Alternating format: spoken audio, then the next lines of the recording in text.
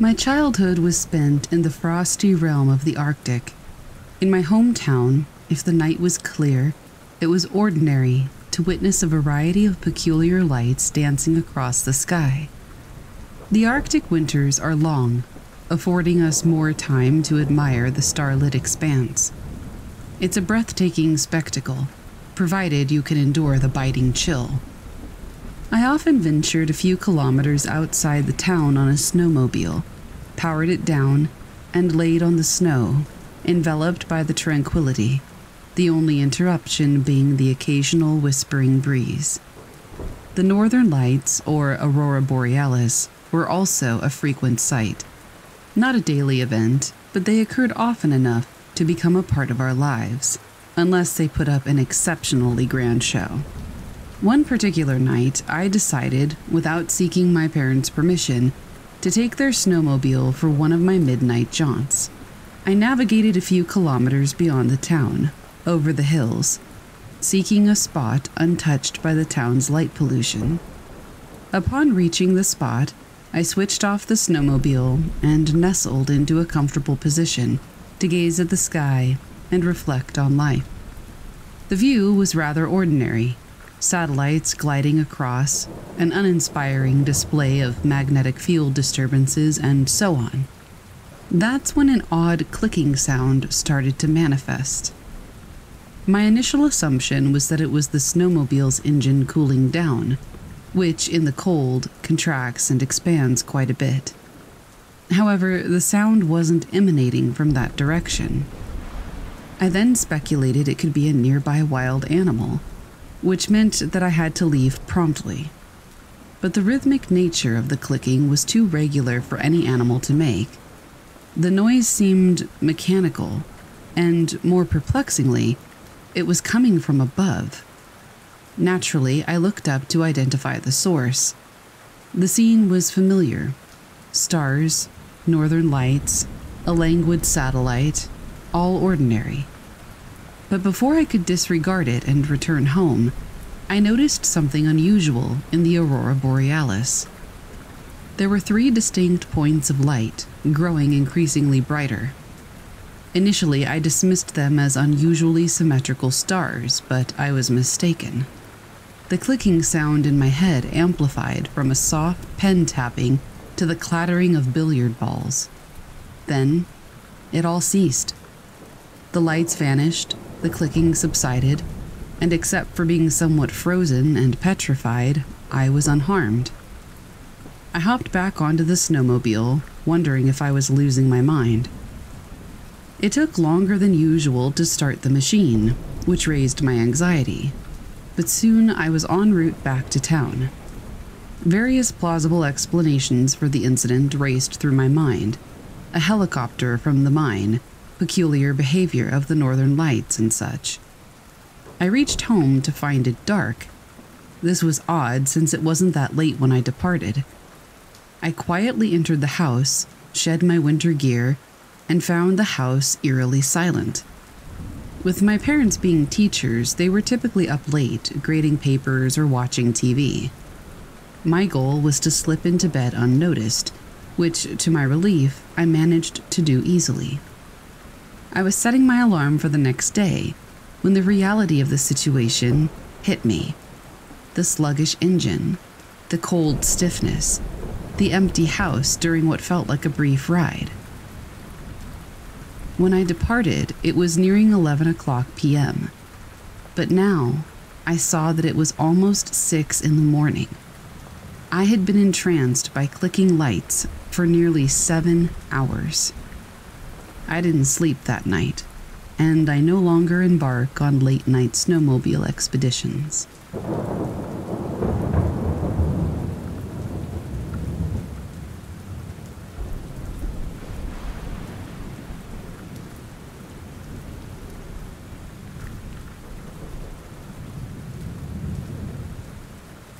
I've had many paranormal experiences growing up, and none can be compared to the other.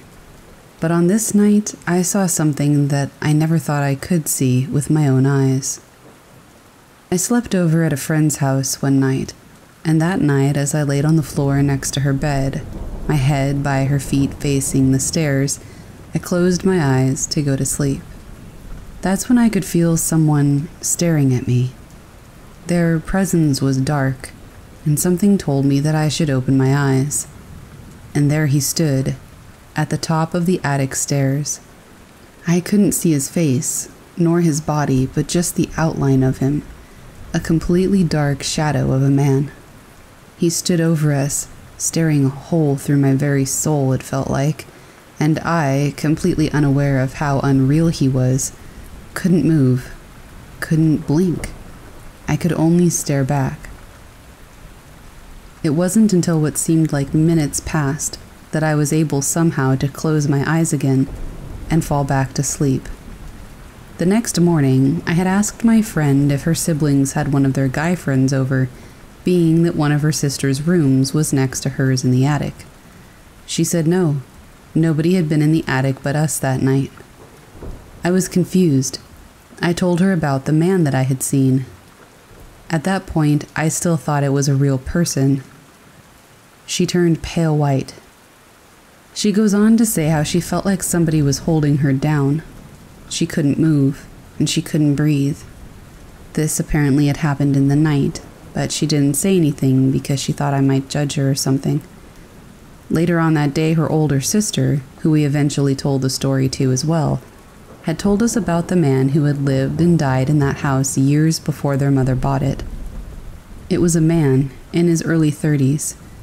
He ended up killing all of his children and then himself.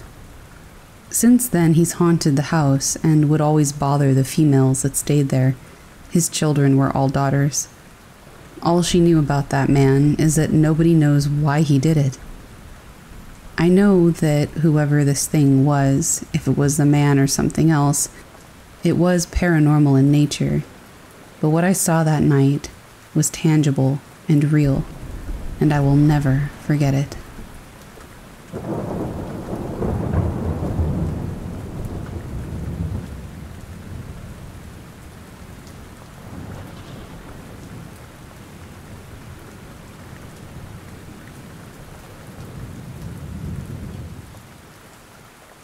An aswang is a monster in Filipino mythology that preys on pregnant women. Unlike the grisly attacks usually shown in horror movies, however, these monsters apparently just prey on the life essence of the unborn baby until it dies and the mother miscarries. The scary part is that these monsters are also part human, meaning that during the day, they could literally be anyone.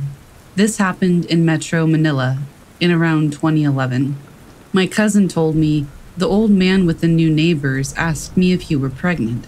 I was shocked. I never even told my family yet. I was 21 and worked nights in a call center. I never go outside when I'm home, and I was only a few weeks along, so I know I wasn't showing yet. How did this nosy old man know? She said the neighbors were new in town, coming from one of the more popular provinces in the Philippines, where witchcraft and aswangs are still the norm. They were friendly enough, though, so no one really had anything bad to say about them, other than the nasty rumors that they knew about Aswang. When I was about eight months along, I was watching late night TV with my brother at around 2 a.m. Something big landed on our tin roof, strong enough to rattle the windows. My brother and I looked at each other with wide eyes as we listened to the footsteps. Yes, footsteps. Stop right above me. I was never a prayerful person, but at that moment I called on gods and saints and angels and anything to protect my baby. Then I remembered my grandmother's story about how she escaped an Aswang attack by placing a pillow between her legs to mask the baby's scent. So I did just that. We had no idea how long we waited seconds, minutes, but then we heard another jump and silence. Until this very day, I'm glad that my brother was with me to vouch for me. I still couldn't believe that it happened, and that it happened to me. Then I remembered the nosy old man. Could it have been him? Was he really an Aswang? Something weird and mysterious and unfinished, I suppose. But all's well that ends well, right?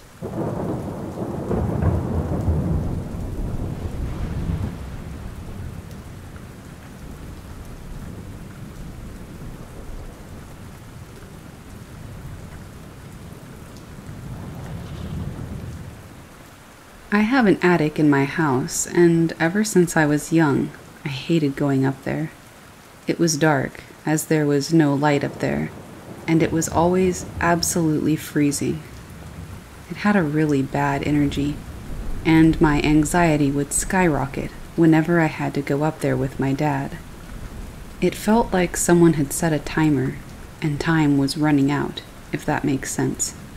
Like I had to get out of there as soon as possible or something really bad would happen.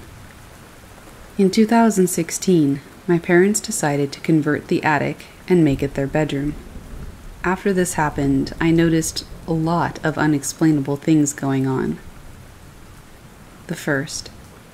One day, I was off school and I was home alone. I was lying on my bed watching the Jeremy Kyle show with both of my cats on the bed with me. Then I heard what sounded like somebody walking down the stairs from the attic.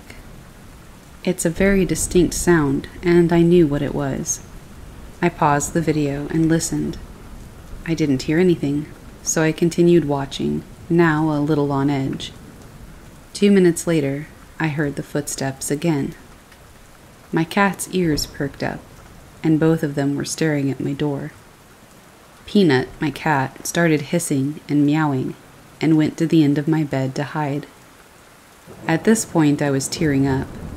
I somehow managed to get out of bed and pull my drawers in front of the door. I sat in front of the door and called my dad, sobbing. I explained to him what was happening, and he said to get out of my room and look. Hell no. I begged him to call my neighbors to come in and get me. It was only after I called my dad five times he kept hanging up on me, that he finally called my neighbors. When my neighbors came in, they have a key, I flew down the stairs sobbing and shaking. My neighbor checked the entire house, but nobody was there. I didn't feel safe staying home for weeks after this. The second.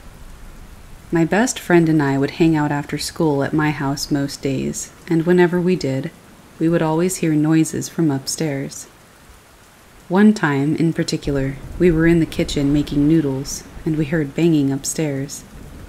I assumed it was my cat and didn't think anything of it. My friend then shushed me and told me to listen. From upstairs, I could hear the sound of someone opening and closing a chest of drawers and slamming my wardrobe doors. Now, my cats are loud and clever, but how does a cat open a drawer it's a very distinct sound. So we ended up waiting in my back garden, holding a paint scraper and a knife until my dad came home. The third. This is by far one of the scariest stories. My dad, my sister, and I were all home. My dad called up the stairs to me and said he was going to the shops. Once he left, I went downstairs to grab some food. I asked my sister if she wanted anything to eat, and she said yes. She was in the front room, so I was talking to her from the kitchen. My dad knocked on the door, and I yelled at her to get it. She didn't. I went to get the door, telling her off for being lazy. When I opened the door, in came my dad and my sister. After months of noises, banging, hearing people talking, and walking around when I was home alone, I was sick of it. I felt anxious to be in my own home, and I had other things to worry about. So one day, I decided to try to talk to whatever it was that was in that house. I didn't use a Ouija board or anything like that. I just sat on my stairs and had a chat, I guess. I told them that I respected that they were in this house before, but that they were scaring me and stressing me out. I asked if they would be able to leave or at the very least, to stop scaring me. After this, I've never had anything happen in my house. No banging, no noises, nothing.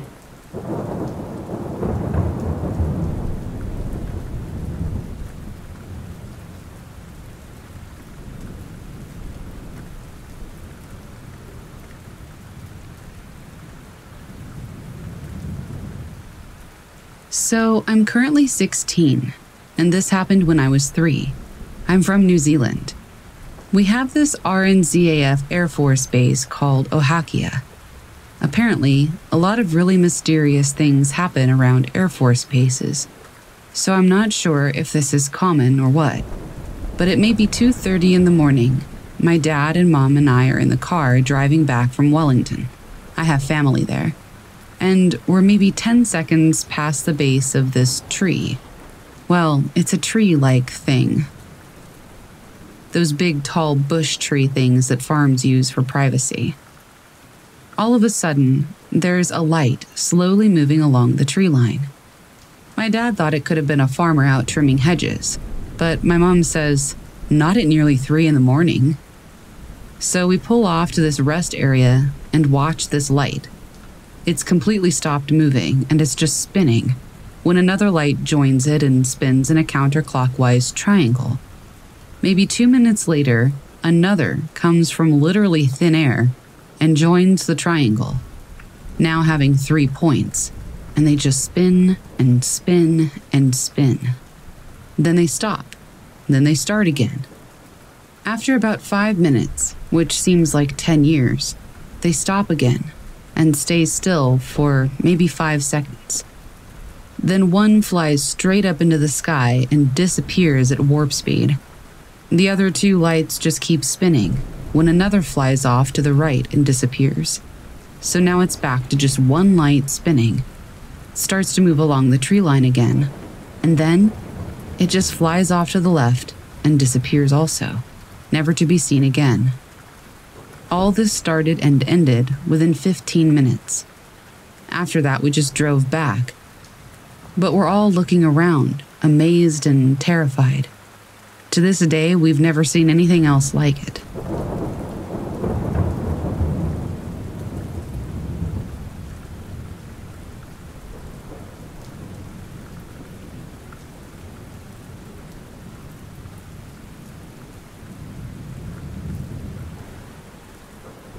Over the course of two years, I've had weird dreams about a very specific creature lurking in the attic.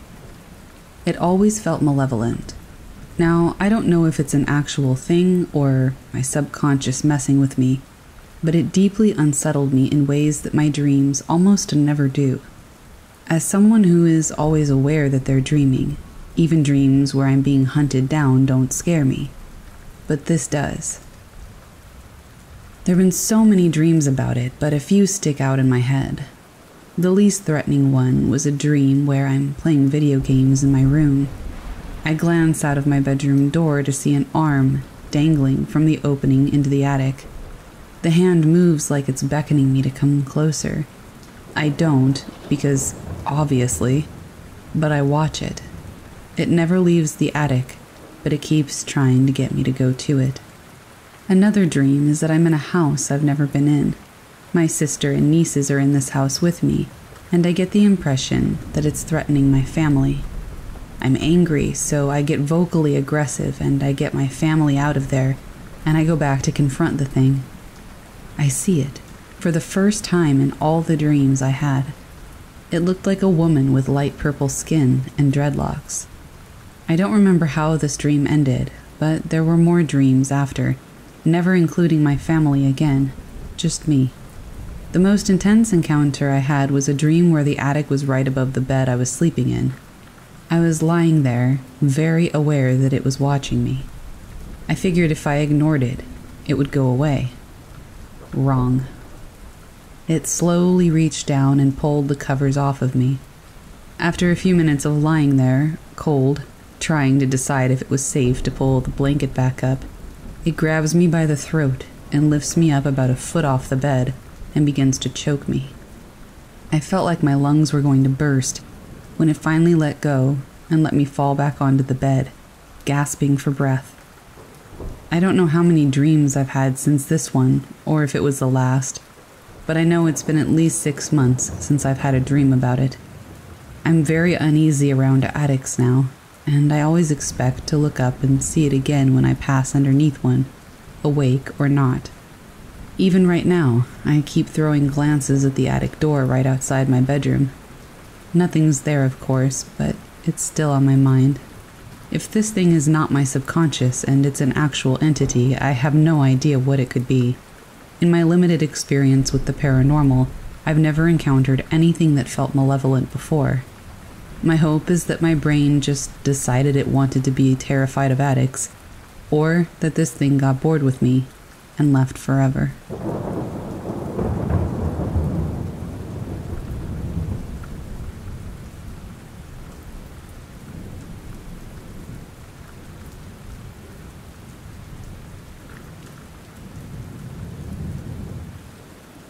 When I was younger, about nine, my parents and all of my siblings went on vacation to Germany, while me, my sister, who is three years older than me, and my brother, who was in high school at the time, stayed home.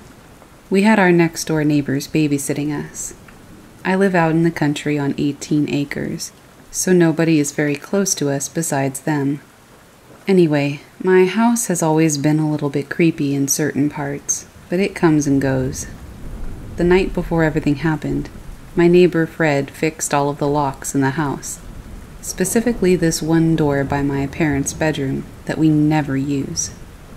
I think I've probably used that door a total of 10 times, and I've lived here for 11 years. Their bedroom is on the first floor, and everybody else's is on the second. So he fixed all the locks and then latched them all shut. We only ever used the side door by the garage and the front door.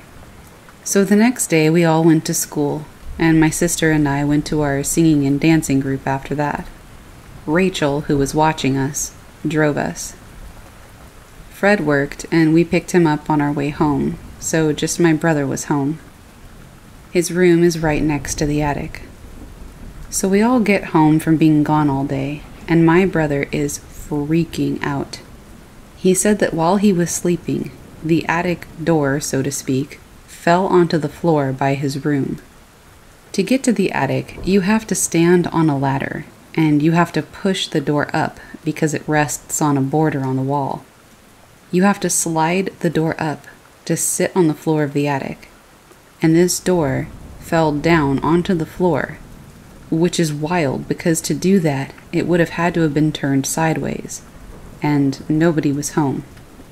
We all get home, and every single door in that house is wide open. There are five different doors on the first floor, so everybody's freaking out, wondering what happened. And we go upstairs and see the door sitting on the floor. Everybody goes into my parents' room, and I'm walking from the kitchen to their room. I hear my name being called very quietly from upstairs. I walked into the room, and everybody else was in the room too. Nobody was upstairs. Nobody could have been calling me. It could have been an intruder or somebody trying to steal, but nothing was missing. And that hasn't been the only scary thing that's happened in my house. Either way, it gave us all quite the fright.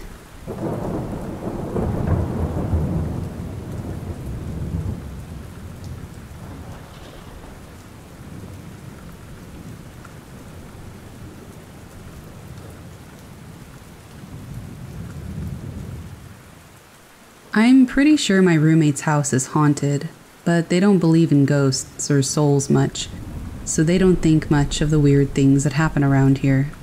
You can clearly hear footsteps in the attic. I used to live in an apartment, so you can tell what different sounds are when you hear them. With that, they are very distinctly the footsteps of someone pacing in the attic. There's only one way in or out of it, in my roommate's room so I know it's not some squatter or something like that. Things in the house move around on their own, too. It happens in front of my friend and I a lot, to the point where we're kind of used to it. Even though we're used to it, I would be more at peace with it if I knew more about the spirits here. Any attempt to contact them has failed, so I assume they just don't want to talk. I haven't had any negative encounters with the spirit, though. The worst I've had is probably knocking over some stuff from the couch. I would still like to know who or what else is here, though, if that's not too much to ask.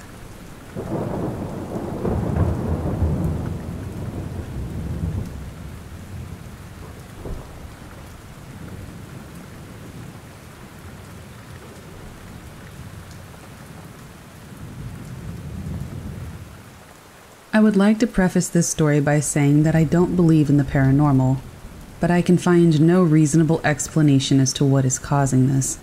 Hopefully, somebody is able to offer some idea of what it could be. Before my parents bought our house, the entryway to the attic used to be in what is now my closet. It got sealed up with a board, and there's no way to get in there now through my room. Instead, you have to use stairs that you can bring down in the hallway to get up there. So there shouldn't be anything in my closet, or in the area above my closet in the attic. Yet I can hear the distinctive sound of something scratching in there. I looked through the closet and it's not at all big. You can barely fit two people inside of it. And I can't figure out what's making that noise. The only way into the attic is through the stairs, and the stairs, like I said, are in the hallway outside of my door. I would have to have heard them being brought down, and I never do. Also, the attic is pretty much filled with insulation, making it virtually impossible to walk around up there. So, what the hell is making that noise? I have no idea how an animal could get up there either, since it's basically blocked off from the rest of the house and nobody's been up there in years. The noise is very loud and it keeps me awake. I can hear it even when I have headphones on with the volume all the way up. It honest to God sounds like something is trying to get out of the attic. Edit. We finally had exterminators come, and there were no evidence of rodents or anything else for that matter. I haven't been at that house in a month because I've been at my mom's, so I can't say whether or not the scratching has continued. This is unrelated, but may be relevant. The fan in my room is disconnected from power. The circuit that powers it is an open circuit, so no electricity should go to the fan. The motor in the fan is broken as well, so it shouldn't be able to turn on. Yet sometimes at night, it will. There's no way to turn it off but to wait for it to stop on its own. I've also caught this happening with the kitchen fan, which can only be turned on with a remote, that has no batteries in it.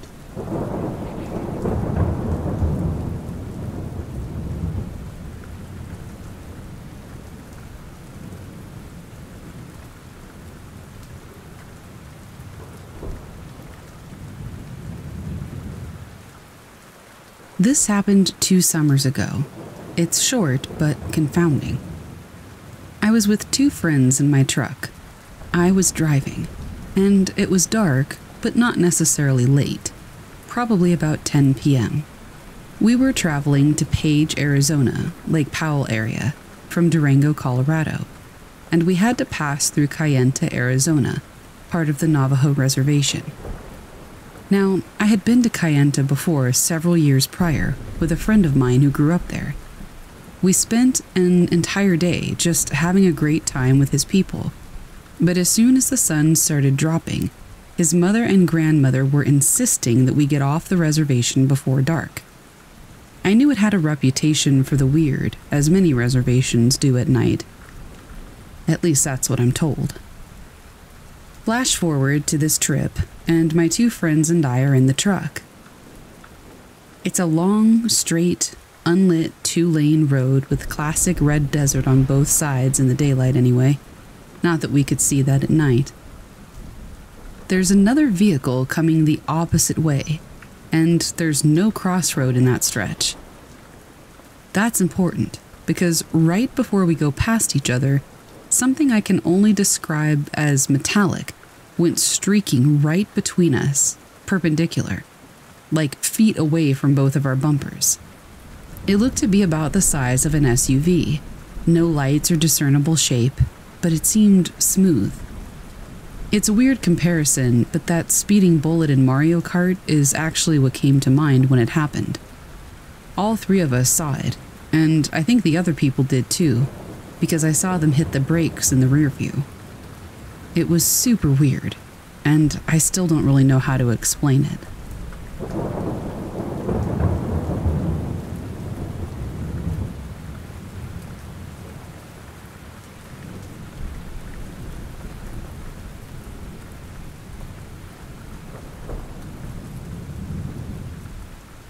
Before I begin, let me give you some background. I was about 13 at the time, not under the influence of any narcotics or medications, nor have I taken any mind altering substances since then. I had just come back from a class trip to Washington, D.C. It was late, maybe around 7 or 8 at night. My father picked me up at the airport, and we began driving home on the highway. And that's when I saw it. It was an unknown distance away and looked close and far at the same time. It was a gray steel color and had, well, it was honestly very stereotypical for the most part. It was in the shape of like ravioli. It was a round, perfectly circular ravioli shape with a bulge on both sides of the middle and a ring of lights around it. The lights were all large and gave off a light that was very hard to describe. They were blue, yellow, and white, all at the same time. And yet they didn't give off any kind of flare or beam. And when the craft moved, they didn't give a typical trail that you would get when looking at a light moving out of a car window. Now, the craft moved so perfectly, it looked as if it wasn't moving at all. It matched the exact speed of our car, which, if you've ever driven down I 95, is really quite an impressive task.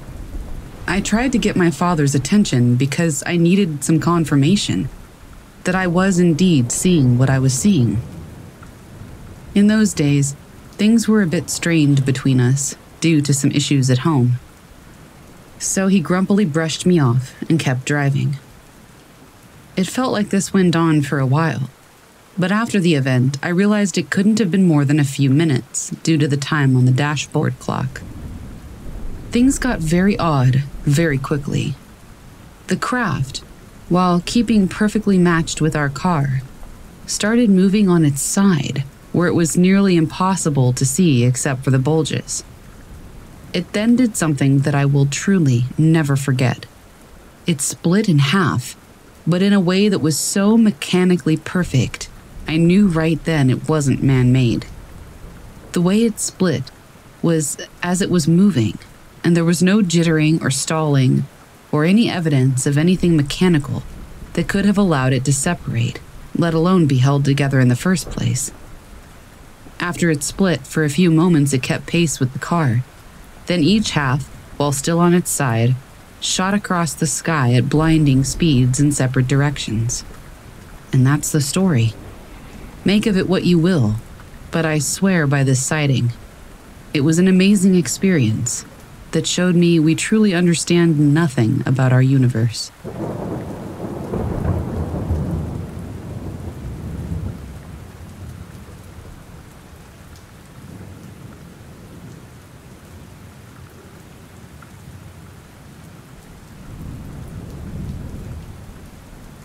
My brother used to live in the attic of the house we grew up in. It had an extremely dark and suffocating vibe. My brother went crazy in there.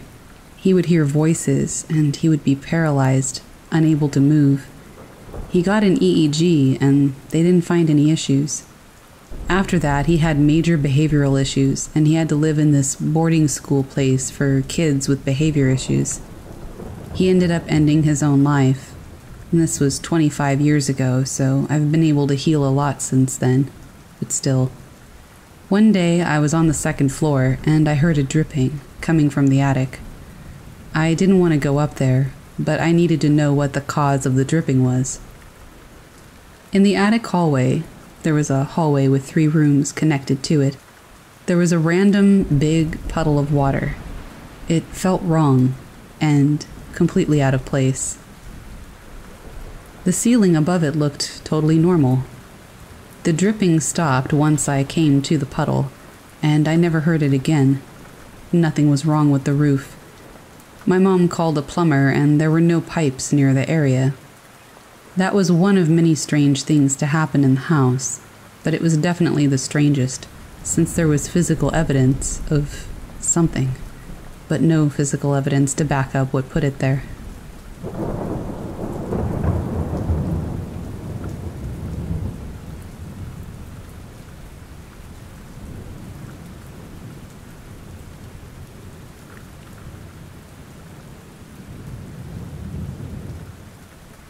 So I live alone, unless you want to include my cat, and then I live with a cat. I have a house with an attic conversion, but since it's just me, it's basically an empty room. I think the previous tenant used it as a bedroom. Obviously, when I first moved in, I did go up there to have a snoop around. There are two light switches for the room one at the bottom of the stairs, and one that's a long string that you pull that's right in the middle of the room. There's a door at the top of the stairs that I always keep shut. I close every door behind me. An open door really bugs me. Now, after living in this house for about three months, I noticed that the door was open and the light was on. I could see the light on the wall opposite the door. No big deal. I obviously forgot to shut the door and turn the light off, I guess. I went and did it. Skip on about two weeks. I arrive home from work. It's early January and it's dark out. I can see the window to the room from outside, and I can see that the light is on. My first thought is shit, I've been robbed. I barge into my home and quickly sweep the first two floors, expecting to find somebody. Nobody. Shit, they're still up there, I thought. I fly up my stairs, and the door is shut, but the light is still on. I swing the door open, and nothing. I will say, I'm always very skeptical about stories when I hear somebody say they had a feeling of dread or felt like they were being watched. But I had these. I had this horrific feeling that I wasn't really alone up there, but it's a simple, empty box of a room. I tried my best to shrug it off, turn the light off, and shut the door. I've been living there nearly seven months now, and since that day, I get the same feeling when I walk past the stairs to the attic, day or night. The light is on at least twice a week, but now it switches itself off after a while. Recently, I've started hearing very loud bumps coming from the attic, which is right above my bedroom. The first time I heard it, I naturally assumed that somebody was trying to get in through the window. So again, I ran up there, but nothing. Lastly, my cat, who is tiny and during the night stays downstairs, refuses to go up there and has actually done the whole arched back hissing thing at the door. It could just be his personality, but given the situation and the fact that he never hisses at anything ever, it really freaks me out.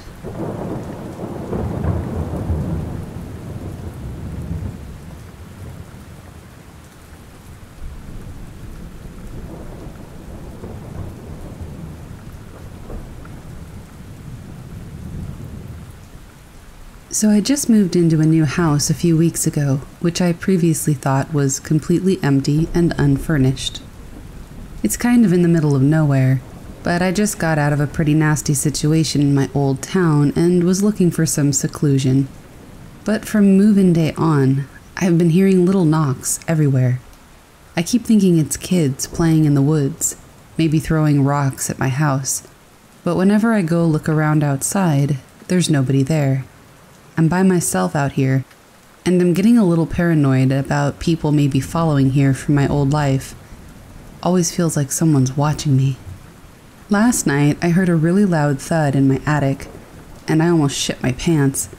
I was gonna call the police, but then I started second guessing whether or not I really heard it, because it wasn't followed by anything else, and there weren't any footsteps or anything like that.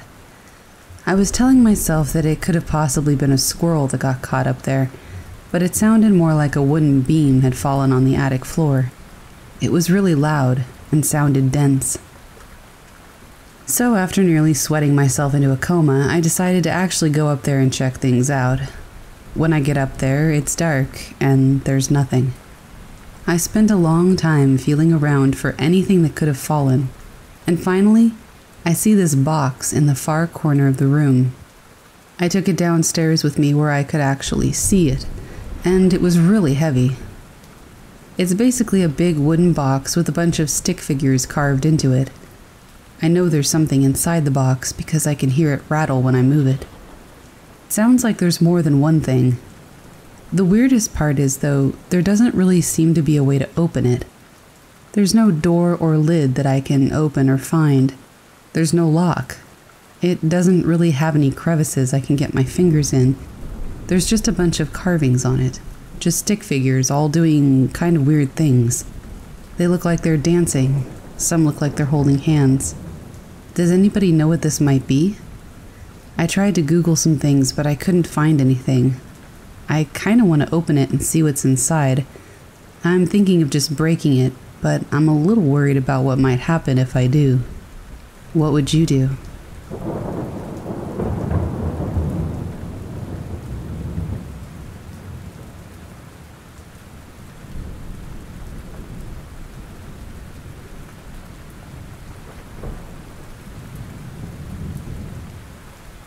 I live in England in a two story flat, and I've always believed in the paranormal. But my dad does not believe in any type of ghost or anything paranormal. I never thought that this flat was haunted. However, as I got older, I started to feel uncomfortable by myself, and I would see shadows downstairs out of the corner of my eye. Now, there is an attic directly above our second floor, but there's no way for us to enter it, as you can't access it from the flat. The only way to access this attic is by having a specific key that can open the attic, as it is council flats, which is above all my neighbor's house. However, the attic above my flat is the one which is blocked off, and there's no way to enter it. I have the last flat on the end of these 18 council flats. There are no neighbors above us, just the attic that nobody can access without that key, and they still wouldn't be able to get above our flat. One night, about two years ago, all of the family was in bed. It was about three o'clock in the morning. All of a sudden, I heard something crash above us. It was so loud that it woke the entire family up, and we all got up and stood on the landing together. After the bang, we heard three loud footsteps and the sound of something being dragged behind those footsteps. It was so scary, especially since we knew that nobody could physically get up there. My dad was not convinced that it was a ghost. He thought that somebody, somehow, had gotten up into that attic. So he went outside to check to see if the communal attic door was opened. I followed him outside, and it was completely padlocked shut, with heavy chains around the lock. I tried to explain to him how can there be anyone up in our part of the attic when it's blocked off and impossible to get to? We came back into the house and we were all pretty shaken up. My brother was quite young and was able to get back to sleep, but I was awake all night and found it very difficult to sleep. After this experience, I started to smell old cigarette smell every time I would enter the toilet area, it smelt so old and gross. After the event, my brother and my mom and I were going away on holiday, whilst my dad had to stay there and work. He told me that he slept with headphones on every night, as even he felt uncomfortable by himself. I have no idea what those noises were. As a family, we still can't figure it out, and ever since then, we've heard many more strange noises.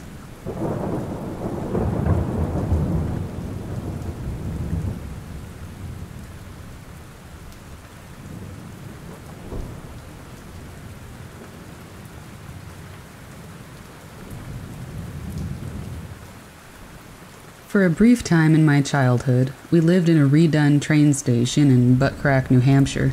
Small town with like 400 people in it, but still a few things to do, and a decent amount of wealth. So, the bottom floor of this building is a super popular local sub and pizza shop. We lived right over them. I was nine at the time, and my bedroom had a very old, decrepit door. Cliche, I know, but it really was like rotting wood. That door had stairs behind it that led to the attic. The whole attic was pretty run down, as if they had just never redone that part. Old, creaky, some weird smells, all that. I got terrible vibes from the attic. I was terrified to be in my room alone. I was nine, so I could have just been paranoid because I was interested in paranormal things at the time. We lived there for one year, I heard voices of people I knew, knocks on the door from the attic side, and the door would frequently slam itself open. I eventually asked my mom to install a heavy lock on it because it scared me so badly. We got the padlock, not anything crazy, but it was the same kind that you would put on a locker. Now that I had that, the door would just shake and shake, like someone was stuck in there and desperately trying to get out. That continued for a few months with no escalation, just the door seeming to be alive. Our kitty had found a way to sneak up to the attic and back through a rotted part of the door. One day we hadn't seen her for a while, so we checked up there. We found my cat dead in the corner of the attic. We thought it was maybe rat poison that we didn't know was up there, but the vet didn't find any sign of poison in her and said it was old age. But she was only five. I guess it's possible that my mom didn't want to spend more money trying to find out why the kitty died and lied to me, but who knows. Things got a lot worse after that night that we found our cat. I started to hear my mom up there a lot, and I would just assume that she was up there cleaning. She would just say pretty normal things someone would say, talking to herself, and it was definitely her voice. And sometimes she would ask me stuff, like if I wanted anything at the store or what I felt like for dinner, if I was going anywhere this weekend, things like that. Things she asked me pretty regularly. It was loud and clear and no different at all from her normal speech. And then I would answer the questions and get no reply. So I'd go up there and see that she wasn't up there. And sometimes she wasn't even home. I stopped checking after a while, and I stopped replying too. My mom heard it herself twice. Said she was cleaning my room and she heard someone in the attic. The first time she assumed it was just someone down in the pizza shop and there were weird acoustics. But the second time, it said my name in her voice and said, I'm back from the store, come help put stuff away. That's when my mom got scared, because obviously she knew it wasn't her, and that's when she finally believed me. It was like a recording of her talking, after we became more aware of it, it just stopped. But there was one more time that we felt it. My mother was cleaning in my room, and I heard her yell, No! And then she had a seizure, and I called my friend who called the cops. I moved out soon after. Still the weirdest, and really the only undeniable experience I've ever had to this day.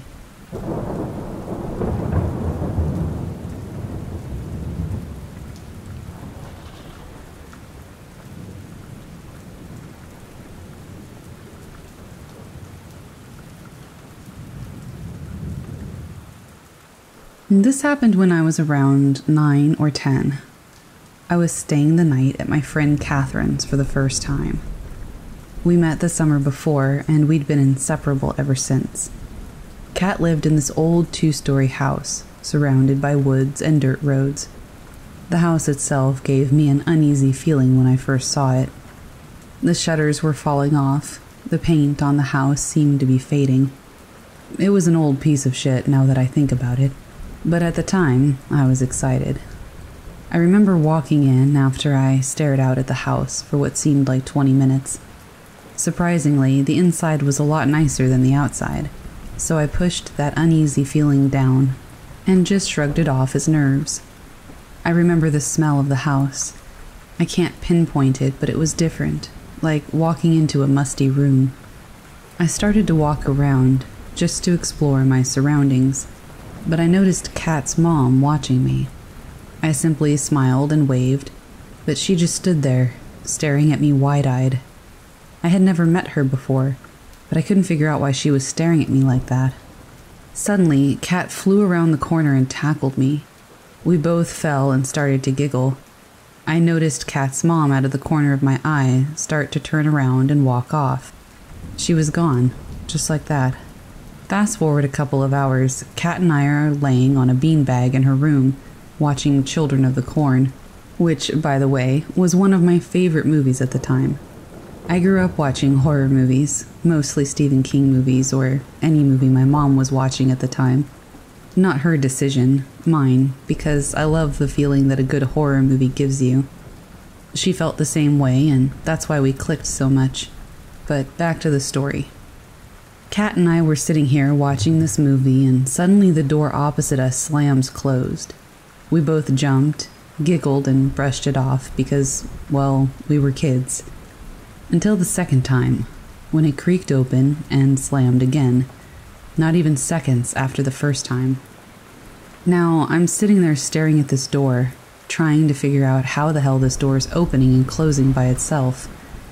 In the midst of all that, the only other person in this house is her mom, who, I had figured out earlier, was just a tad bit creepy. You think it's just your mom? I asked her, but she just shook her head. Are you sure? I asked again. But then she said something that gave me chills, and still gives me chills thinking about it now. My mom isn't home. It's just me and you, silly. I just stared at her while she was staring at me, trying to wrap my head around what she had just said. Who leaves their nine year old home alone with a friend they've never met in a two story house? Where's your mom? I asked her. She's at work. I giggled, thinking that she was trying to trick me. She is at work. She only works for a couple of hours, so she leaves me here because she trusts me. At this point, I'm just looking at her and she notices the look of worry on my face. What's wrong? she asked. If your mom is at work, then who was the lady staring at me earlier? As I said this, we heard what seemed like footsteps at the time. But thinking about it now, it sounded more like shuffling in one spot, above us. I'm completely scared at this point, Every hair on my neck is standing up, and I just want to leave. I start to get up when Kat pulled me back down and asked me if I heard that noise. I nodded. It was silent again until the footsteps were back, but louder and faster. We both stared up at the ceiling, and she grabbed my hand. This happens every day, she whispered. I look over at her and I can truly see the fear on her face. The footsteps stopped, and she looked at me, her face flushed white. Is there an attic? I asked. She pointed up toward the ceiling. Well, maybe it's just squirrels or birds, I kept thinking, over and over. You ever notice when you're really quiet, that's when you can hear almost everything around you? Imagine if you're sitting in a house with your best friend alone at 10 years old and you hear the giggle of a three year old child. Mind you, she has no younger brothers or sisters, and we're completely alone. Kat was just as scared as I was. I remember thinking that I just wanted to get out of this house, just grab her and run out the door. At least we would feel safer and less scared outside the house than in it. Want to hear a story? Kat asked, pulling my mind back to reality. I nodded. Well, this house used to be a daycare. There was this lady that would watch the kids, and one day she just locked them in the attic and then hung herself from a rope in the kitchen. They all died because the kids were hungry and thirsty, and no one found them for months afterwards. It was this house. My heart started to pound and my eyes were wide with fear. I just looked at her. It's true, she said. I've seen them. The little kids, every day but I've never seen the lady. You have, though. Earlier. After she told me this, I don't remember much else except running out the door of her room and making it outside the house. Kat followed, begging me to stay, but I just had to get out. My stomach felt like it was in knots, like I'd walked into a horror movie myself, and I just wished the entire day had never happened. Fast forward years later, that day was the last day I had seen or heard from Kat. I remember her always coming to play outside my dad's during the day. I remember what she looked like. I never remembered meeting her parents or seeing them out in public, though. I'm now 27, and I can't seem to find any proof that she exists. All my friends that I was friends with then, I'm still friends with now, even after all these years. So why not her? I've driven by that house maybe 15 times, and I still wonder if maybe, just maybe, she was one of the kids that never made it out.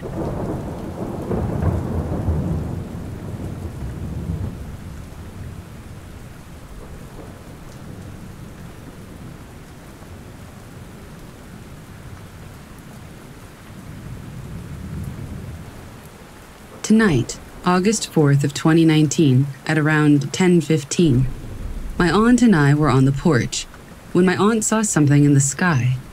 It was like an outline of a circle, and part of it was gone, kind of like how an eclipsed moon would look at first. We noted that this was not where the moon usually is. Usually it's behind our house. So eclipse and moon were ruled out. The thing was bright yellow and had an orange red tint to it. It almost looked like a fireball. It's night, and the sun is on the other side of the planet at this minute, so wasn't that either. We thought it was a shooting star at first, but it wasn't moving anywhere. It started like flattening out, like spreading. Then it started to shrink into a smaller form and kind of looked like a star. Then all of a sudden, it disappeared. A few minutes later, it suddenly reappeared and got bigger and bigger. It looked as if the moon would have been over the sun and coming off of it, moving toward the way it came in the first time. The light around it kind of spread out again.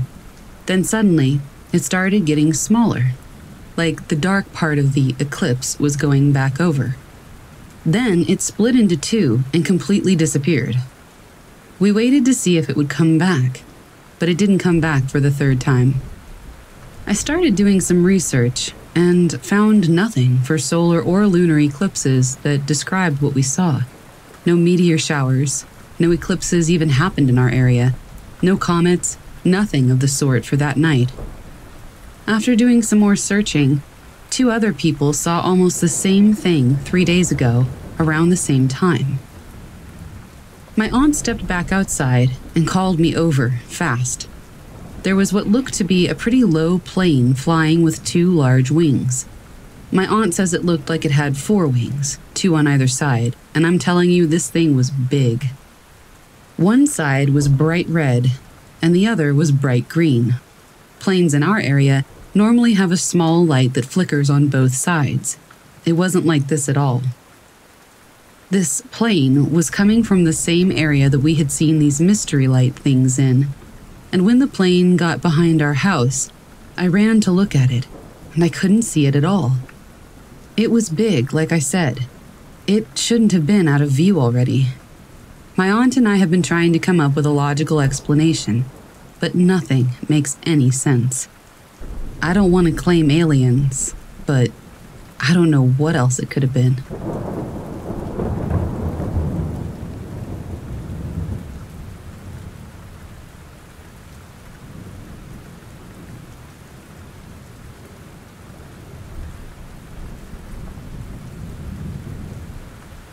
I can't definitively say that what I experienced was paranormal in nature, but here goes. When I was a kid, I lived in a one story house that had a very small space that you could consider an attic. We didn't keep anything up there because it was so small. I don't even know where the entrance to it was, if there was one at all. But, and this started right when we moved in, after we'd go to bed, I would start hearing footsteps up there I lived with my grandparents, by the way. I knew they were footsteps because they would move in a rhythm and go from one end of the house to the other. I lived in that house from when I was 8 to 12 years old, and this happened every single night. I repeatedly tried telling my grandparents about this, but they always said it was just the house settling. I was never able to go to sleep or sleep very well as a kid so while my grandparents would be asleep as soon as 8 p.m. fell, I'd be laying awake in bed, staring at the ceiling. It was always the most terrifying when the footsteps stopped right above me, like right over my bed. And then in a few seconds to minutes, they'd walk back to some other location up there. Nobody ever believed me that this was happening. My granddad had even found holes that had apparently been drilled in several of the walls one in the bathroom. He wrote it off as a previous owner running cables through the walls. I lived in that house for like four years, and I was convinced that someone was living in the ceiling above us and would become active when they thought we'd gone to sleep. I will never forget that stuff. It always happened at the same time of night, too, right after we went to bed. And this was back in the late 90s to early 2000s, so I don't know if there could have been cameras or something that they could have been watching us on, but they definitely knew when we went to sleep. To this day, I'm still convinced that somebody was up there. Paranormal? I don't know. It's worth mentioning that one of the previous owner's kids did die in the house. They had a wolf dog hybrid as a pet that mauled him in the living room. Anyway, I thought I'd share because literally nobody believed me, ever, to this day. But I know footsteps from houses settling, and these were footsteps. This would go on to the wee hours of the night, and I'd usually fall asleep when the footsteps had finally gone off to a different part of the house.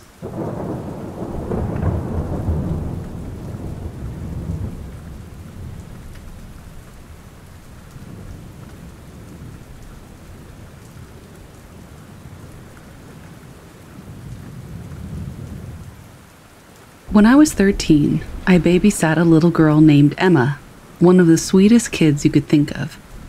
I was a regular babysitter for her, so much so that when I couldn't babysit for a few months, she called all her other babysitters by my name. This happened after I came back to being a regular babysitter for her. It was about 10:30 at night. I had already put Emma to bed and had been channel surfing. The house was set up so that the front half was open concept. The living room, dining room, and kitchen were side by side. In between the living room and dining room was an open doorway to the back half of the house. At one end was Emma's room, and the other end had her parents', with the bathroom connected to the parents' room.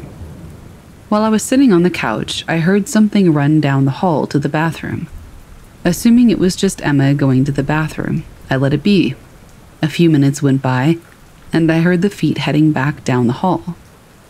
I turned to tell her to go back and make sure she flushed because I hadn't heard it, but I only saw the tips of black hair that ran past the open doorway. Here's the problem Emma is blonde. I quickly jumped up and rushed to Emma's bedroom, throwing open the door. Her nightlight was bright enough to make her out as she sat up and looked at me, rubbing her eyes in confusion. I asked her if she had just gone to the bathroom.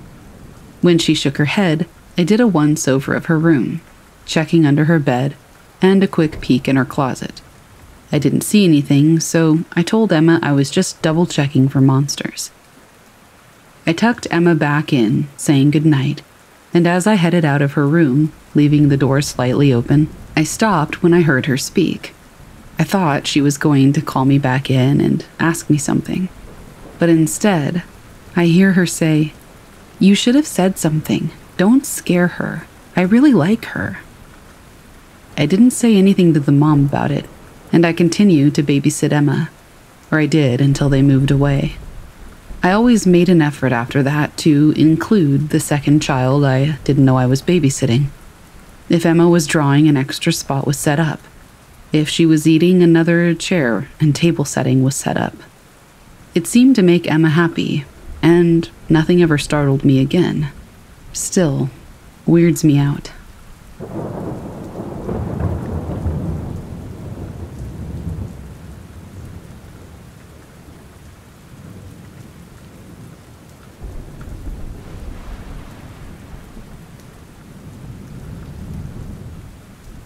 I'm going to give a little background first before I get into my experience so you can all better understand. My partner and I are good friends with another couple that we often go over to hang out with. We'll call them Ashley and David. We go to their house about twice a week, and nothing out of the ordinary ever happens. We usually just hang out and talk for hours, with a few beers. David has mentioned a few times that he's seen Ashley's deceased brother around the house. Ashley always rolls her eyes and says she doesn't believe in things like that, Ashley took her brother's passing very hard, and she was very close with him. Fast forward to today. Ashley has a son that we'll call Adam. She called me and asked me to watch him since he was homesick from school while she went to work. I agreed and came straight over. Everything was normal. Adam was at the dining room table. He was playing a game on his laptop, still in his pajamas. He's a great kid he never complains or gives anybody trouble. I went to the restroom, which is down the hallway past the living room. This bathroom shares a wall with the master bedroom's bathroom wall. As I'm doing my business, I heard the water turn on and off twice from that bathroom, followed by talking. I can hear what sounds like two people talking very fast, but it was muffled. I didn't think much of this, figuring that Adam must have wandered in there with the two dogs. He's nine, and he talks to the dogs sometimes, as most kids do. I came out of the bathroom to find him still in the same position, at the kitchen table, and the dogs were sleeping on the couch. I said, Hey, buddy, did you go into your mom's bathroom and have the water on? He looked puzzled and said, No, I haven't left this table, and I don't go in there. I then went to the kitchen sink and noticed it was dry so the water I heard being turned on had to have come from the master bathroom. And what about the talking I heard? I chalked it up to maybe the next door neighbors. A few hours go by, and Adam is on the couch with me, watching TV, and the dogs were there too. I start hearing things being moved in the master bedroom, almost like somebody was cleaning up, picking things up and setting them back down. The dogs then start to bark and run to the master bedroom door. This repeats every half an hour or so until David comes home. I explained my experience, and he just smiled and nodded. I asked him what he was smiling about, and he said, Ashley's brother's ashes are in the bedroom, and she recently got the ashes of her stepdad from her sister. She mixed the ashes. That's the talking you heard. Her brother and stepdad. They used to sit in the garage together and just chatter all through the night. At this point, I'm creeped out. David is glad that someone believes him now. I told Ashley about my experience, but she refuses to believe any of it. I personally think she's in denial, and I don't really blame her. It's scary stuff, and it's hard to believe unless you experience it for yourself. I've never seen anything paranormal before or after that. And I hope I never do, because hearing that stuff gave me enough chills to last a while.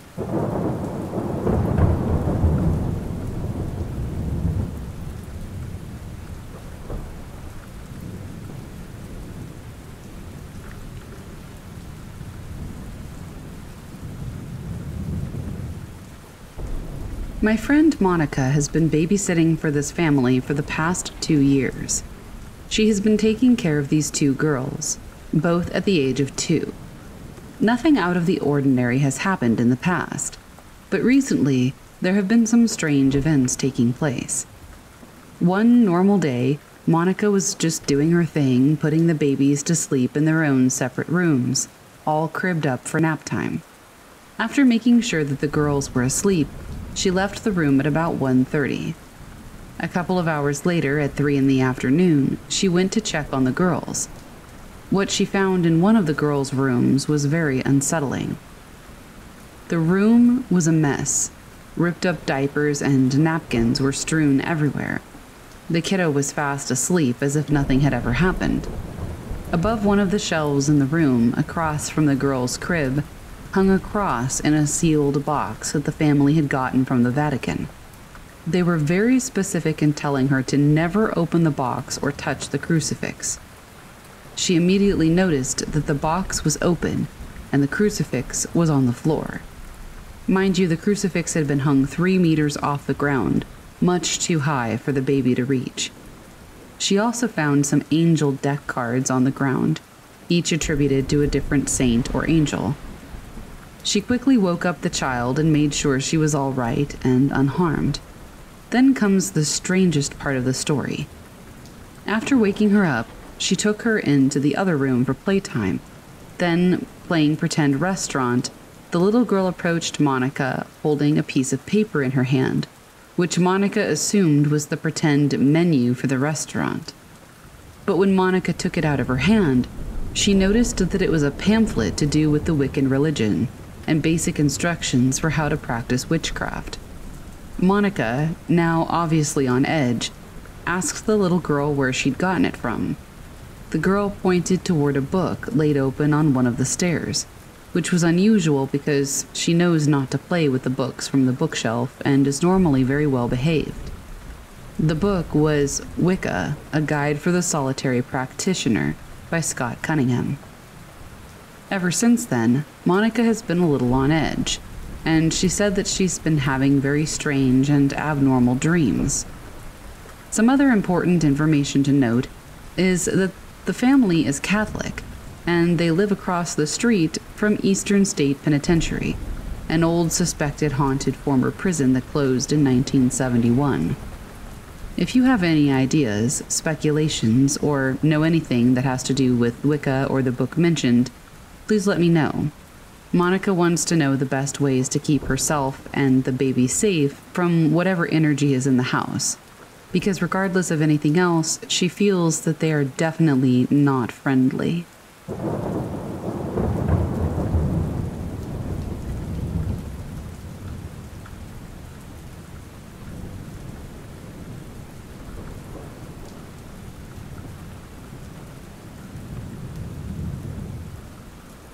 About two weeks ago, my bigger brother and I started to hear random walking and running sounds from our attic. Our attic isn't accessed through a ladder or anything. We have a staircase going to the roof where there's a separate small room for the attic. At first, when we heard the noises, we didn't care, as we thought it could have been a random stray animal. A few days later, the walking turned into running and odd shuffling sounds. They mainly came at around 12 and 1 a.m. After we told this to our parents, they told us to investigate it the day after, and that's what we did. There was no one there, and we checked every corner, and everything seemed to be in its respective place. The next week, no event took place until Saturday. On Sunday, however, at daytime, we heard some running from across the rooms. The sound was from above and a few things dropping. My brother and I went up and saw nobody, and nothing was dropped on the floor. We were very confused, but not scared, not even creeped out, just confused. Nothing happened on Monday. At the moment that I'm telling you this, I just heard the same running and things dropping. It's a Tuesday at around 1:10 in the morning. I can't seem to find any evidence of anything paranormal going on other than we can't find the source for what we're hearing. Any ideas?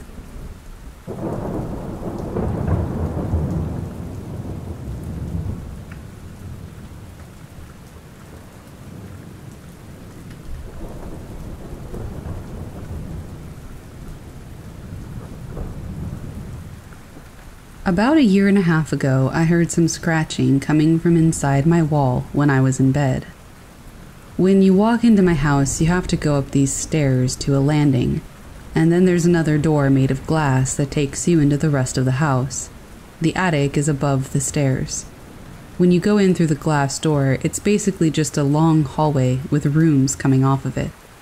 Anyway, I heard the scratching a few times, but nobody else did so I just thought, whatever, it's probably just me. It stopped for about a week, and then it sounded like someone was up there, crawling or dragging themselves around. This freaked me out, and I told my dad. He said it was probably just rats, so we got people out to check. Nothing was there. They said if there had been any animals, they would have left feces and other signs of their presence. They even checked under all the insulation, too. It carried on after this, so we put a large range of food up there, figuring something would eat it. Nope. Took it down about a week later, and nothing had been touched. At this point, we were pretty confused, so we put up cameras and left them for a week. The whole time they were up there, no sounds happened, which was odd because previously you could hear them all day and night. It was after the cameras got taken down that things got a bit weirder.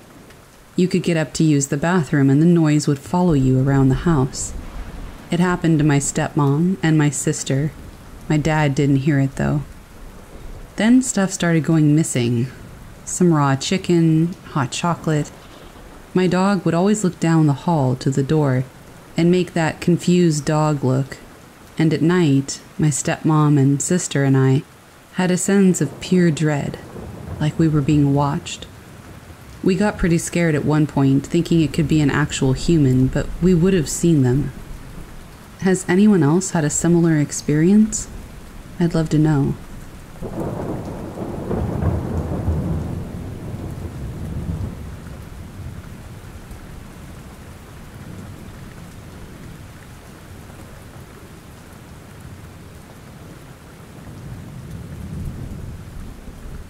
A couple of years ago, I went on a study abroad trip with my university to Australia for a couple of months. We started in Darwin and traveled south. The bus ride itself was pretty uneventful, except for my friend and I being accidentally left at Devil's Marble for a few hours, but that's another story. We stayed at a hostel in Alice Springs and got up before dawn to drive to Uluru, the rest of the students had decided to go back to sleep for the bus ride, but I was looking out the window at what little I could make of the scenery. It was that time right before dawn when you're first able to make out your surroundings. The bus slowed down to park and made a turn into an empty lot, and that's when I saw it. An extremely large shadow walking through the bush I'm a bad judge of height, but it was taller than any human I've ever seen, perhaps 10 feet tall, with extremely elongated arms and legs. Even though there was enough light to make out the details of the landscape, the figure appeared completely, well, void of detail, like it was smooth, black, and featureless.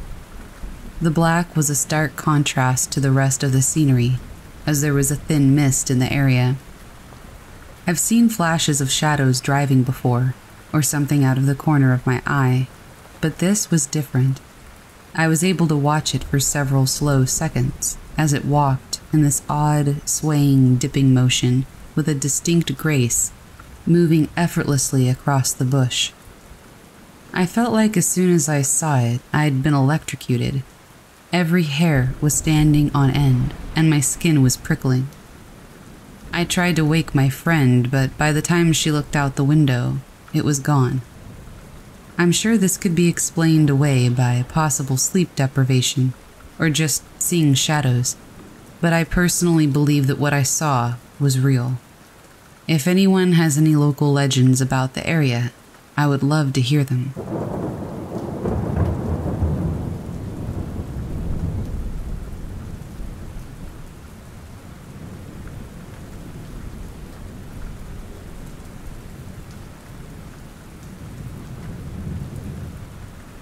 My dad told me this story from when he worked in a nursing home in Australia. It spooked me a bit, and I have no idea how he lasted as long as he did in that nursing home. For the record, my family are all skeptics, as far as I know. But I think this is the one story that would persuade me that ghosts are real. My dad worked the night shift, and he said that he had been told stories of deceased residents passing the front desk on the bottom floor. He said he even heard babies crying on the top floor. The nursing home used to be a maternity hospital. This crying would occur even though there was now no maternity clinic near it. There was a TV room on the bottom floor, it was on this floor where some of the residents who were kept in bed all night for their own safety were housed.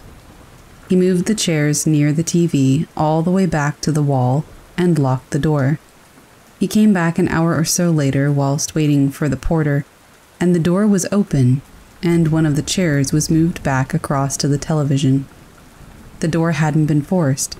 There were no windows in the room, and even if there were, the chair was too heavy to be blown back across the room. All the patients were accounted for.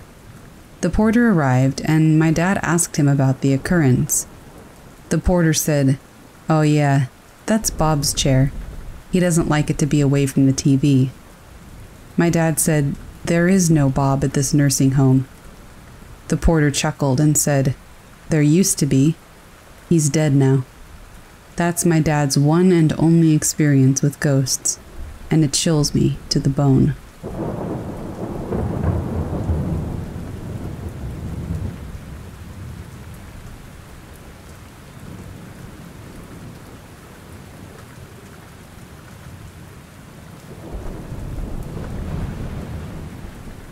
Whispers in the Attic.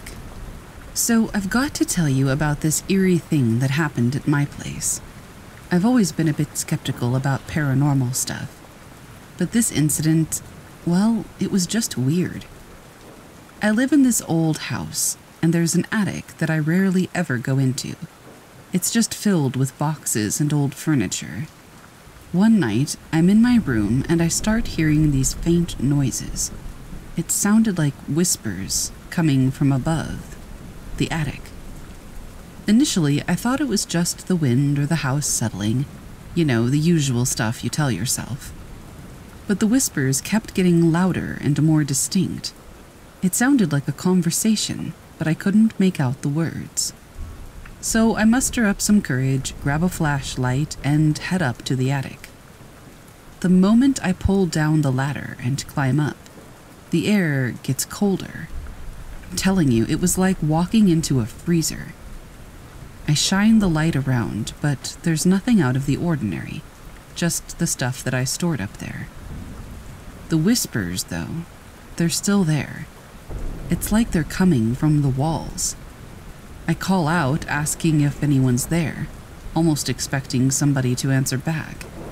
But nothing, just more of the whispers. I'm not gonna lie, I was freaked out. I quickly checked if maybe there was a radio or something left on, but nothing. The attic was as silent as a grave, aside from those dang whispers. I headed back down, deciding that some things were just better left alone. But those whispers just didn't stop. For the next few nights, I heard them, always around the same time, always just as unintelligible. I even got a buddy of mine to come over and check it out. He heard them too, so I knew at that point I wasn't going crazy. But we could never find the source. He joked about it being ghosts, but I wasn't too sure if it was just a joke. Eventually, I just couldn't handle the creepiness. I called in a professional to check for any structural issues or animals stuck in the walls. They didn't find anything unusual, the whispers stopped after a while, and I haven't heard them since. It's still a mystery to me. Were they echoes of some past conversation trapped in the walls? I don't know, and maybe it's better if I don't. But every time I pass by that attic door, I just can't help but listen to see if I hear them again.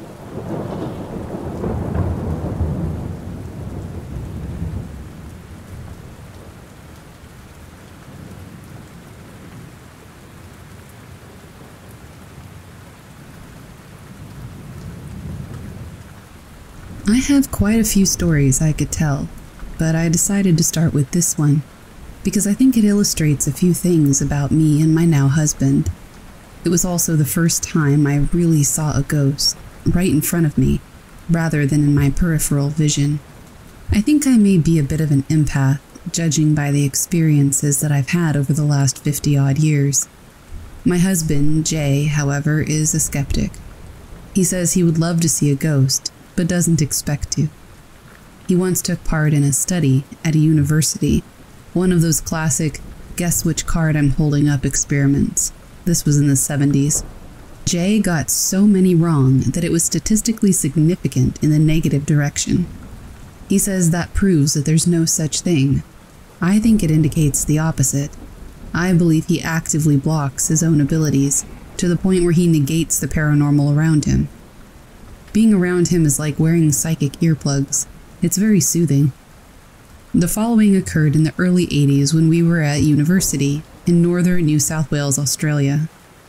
Most of the students lived on campus, and the university had its own radio station to cater to them. A friend of ours, Gail, was a DJ at the time and had a midnight till dawn weekend shift. She invited us up to the station one night to tape some albums from the station's record collection. The radio station was located in a faculty building about a 20 minute walk from the college where we all lived. Gail had the keys and locked all the doors behind us. The station consisted of two rooms a large rectangular room housing an office area, with two glass walled studio booths partitioned off on one long side, and a storage room housing the library. The entrance door was in the long wall opposite Studio A. The door to the library was in the short wall next to Studio B. Other than the library, the entire area is visible from either of the two studios. Gail commenced her shift using Studio B, while Jay set up in Studio A with some blank cassette tapes, and I headed into the library to pick some albums. The record library was fantastic. Four walls of floor to ceiling shelving, packed solid with classic rock LPs. I was standing on a chair choosing some music from the top shelf when I started feeling that there was someone or something behind me. Almost, but not quite touching me. I was telling myself not to turn around, that there's nothing there, and so on. But the feeling got so strong that I really wanted to get my back against the wall. I have personal space issues, and the sensation of anything being that close was just too much for me, and I had to get out of there. I grabbed a couple of records, took them to Jay, and then I went to talk to Gail in Studio B. From where I was sitting, facing Gail, who had her back to the main room, I could see the entire radio station. Jay was in the studio to my right, and the main door was diagonally to my right. The one and only door to the record library was diagonally to my left, all clearly visible through the glass walls of the studio booths. I watched Jay get up, leave Studio A, walk across the office space from right to left behind Gail, and enter the record library. As he disappeared into the library, a figure in blue came out of the library door, crossed rapidly from left to right behind Gail, and entered Studio A. I turned my head to look directly into Studio A, but nobody was there. About 15 minutes later, Jay came out of the record library and walked back to Studio A. Immediately, the blue figure shot out of Studio A, crossed behind Gail, and went back into the library. Gail must have seen my eyes following it because she said, quite excitedly, You saw it, didn't you? I knew if there really was something here, you would know. It turns out that Gail had been feeling like she wasn't alone up there at night, and having heard some of my experiences, she decided to try an experiment. She kept her experiences to herself and then waited to see if I picked up anything. Gee, thanks, Gail. It also turns out, I guess, that while Jay ain't afraid of no ghost, the ghosts seem to be afraid of him.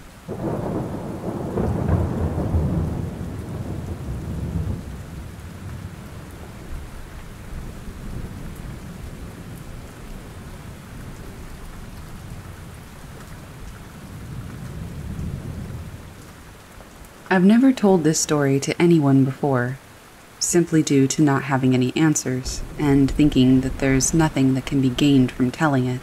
But eventually I figured, why not? Maybe somebody knows what I saw. Many, many years ago, at Wangi campgrounds in Queensland, Australia, my father, my friend, and I were out camping for a couple of days. Usually it's packed, but we went during the week and got two days off school. I can't remember the reason. I think it was just because my dad had a few days off, but that's beside the point. Due to it being midweek, the grounds were empty. We've been here many, many times before, but never alone. However, we were excited due to having the whole grounds to ourselves. Cool, right? Now, we're no strangers to the Australian bush, we know what to look out for. We know how to play it safe. So at night, knowing that nobody was around to mess with our camp, we decided to go for a mini bushwalk to the other side of the river that runs along the grounds. When I say grounds, it's just a clearing in the middle of a bush, not a properly established grounds, and it's far away from all the roads. We got to the opposite riverside, and looking out to the river, we could see a bright light just near our campgrounds. Thinking it could have been the fire, I mean, we put it out, but they could easily relight, we walked back through the bush to our site, still able to see the large light. However, when we got to our side, we realized that it wasn't the fire. As we were able to be closer to the river this time, we saw that the light was over the river, not in it, but over it. We were somewhat scared, but thought that there had to be some explanation for it. Maybe a flashlight or a torch, something along those lines. Maybe a torch or something along those lines. But looking from where we were, there was nothing under it. The light was a good 70 ish centimeters above the water, and still, dead still. The light itself was flickering, sort of like a fire, but it was in no way attached to anything.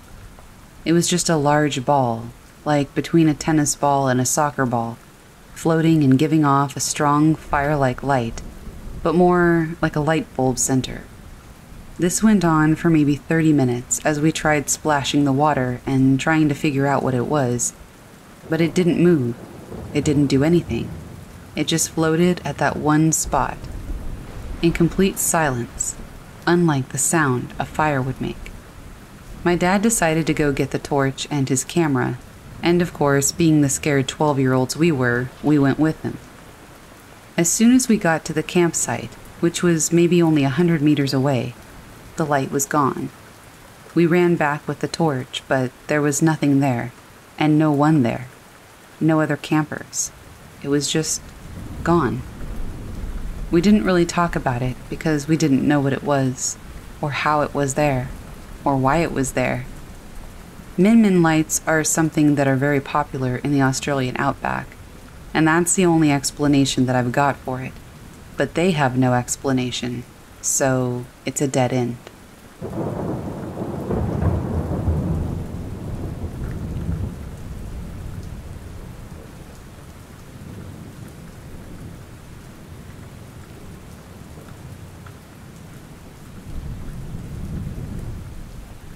Some friends and I ventured into an old abandoned hospital that's pretty securely boarded up. We climbed through a broken window that was maybe eight inches at most. It was nighttime, and most of the large hospital campus is abandoned with welded doors and boarded windows. And though people had obviously gotten in before us, there was much less graffiti and damage than we're used to seeing in these places. The campus has several buildings, and we were clueless as to which one we were in. Until we found a morgue in the basement and medical equipment strewn about.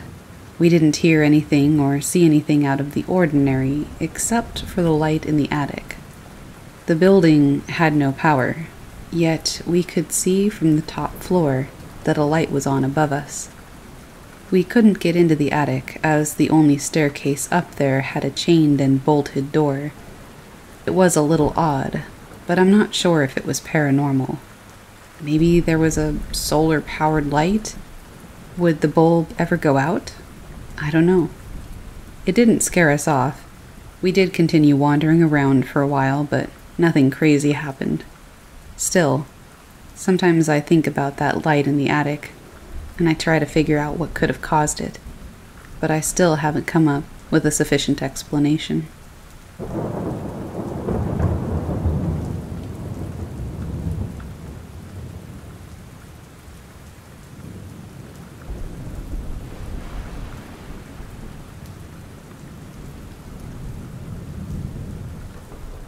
This happened to me about a year ago. I often slept at my father's house alongside my sister. When we slept over, specifically if we were upstairs, we would hear someone or something running in the attic. At first, it didn't scare us, and we continued to remain unfazed. We thought it must be pigeons or rats. But when we told our dad, he went to check the attic to see if it was animals. But there was nothing, and even if there could have been, there was literally no space for them to run. We have a very small attic. You can't even stand upright. Alongside some wooden panels blocking a straight path, there are boxes everywhere. Clutter is covering the whole floor, and there's no gap in between. It would have been completely impossible for them to run from one side to the other with such loud footsteps. So we still don't know what's up in that attic, and frankly, I'm not sure we want to find out.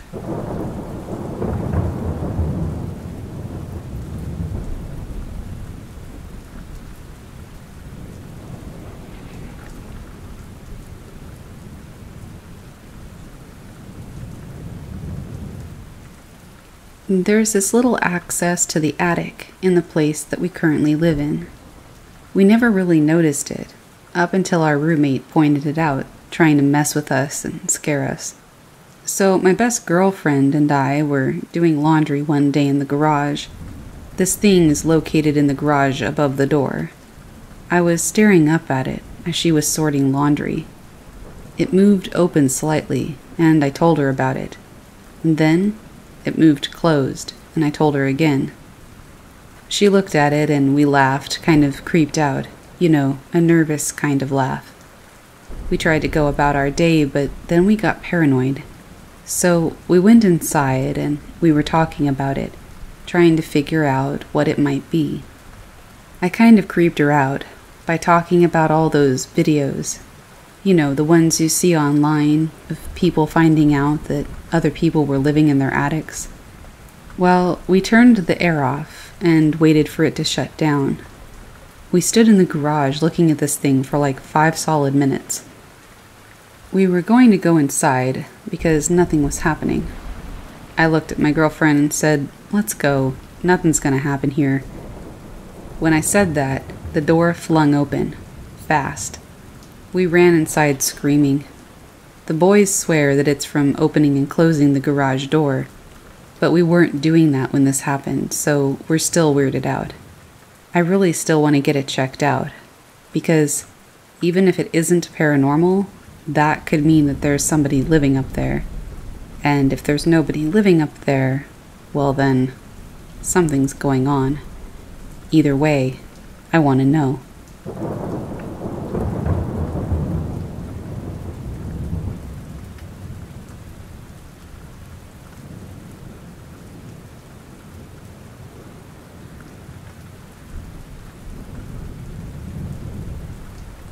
This is the first time I think I've encountered something related to paranormal activity. But if anyone can help me understand what this might have been, please tell me. I live in a duplex with my roommate and friend who goes to college with me. The duplex isn't that big, and neither is the attic. It's small enough to where an average sized person would have trouble even crawling through it. I also have one camera on the front window and one on the back. A few days ago, I had suddenly been awoken at about 4:30 a.m. when I checked my phone.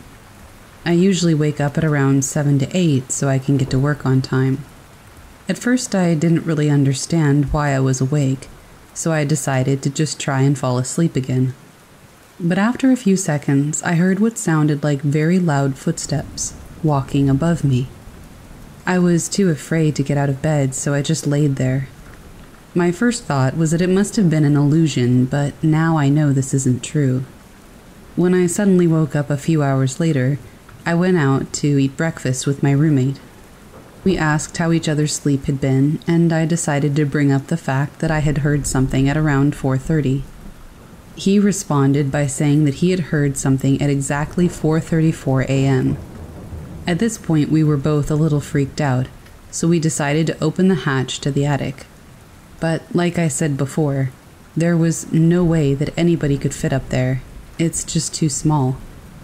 We decided to have a look at the camera footage, but there were no signs of any motion out of the ordinary, nothing besides leaves blowing around. Our only thought was that someone had come from one of the sides of the houses and climbed to the top of the roof. I asked my neighbors if they had seen anything, and they said no, so that kind of eliminated one side but I also knew that it wasn't the other side due to the fact that we sleep on that side and would most likely have woken up easily if there was a disturbance. Now we're stuck having to believe that maybe it was something paranormal. Since then, we haven't heard any noise, but it's only been a few days. Like I said earlier, if anybody can help us solve what this might have been, please do.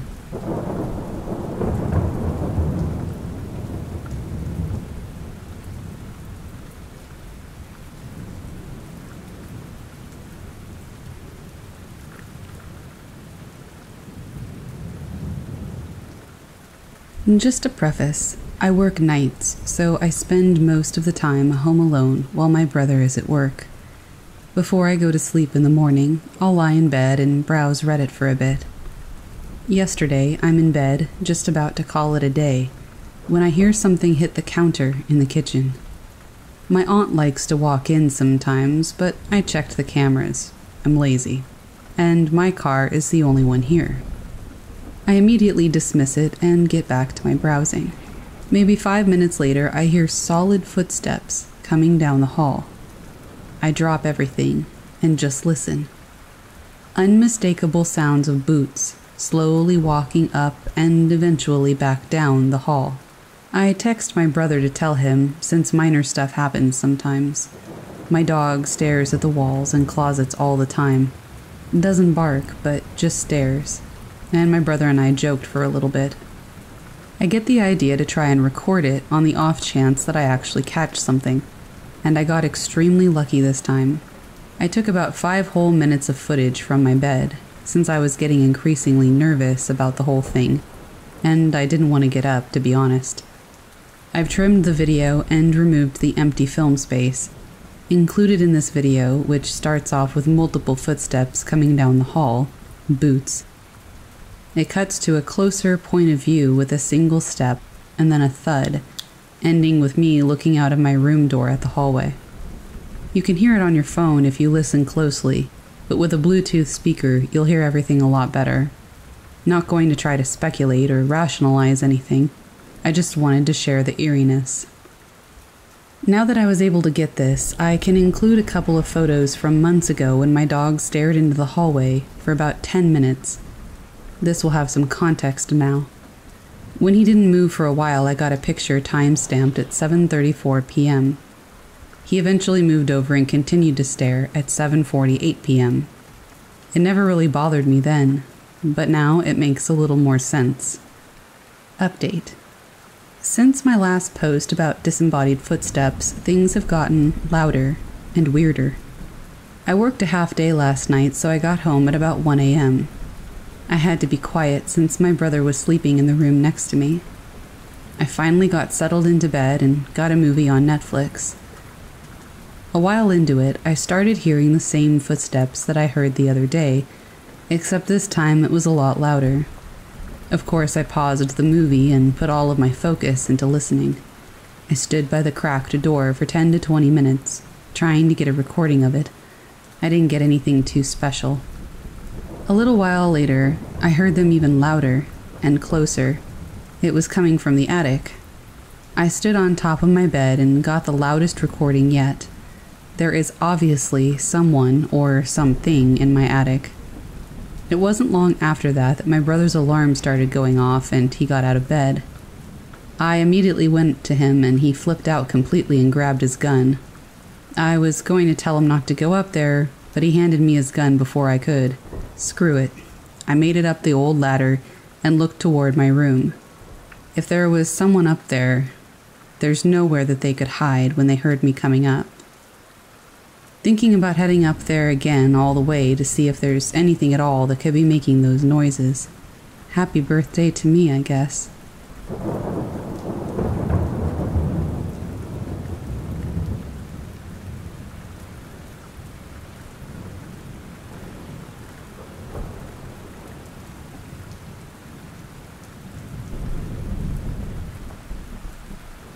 In Ivory Coast, West Africa, my friends and I walked into the biggest hotel and palace in the capital at 3 p.m., and it was completely empty and silent.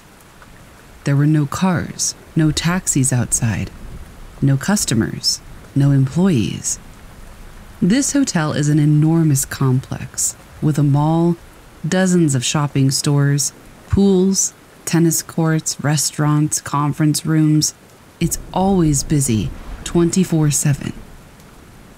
I needed to withdraw money from the ATM, and all the doors were open, so I walked inside.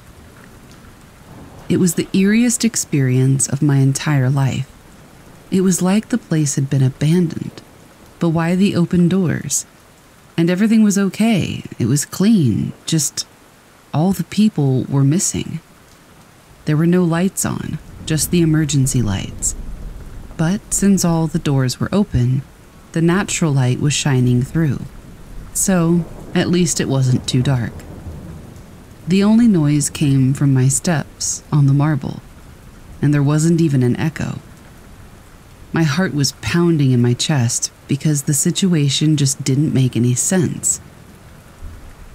At one point, I saw some light on in a store about 50 meters away from me, with people inside, and I breathed a sigh of relief. But once I arrived in front of the store, I noticed that I couldn't really distinguish the shapes or the faces of the people, even though it was clear glass. They were fuzzy, for lack of a better word. Panic started to kick in but I still needed that money, so I hurried to the ATM that was closest. I was afraid the ATM would be dead, but surprisingly, it was functional. I withdrew the money and ran out of the hotel using the first exit I found. Still, no one in sight. After walking a few meters, I exited on another street, and suddenly everything got noisy again it was full of people and activity. I came back later to the hotel on another day, and it was totally back to normal. It's been almost 20 years since this happened, but I will never forget this experience. I still think about it from time to time, and every time I return and I walk past it, it still makes me feel weird.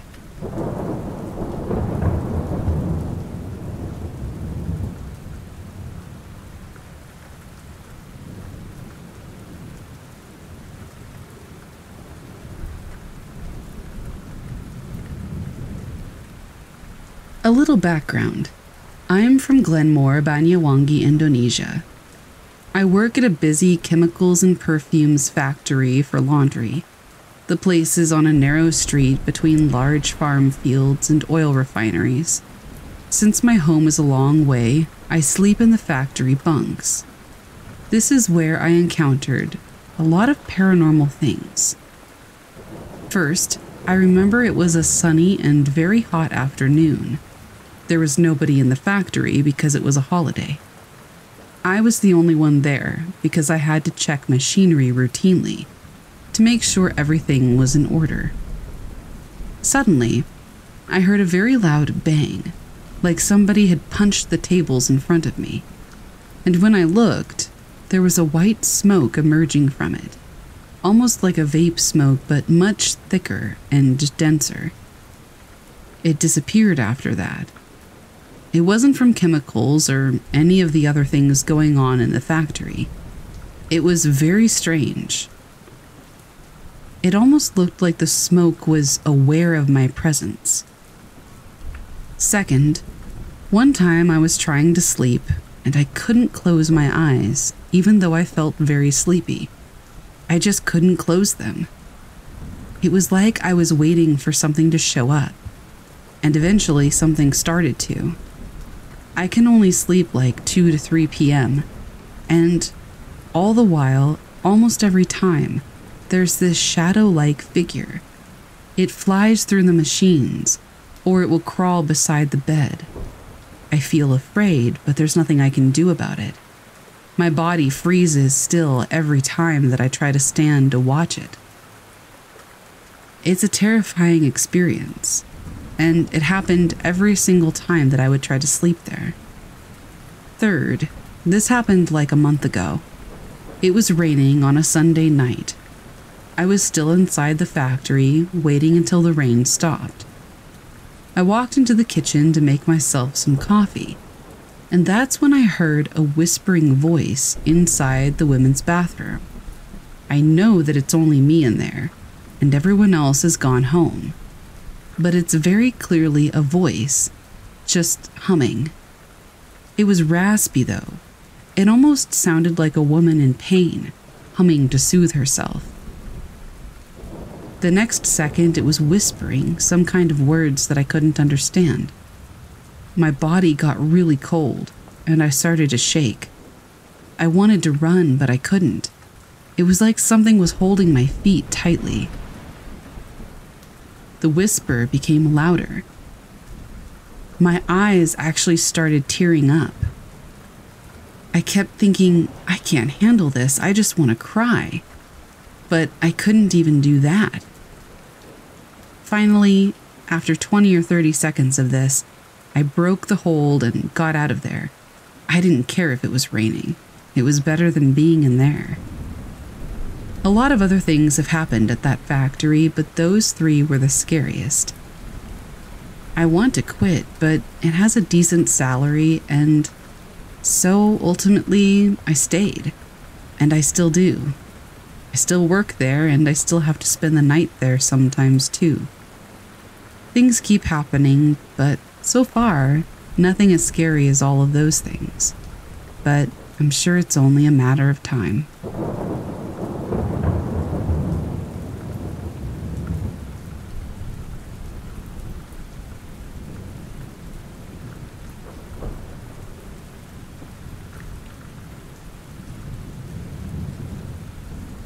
I went to Sydney, Australia, and tried the ghost tour at Q Station. Weird things happened there. Despite having a comfortable flight from Manila to Sydney, I still felt tired. After passing through immigration, I immediately went to the arrival hall, loaded my Opal card, and rode a train to my mate's flat in Burwood. It was raining when I arrived in Sydney, at only 18 degrees, the warm shower and the bed were the only two things that I looked forward to. It was still raining when I woke up. The overcast weather made the day bleak and gloomy. Then I just remembered the things I watched online a few days ago, and one of them was the ghost tours in Sydney. I asked my mate about it, and the next thing I knew, he already booked us an extreme ghost tour on a weekend after my trip to Melbourne. Sydney was not a glamorous city back in the 19th century. Diseases such as smallpox, Spanish influenza, and bubonic plague were prevalent. To mitigate the spread of these infectious diseases, all ships entering Sydney Harbor must be checked by the doctors. Even if there was only one sick passenger on board, everybody was required to stay at the quarantine station for 40 days those who were sick were brought to the hospital for treatment. At least 16,000 people were brought here from the 1830s to 1984. 570 people died here. Today, Q Station serves as a hotel, a conference center, and a part of Sydney Harbor National Park. Our extreme ghost tour was scheduled at around 9 p.m. To beat the weekend traffic of North Sydney, we left Burwood at around 6 p.m. and drove all the way to Manly. We had our dinner there before heading to Q Station, located east of Manly Beach. We arrived at half past eight, way too early for the tour. So we went straight to the front desk and toured around. Some of the original relics, like tombstones, luggage, and clothing, are still there. It felt eerie upon seeing those personal belongings that once belonged to people who got quarantined here more than a hundred years ago. Disclaimer We met up with the group at half past nine. Our guide, Bob, told us that we should not rationalize everything we would encounter during the tour.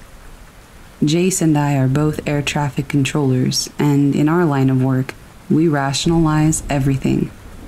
This time, we would have to leave everything behind and open up our senses.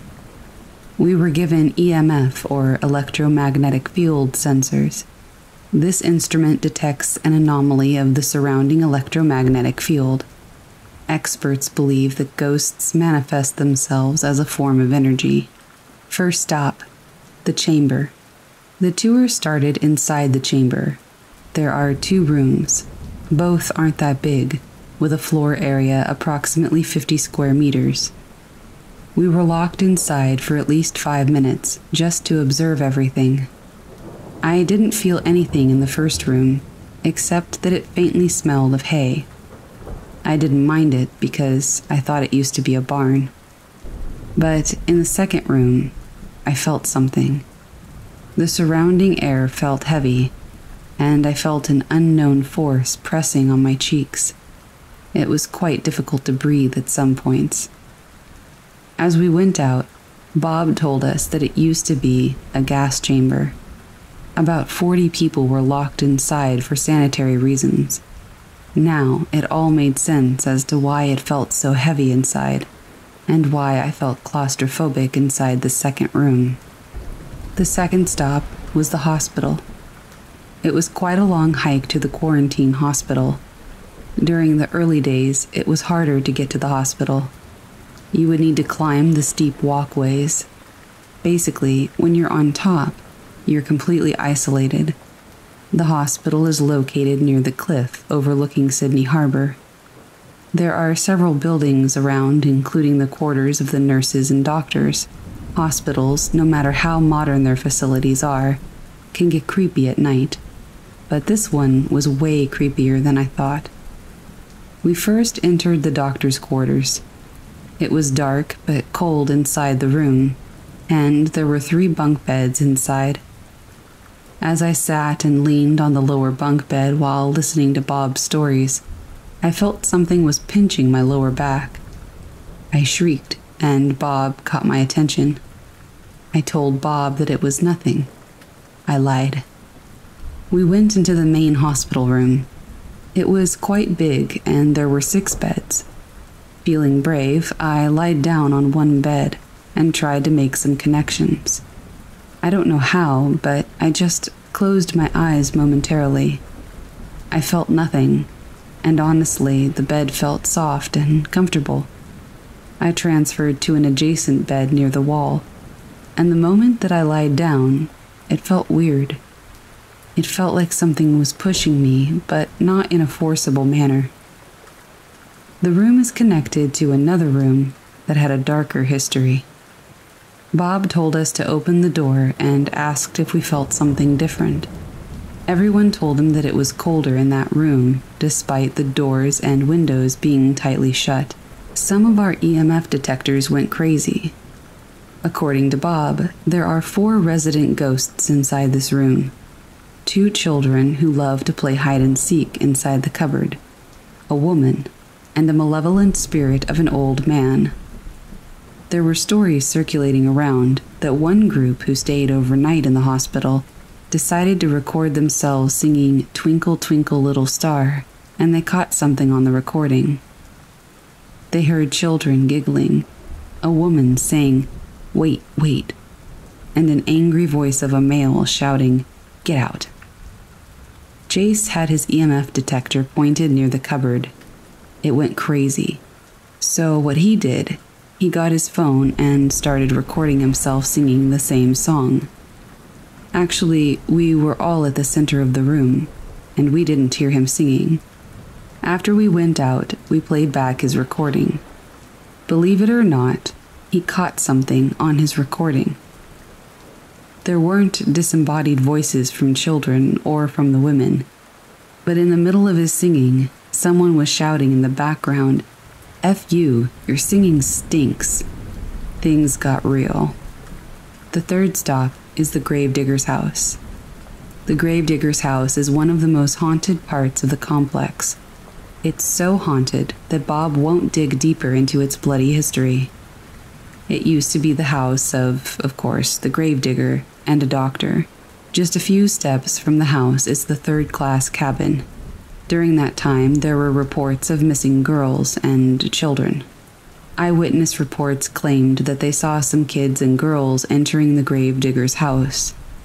More so, the doctor was attached to the girls, especially the young ones. The house is a bungalow. It has two bedrooms with a small living room, dining room, and the kitchen and the bathroom are located at the back part. Bob left us in the house for at least 10 minutes. The first room to the right used to be the bedroom of the doctor. As I slowly entered the room, the atmosphere drastically changed. It felt cold and sad at the same time. I don't know, I just couldn't help but be sad in that room. I went out right away because I couldn't take the sadness any longer. The second room was rather weird. I was about to enter there, but something felt wrong. It felt like there was a force barring me from entering. Some of my group mates checked their EMF and it went a bit crazy. I guess everybody was not welcome to come inside. The back portion, where the kitchen and the bathroom are located, was the scariest part of the house. It was dark, but that part of the house was faintly illuminated by the moon outside. I stayed there for at least three minutes, just to observe. I suddenly felt goosebumps all over my body. As I neared the bathroom, it felt sinister. I didn't go inside because my instincts told me not to. I managed to take photos inside the house. My phone didn't catch anything paranormal, but all the photos are super creepy. When everybody is outside, Bob confessed that the bathroom was the most haunted part of the house. Locals claimed that a girl was brutally murdered inside the bathroom and that she got strangled by barbed wire. Fourth stop was the morgue. Firstly, I never like going to a morgue, especially if it's dark and abandoned. I was very nervous the moment that we entered the morgue. To add to the scare factor, they had a mannequin lying at the center, covered with a white cloth. I know it's staged, but it still creeps the hell out of me. While Bob was talking about history, it started to get cold, but weirdly only on my right side. No one was standing to my right. There was nothing there but a door that led to the laboratory. A cold breeze passed through the door. I wasn't paying attention to Bob's story because I felt like somebody was standing beside me. I whispered to Jace about it, so he scanned his EMF, and suddenly there was a spike of energy. He told me to calm down, but I was so close to breaking down. As minutes went by, I started to feel goosebumps on my right arm, and I could feel that somebody was actually touching my arm. It was like a gentle caress, but definitely not human. I became uneasy after we went out of the morgue, and Bob noticed. He smiled and said, the resident ghost liked you, didn't he? Really, Bob? The fifth stop was the shower block. The shower block is the most haunted place in the whole Q station. During that time, those who were sick had to take a shower of carbonic acid, not water, at the shower block. The acid killed fleas and ticks in seconds. Two days after, your skin starts to peel off. It was dark and eerie as we entered the shower block, the stench was still there, and I felt lightheaded, the same feeling when you just got out of a boat ride. Bob told us that there are shadows lurking around the dark corners of the shower block. For 15 minutes, we were instructed to roam around and observe.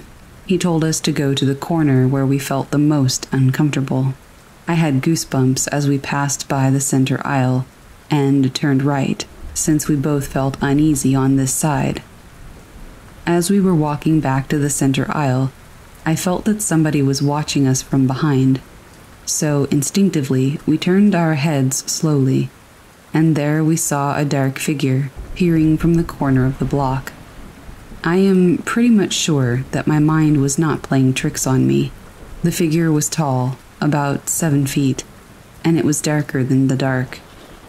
All of a sudden, it came right after us I don't know what happened next, but Jace and I were back at the main door of the block in a jiffy. Whatever that thing was, it scared the crap out of me. The tour lasted for three hours. It was already 12:30 a.m. when we went back to the parking lot, safe and sound. I honestly don't know what to feel after the tour. I was physically and mentally exhausted. Nonetheless, it was a great experience. It finally validated that I am sensitive to the paranormal. I do believe in ghosts, and I don't easily get scared by them, but my experience at Q Station was overwhelming. A lot can happen in three hours.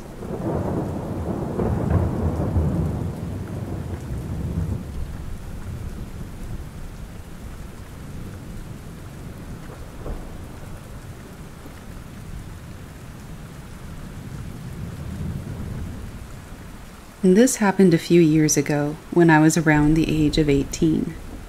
My group of friends and I were staying at this friend's late grandparents' house in a ghost town in the mountains of Italy.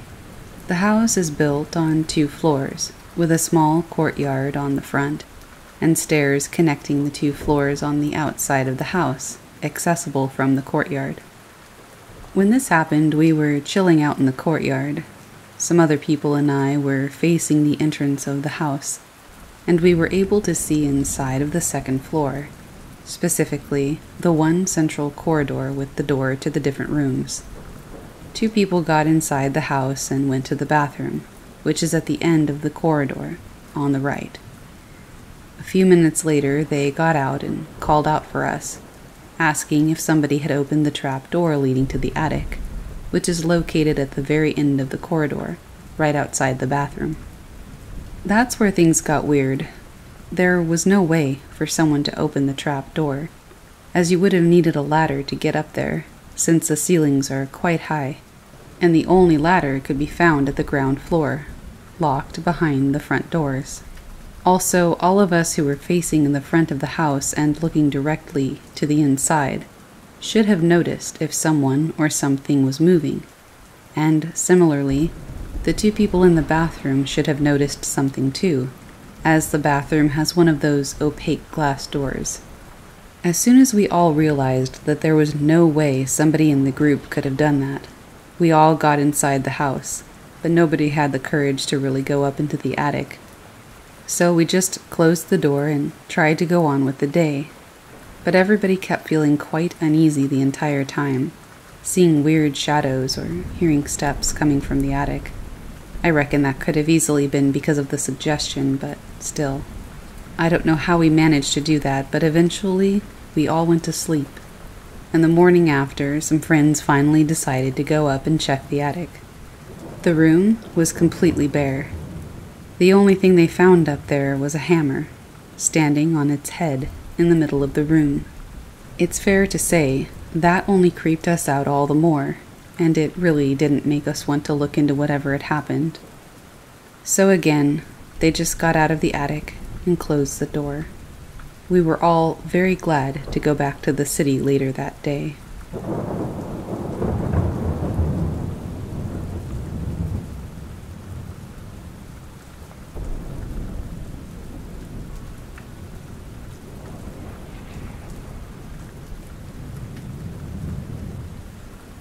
This just might be one of the scariest things that's ever happened to me.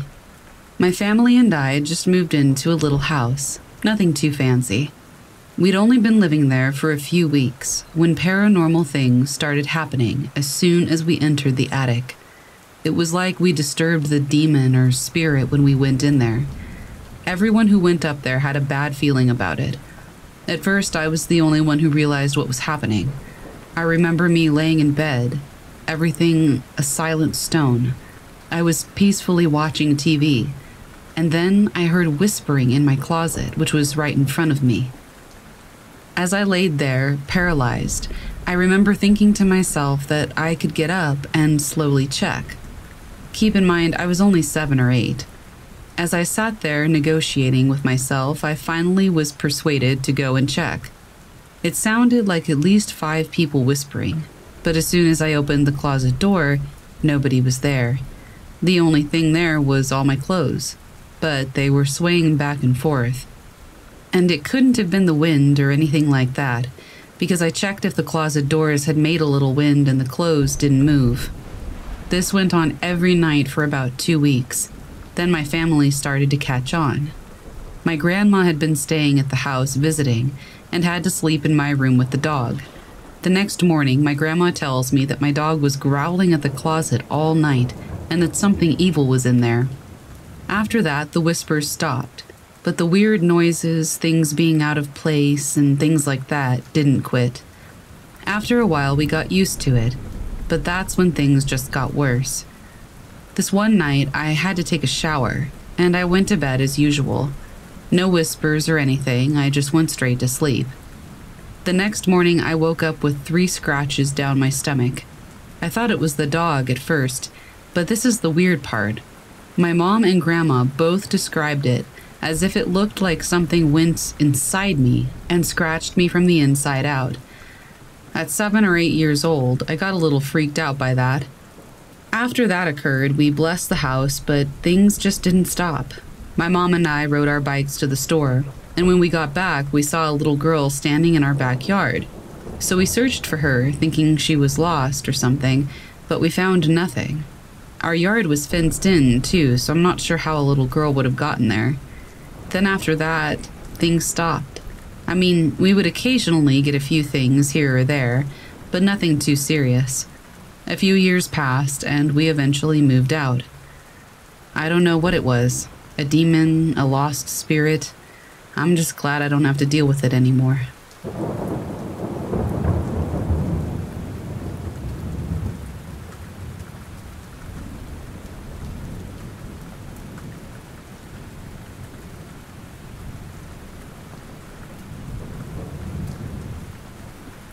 Gold Coast Encounter by Lena. I've always been a skeptic. Ghost stories and supernatural tales were just that stories. But my experience on the Gold Coast shook that skepticism to its core. I was vacationing in Surfer's Paradise, drawn by its beautiful beaches and lively atmosphere. I rented a small apartment near the beach, a quaint place that seemed perfect for a relaxing getaway. The first few days were exactly what I expected sun, surf, and the bustling nightlife. But things changed on the fourth night. I returned to my apartment late after a night out. The place was dark, and I was too tired to bother with the lights, so I stumbled into my bed in the dim moonlight. Just as I was about to drift off, I heard a faint whisper. It was so soft that I thought I had imagined it. I brushed it off as the wind or maybe a neighbor, but then it happened again. This time, the whisper was clearer, almost like somebody was in the room with me. I sat up, my heart racing, and scanned the dark room for any sign of an intruder. Nothing. Trying to calm my nerves, I got up to get a glass of water. That's when I saw it a shadowy figure standing in the corner of the room. It was human shaped, but seemed to be made of darkness, darker than the surrounding shadows. I froze, not sure if I was seeing things or not. The figure didn't move, it just stood there, like it was watching me. I reached for the light switch, my hands trembling. The moment the light flooded the room, the shadow vanished. There was no one there. No way that somebody could have hidden or escaped without me noticing. I didn't sleep much that night, and the next day I asked the landlord if there had been any strange occurrences in the apartment. He seemed uneasy, avoiding my gaze. He mumbled something about previous tenants complaining about weird happenings, but nothing concrete. The following nights were restless. I would wake up to strange noises, whispers, and once a chillingly cold breeze that seemed to come from nowhere. Each time I turned on the lights, the room was empty, but the feeling of being watched never left. On my last night, things escalated. I woke up to the sensation of somebody pressing down on my chest. I opened my eyes to the horrifying sight of the shadow figure looming over me. Its form was more defined now, almost like a person cloaked in darkness. I couldn't move. I couldn't scream. I just lay there, frozen in terror. Then, as suddenly as it had appeared, it vanished.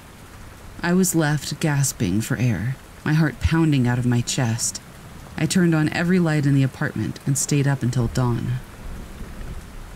I cut my vacation short and left the Gold Coast the next day. I couldn't shake the feeling of that shadowy presence, and even now, back in the safety of my own home, I sometimes catch glimpses of something out of the corner of my eye, or hear a whisper in the quiet of the night. Part of me thinks I'm not rid of that shadow, at least not yet.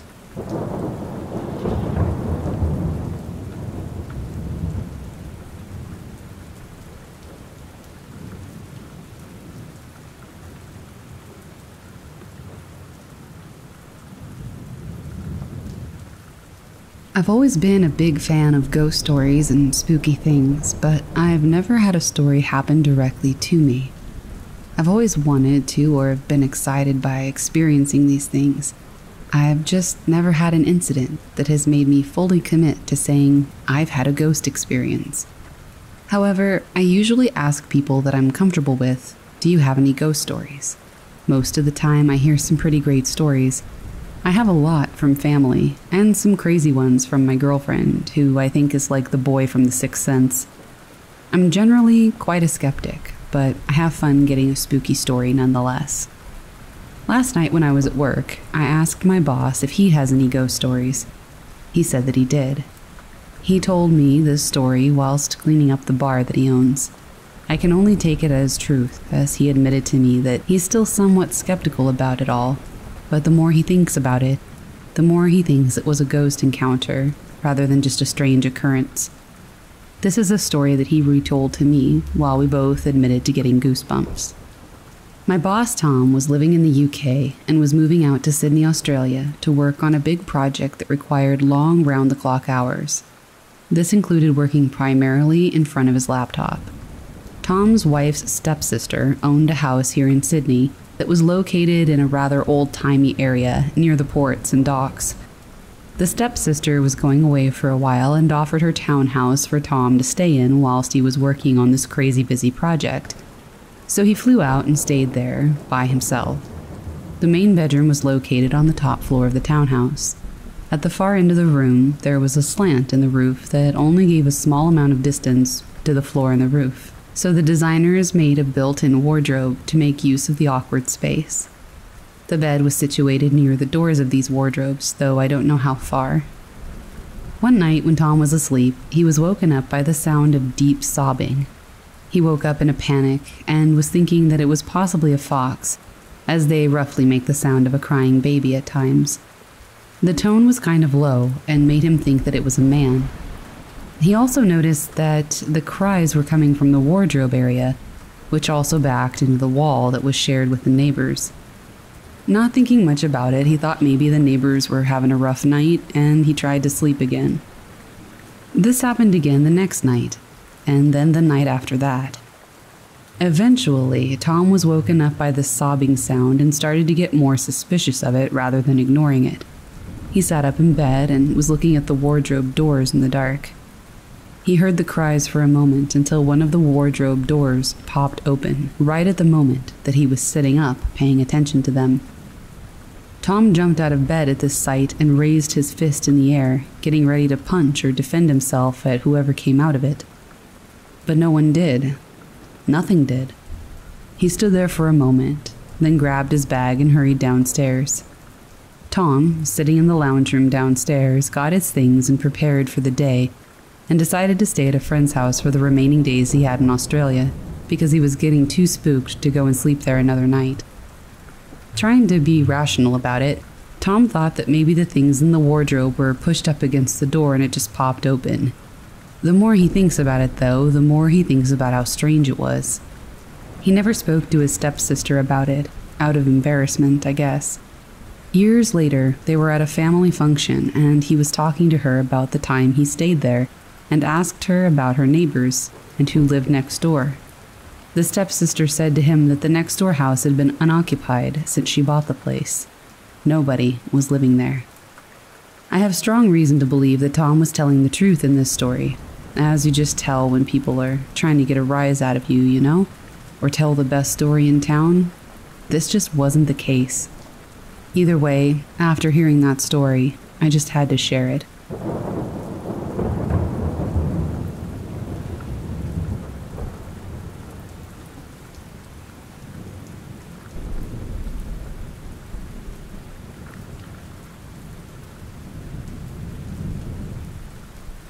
Last year, my husband and I were babysitting our niece and nephew. Their family lives about an hour and a half from where we live. On this particular visit, their parents were out late, so we didn't actually begin to head home until about 1 or 2 in the morning. The area that we live in is in the southeast of the United States, and it is very heavily wooded in most areas. The roads are pretty secluded, and houses are usually far apart from one another and can be miles back off of the actual roads themselves. When we left, my husband was driving and I was in the passenger seat. We'd been traveling down an empty road for probably 45 minutes. There were no houses off to the side, just guardrails and woods. It was slightly foggy as well, but not bad enough to impair vision. I'm not sure how to transition into the next part, other than saying that suddenly something really weird happened. I was staring straight ahead, also assuming that my husband was as well since he was driving, and a man just appeared partially in the road on my side. He wasn't fully in the road, but enough to alarm an unsuspecting driver in the middle of the night. He was a young man, blond, and he was wearing a white tank top and brownish orange pants. He had nothing with him. He was just standing there. I recall the weirdest part of this entire encounter was the way that he was standing and how he was looking at me. He had his back partially turned toward the car as if he was walking, but stopped in his tracks. His head was turned facing the car, and his eyes were locked, and I mean locked, on mine. I know that sounds like bull, especially being as we were going 55 miles per hour with bright headlights on and it was the middle of the night. It's probably impossible that he even saw me, let alone locked eyes with me. But that's exactly why this freaked me out so much. We passed him as quickly as we came upon him, and then he was gone. I looked at my husband and laughed and said, That was freaking weird. He just looks at me and says, What are you talking about? After asking him several more times, it was determined that he didn't see this person. From my point of view, it was impossible that he didn't see him. This person was almost in the road and was a striking contrast to the surrounding scenery due to the bright clothes he was wearing and how the headlights really displayed that.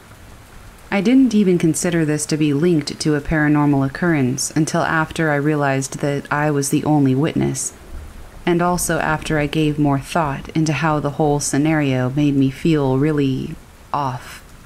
Just how this person really seemed to be looking right at me. I just don't know what to think. If I was going to have a paranormal experience, I guess I should be thankful that it was just this, because I suppose it could have been much worse.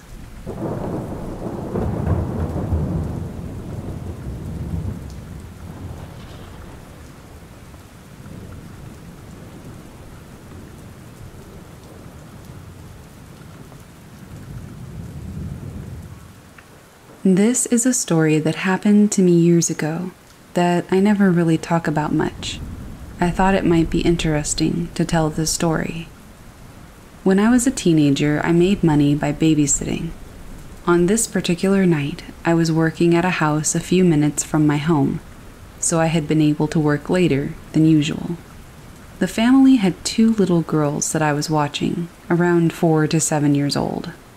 First, to give a bit of background on what the home looked like, which will be important later. The house had two floors and two staircases that led to the upstairs. One set was off the kitchen, and the other was in the foyer. This home had an alarm system that would beep three times when any door was opened, although it would not say which door it was. I was sitting in the kitchen at around 11 p.m. and coloring to pass the time at the kids' table.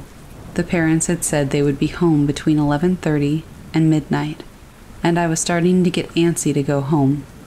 I heard the alarm for the door and got up, expecting to see the parents coming in.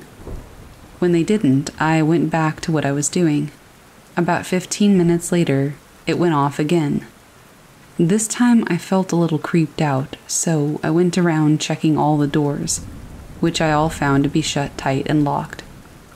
I sat back down, figuring that there must be some kind of glitch in the system.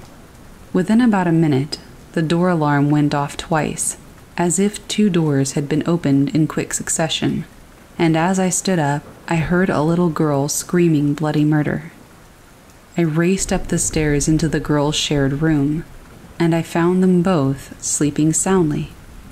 I checked all the nooks and crannies of their room, and I remember feeling that the only thing that seemed different was that the book that I had read to them was on the floor instead of on the bookshelf.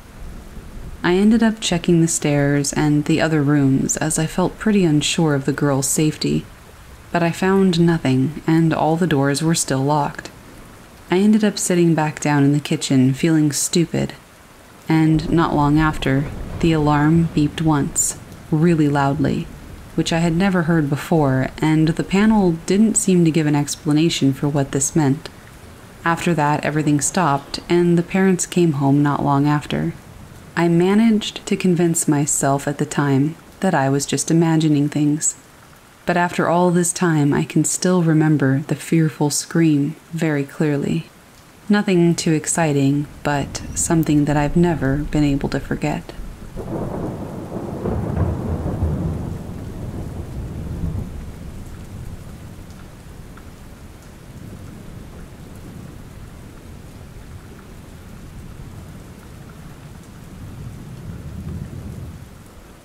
My parents own a sprawling three story manor built in 1912. This house has a finished bedroom in the attic, which is mildly weird on its own. But when I turned 14 and was going into high school, I begged them to empty the junk out and let me live there because I thought it would be totally awesome, like having an apartment away from the rest of my family. They agreed that I could do it, and I got to paint it and put in new carpet and fill it with furniture that I picked out. All vintage, because that's how I roll. The place was awesome, but the door didn't quite fit into the jamb anymore, so it would swing open on its own. I wasn't exactly cool with having the door open to the rest of the attic in the middle of the night. I shut the door as tightly as it would go, and before I went to bed, I jammed it shut with my desk chair, really wedged it in there, I even had my sister test, and the door would not open from the attic side. Cool. I went to sleep. The next morning, I woke up feeling refreshed until I noticed something. The desk chair was tucked back under the desk. The door was shoved open all the way so hard it had dented the wall. To this day, all present family members swear that they didn't do it, and I think I would have heard them anyhow. I decided that the ghosts in the attic didn't like me shutting them out. I left the door alone for the rest of my time living in that room, several years since I stayed at home while attending college. Friggin' ghosts, man.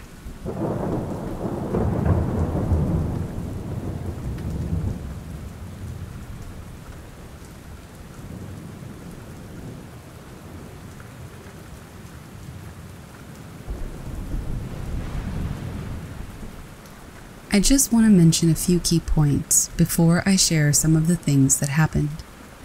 I am not looking for attention. Everything contained within this story is 100% factual. I'm an Australian, and these occurrences happened on the central coast of New South Wales. I am an avid outdoorsman with a keen interest and in depth knowledge of Australian native fauna. Each of these occurrences have a witness apart from myself I don't claim these events are paranormal, yet I am, to this day, still without a reasonable explanation. Occurrence number one I live on the New South Wales Central Coast in an area that has houses in close proximity to Brisbane Water National Park, literally within meters from some back fences. Myself and my partner hold a keen interest which sees us venture into the bushland regularly for argument's sake, let's say we are avid bird watchers. A few weeks ago, the local fire service commenced backburning in parts of the Brisbane Water National Park over two days or so, which was obviously for hazard reduction. Most of the fire was directed at burning off leaf litter and dry debris, which covers the ground, in an effort to reduce the chances of spot fires, which have in the past become large fires and threatened houses and caused neighboring suburbs to be evacuated. Because of the way the back burning was controlled, it completely burned off the debris, and basically 90% of flora that was over two or so feet seemed to have survived, except for some light charring, of course. Even some grass plants survived, while others were completely burned, including their underground roots, which left large round circles in the substrate. This meant that the canopy was fully intact, and this is an important point to the story. The fire was controlled so well that the left hand side was completely obliterated by fire while the right hand side was untouched. The path is about three to four feet wide at its widest points. Anyway, about 48 hours after the fire service had finished back burning, my partner and I ventured into a large patch of Brisbane Water National Park along a track that we have walked no less than 200 times in the last decade. The first thing we noticed, of course, was the lack of small shrubs and ground cover, which had been replaced by a 3 to 4 centimeter layer of ash. It was also hard not to notice the smell and non visible smokiness which irritated our throats and noses, but by far the most profound thing we noticed was just how quiet it was. Usually we hear birds chirping, snakes slithering into the underbrush, lizards scampering out of the way, and ducks splashing around in the creek that runs along the whole length of the walking track on the right. Across the creek, there are literally kilometers of bush in all directions, so it was a little odd that it was so desolate, even after backburning. We decided to press on, even though we were pretty sure that we weren't going to see any wildlife. We continued along the track for another 20 minutes or so, all the while chatting about nothing in particular. When all of a sudden we both jerk our heads to the left to see two vertical vines which stand at about six feet tall and four centimeters or so in circumference come toward us like they've been shook, held back, and released, sort of like a slingshot. We immediately run over to the trees, four meters or so off the track, because we thought it might have been caused by wildlife. My first instinct was to look up, as it may have been a large bird fleeing, but there were no birds at all in any of the trees, and we would have seen and heard the wings flapping and it breaking through the canopy. It wasn't any type of goannas, we've only had two types which occur naturally here, and both are arboreal and will take to the nearest tree when threatened. We checked every tree, every hollow log, and any type of ground cover which survived the fire, and found nothing. It definitely wasn't any type of marsupial, because it would have been spotted when we checked the trees and surrounding ground cover. It also wasn't any type of snake, as the only arboreal snake we have locally which weighs in kilos is the diamond python, which I could spot from a mile away. We continued walking for another three kilometers or so along the track and the whole time felt like we were being watched. I was quite uneasy, but that feeling completely left as soon as we turned around and backtracked and headed toward home. Occurrences 2 and 3. My partner and I went out on another adventure, but this time we were looking for nocturnal animals to photograph. We went to a waterfall, which was only about 15 minutes from our house, but is rather secluded and completely dead at night and on weekdays. Funnily enough, it becomes packed on the weekends during the day in the warmer months. The layout of the waterfall is basically a large parking lot at the stop of the waterfall, which has a small park with barbecues, tables, and a small block of toilets. From the parking lot, you can also access the very top of the waterfall, which is basically a rock escarpment with water running through it. You can also access stairs that take you down to both the middle of the waterfall, which is just a huge rock platform, and the very bottom of the waterfall. It takes about 20 minutes to walk from top to bottom. We parked the car and I grabbed my gear, which included my camera. We start making our way toward the top of the falls, which has a two foot barrier you have to step over to access the rock escarpment. Right as I went to put my leg over the fence, I heard the most disturbing noise I've ever heard. It sounded like a human, moaning in pain, but to describe it the best I can, imagine having 10 different people with 10 different voice qualities, all making the same moaning sound at the same time. I'm not one to frighten easily, but I have to admit, it sent chills up my spine. I told my partner to hurry up and get back to the car, and I locked the doors as soon as we got in and left in a hurry. Now, this place is pitch dark. There are zero lights, and there's no way in hell you'd be there without a torch. Not to mention, you would be able to tell if anybody was there by the cars parked in the parking lot, as this is not a place that you would walk to. When I told a close friend of mine, who also frequents the waterfall to photograph wildlife, he told me that he also had an experience the night before, which was the night after I was there. He had finished work late and thought he'd go for a quick walk around to see what he could find. This was in the Australian spring, when everything is out and about due to the warm and humid weather. He said he had parked his car and got about halfway down the stairs to the bottom of the falls when he came across a snake. He was photographing it when he heard the door of the toilet block being slammed repeatedly. He started running up the steps to get back to his car and said as he was running up, it sounded like something was going mental, slamming things within the toilet block. He got in his car and left. My friend and I decided to go check out the waterfall that night to see if we could find anything. We parked the car and went straight to the toilet block. We checked the block that he had heard the commotion from and found a reasonably large amount of blood inside the basin and a small pool in the basin's soap dish. We contemplated calling the police, but weren't sure exactly what we would report. We left soon after, and neither of us visited the place for over a month. Since then, we've been back to this place multiple times without any incident. Occurrence number four the last occurrence. Now, on to last night. We headed out along a road on the central coast, which by day is rather busy due to the high number of residences and farms that are along this road, but by night is usually very quiet, with a few cars using it sporadically, so I have my high beams on 95% of the time. We drove along this road for about 40 minutes in search of marsupials to photograph. This road intersects large masses of bush on both sides. I would also like to add at this point that this road is not straight or level by any means. There's a mixture of turns as well as slight to aggressive inclines and declines along basically the entirety of this road. After driving for 40 minutes without any luck, we decided to head back along the same route we'd taken. We were driving for about 10 to 15 minutes on our way back when we hit one of the very slight gradual inclines along the road.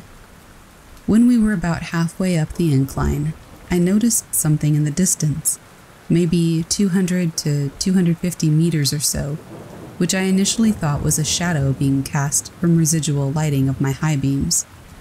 All of a sudden, it moved from the middle of the road to the right side. At this point, and while the figure was still in motion, I asked the passenger and the person who's been present for the last three unexplained experiences, Can you see that? To which they replied, Yeah, what is that? We got to the top of the incline and onto level ground once again, and stopped in the location that we saw it. I stopped and I pulled out one of my torches and surveyed where we'd seen it. To my surprise, where it had crossed to was a small property which was essentially a house with a very small paddock with horses out in the front. But what caught my attention was that the horses were not startled in the slightest and could actually see one of them close to the fence, calmly eating. After about two minutes of surveying the area, I continued along the road and asked my passenger exactly what they had seen. They relayed exactly what I had seen. A tall, six ish foot, but with about two and a half foot wide profile, but rounded figure. It was very hard to gauge an exact height because since we were on an incline, the perspective was a little off. For instance, say a person was to walk in that exact spot. We would only be able to see them from the knees up due to the blind spot on the summit. My passenger added another piece of information, which was that it was rusty colored. I couldn't make out a color, but I have to admit that I was not paying as much of attention to it as I was the road.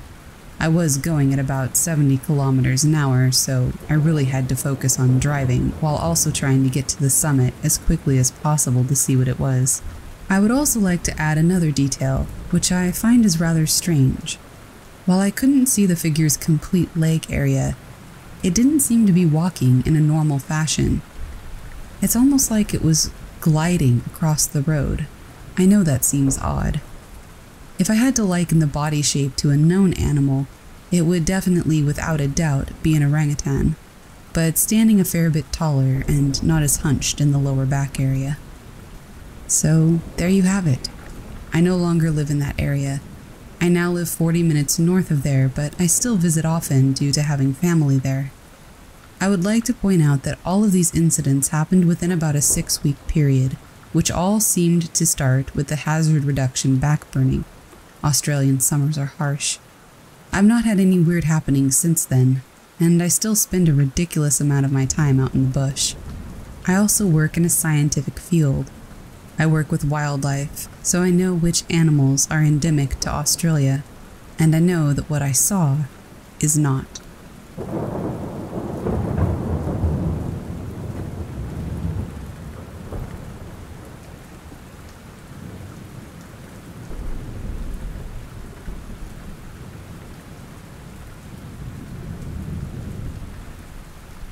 My partner and I are good friends with another couple that we often go over to hang out with.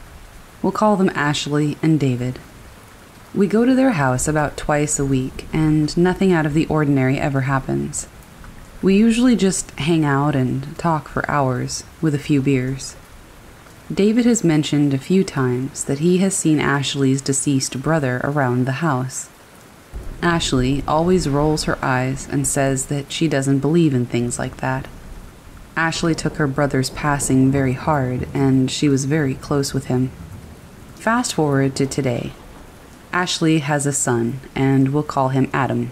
She called me and asked me to watch him since he was home sick from school while she goes to work.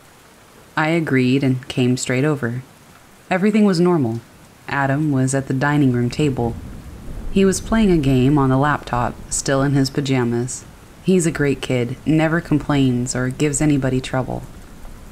I went to the restroom, which is down the hallway past the living room. This bathroom shares a wall with the master bedroom bathroom wall.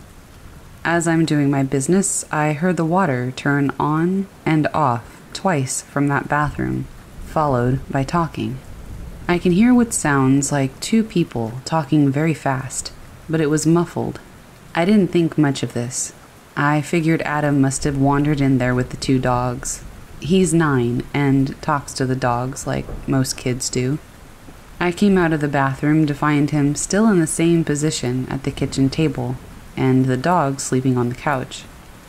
I asked him, Hey, buddy, did you go into your mom's bathroom and have the water on? He looked puzzled and said, No, I haven't left this table and I don't go in there. I then went to the kitchen sink and noticed it was dry, so the water I heard being turned on had to have come from the master bathroom. What about the talking I heard? I chalked it up to maybe the next door neighbors. A few hours go by, and Adam is on the couch with me, watching TV as well as the dogs. I start hearing things being moved in the master bedroom, almost like someone is cleaning up picking things up and setting them back down. The dogs then start to bark and run to the master bedroom door. This repeated itself every half hour or so until David came home. I explained my experience, and he just smiled and nodded. I asked him what he was smiling about, and he said, Ashley's brother's ashes are in the bedroom, and she recently got the ashes of her stepdad from her sister she mixed the ashes. That's probably the talking that you heard. Her brother and her stepdad. They used to sit in the garage together and just chatter away through the night. At this point, I'm creeped out. David is glad that someone believes him now. I told Ashley about my experience, but she refuses to believe any of it. I personally think she's in denial, which I don't blame her for. It's scary stuff, and it's hard to believe unless you experience it for yourself. I've never seen anything paranormal, and I hope I never do, because just hearing things gives me enough chills to last a while.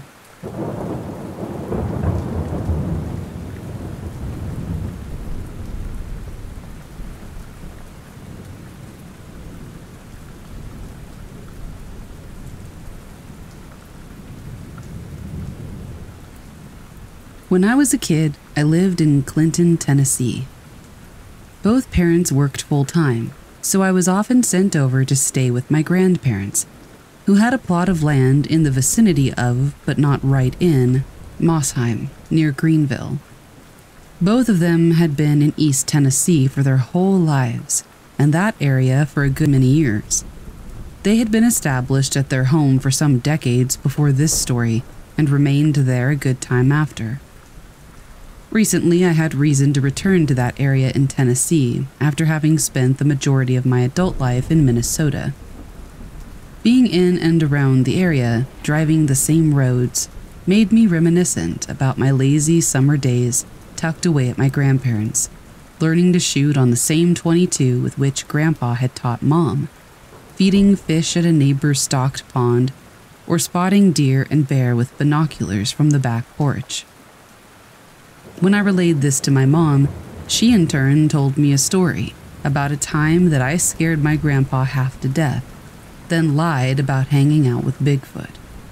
At first, I had no idea what she was on about. Then I remembered exactly what actually happened, with startling clarity. New context given by the experience adulthood provides. And no, this is not about Bigfoot or a cryptid. Before we start, some information about my grandparents' land. Their house was on a small hill surrounded by a grass lawn. The lawn gave way to a smallish hayfield and then the wood line. Those woods lasted for a good half mile to either side of the home, and a good several miles to the back.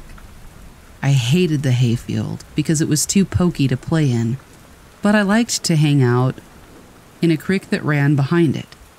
To get there, I would walk to the edge of the property, just in the wood line, to avoid the hay. While at my grandparents', the only rules were that I stayed where I could see the house so the house could see me. I was to take a whistle with me anywhere that I went. I didn't take the whistle, seeing it as a badge of my regrettably young age, and the best part of the creek was out of sight of the house. That was the only stretch where it got deeper than my knees, and thus the only part where I could swim. Naturally, I spent much of my time in that water splashing around, skipping stones, and being a kid. One day I was playing in the creek when I noticed someone. It was a man, a stranger, on the bank watching me. He had long hair, a beard, and pale skin so dirty that it was stained. I couldn't tell his age and simply thought of him as old. I have no better guess now, as he clearly went through long years of hard living. He wore no shirt, no pants, only a wrap of dirty cloth around his waist that I thought of at the time as a Moses dress, thanks to some illustrated Bible stories. Around his neck, there were multiple necklaces made from knotted tatters of cloth, fiber, and string. In those knots were various pieces of bones, flowers, a bit of dark glass, things like that. When I first saw him there by the creek, I was terrified. Terrified. Frozen still. The man, however, was smiling. He gestured from his squat with an outstretched arm, fingers down, in kind of a wave. I didn't react, startled and reeling. Then he splashed at me, still smiling. He did it again.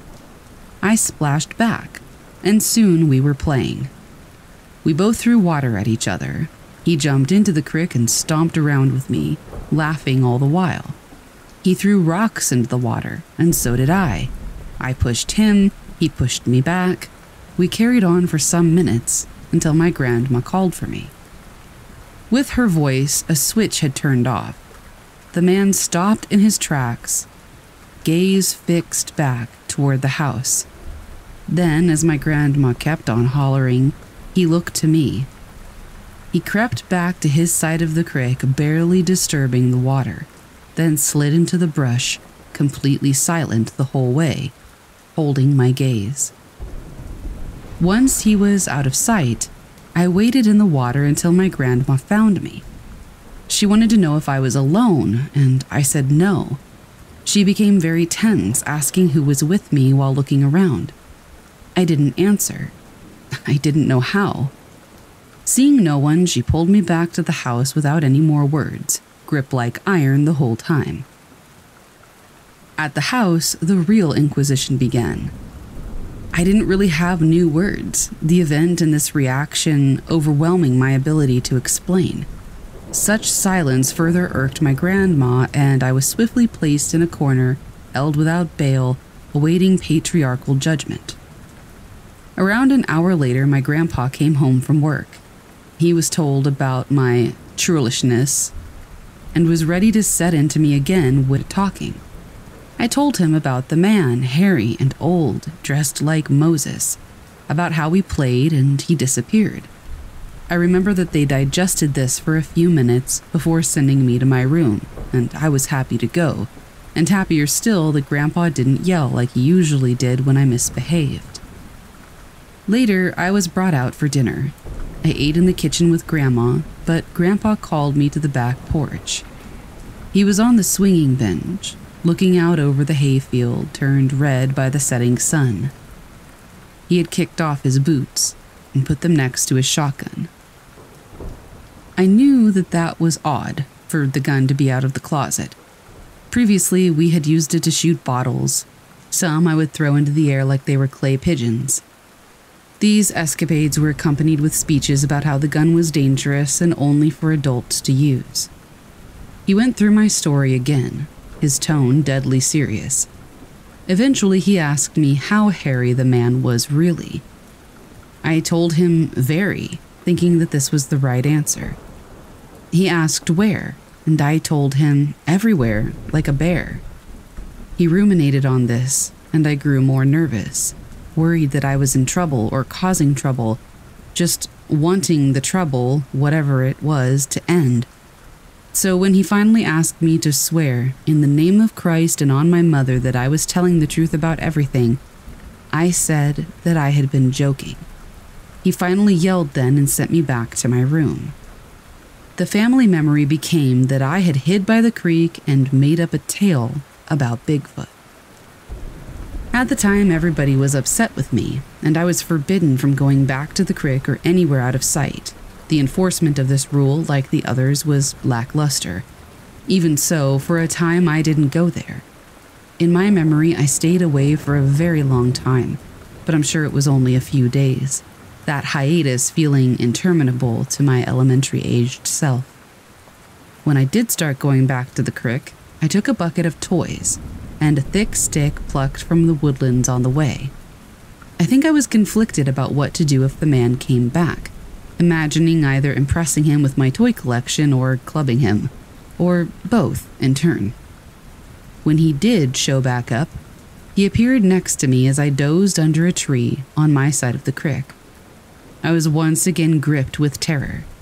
He was not smiling, his face expressionless as he lurked beside me, having watched for who knows how long before I smelled him. I scrambled away, leaving behind my stick and toys. Coming to my feet a yard out, I stood in the sun while the man watched me from the shade. Eventually, he crouched and started to look through my bucket. I remember becoming indignant as he examined my toys one by one, only to toss them into the dirt.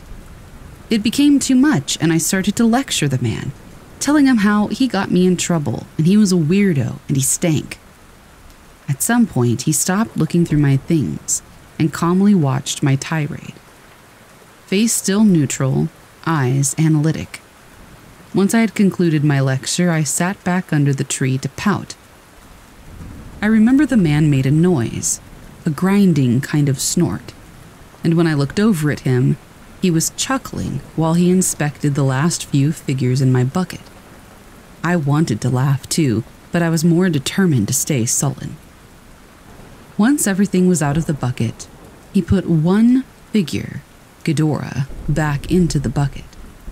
He then stood to his hunched fullest, took the bucket by its handle, and began to make his way back into the woods.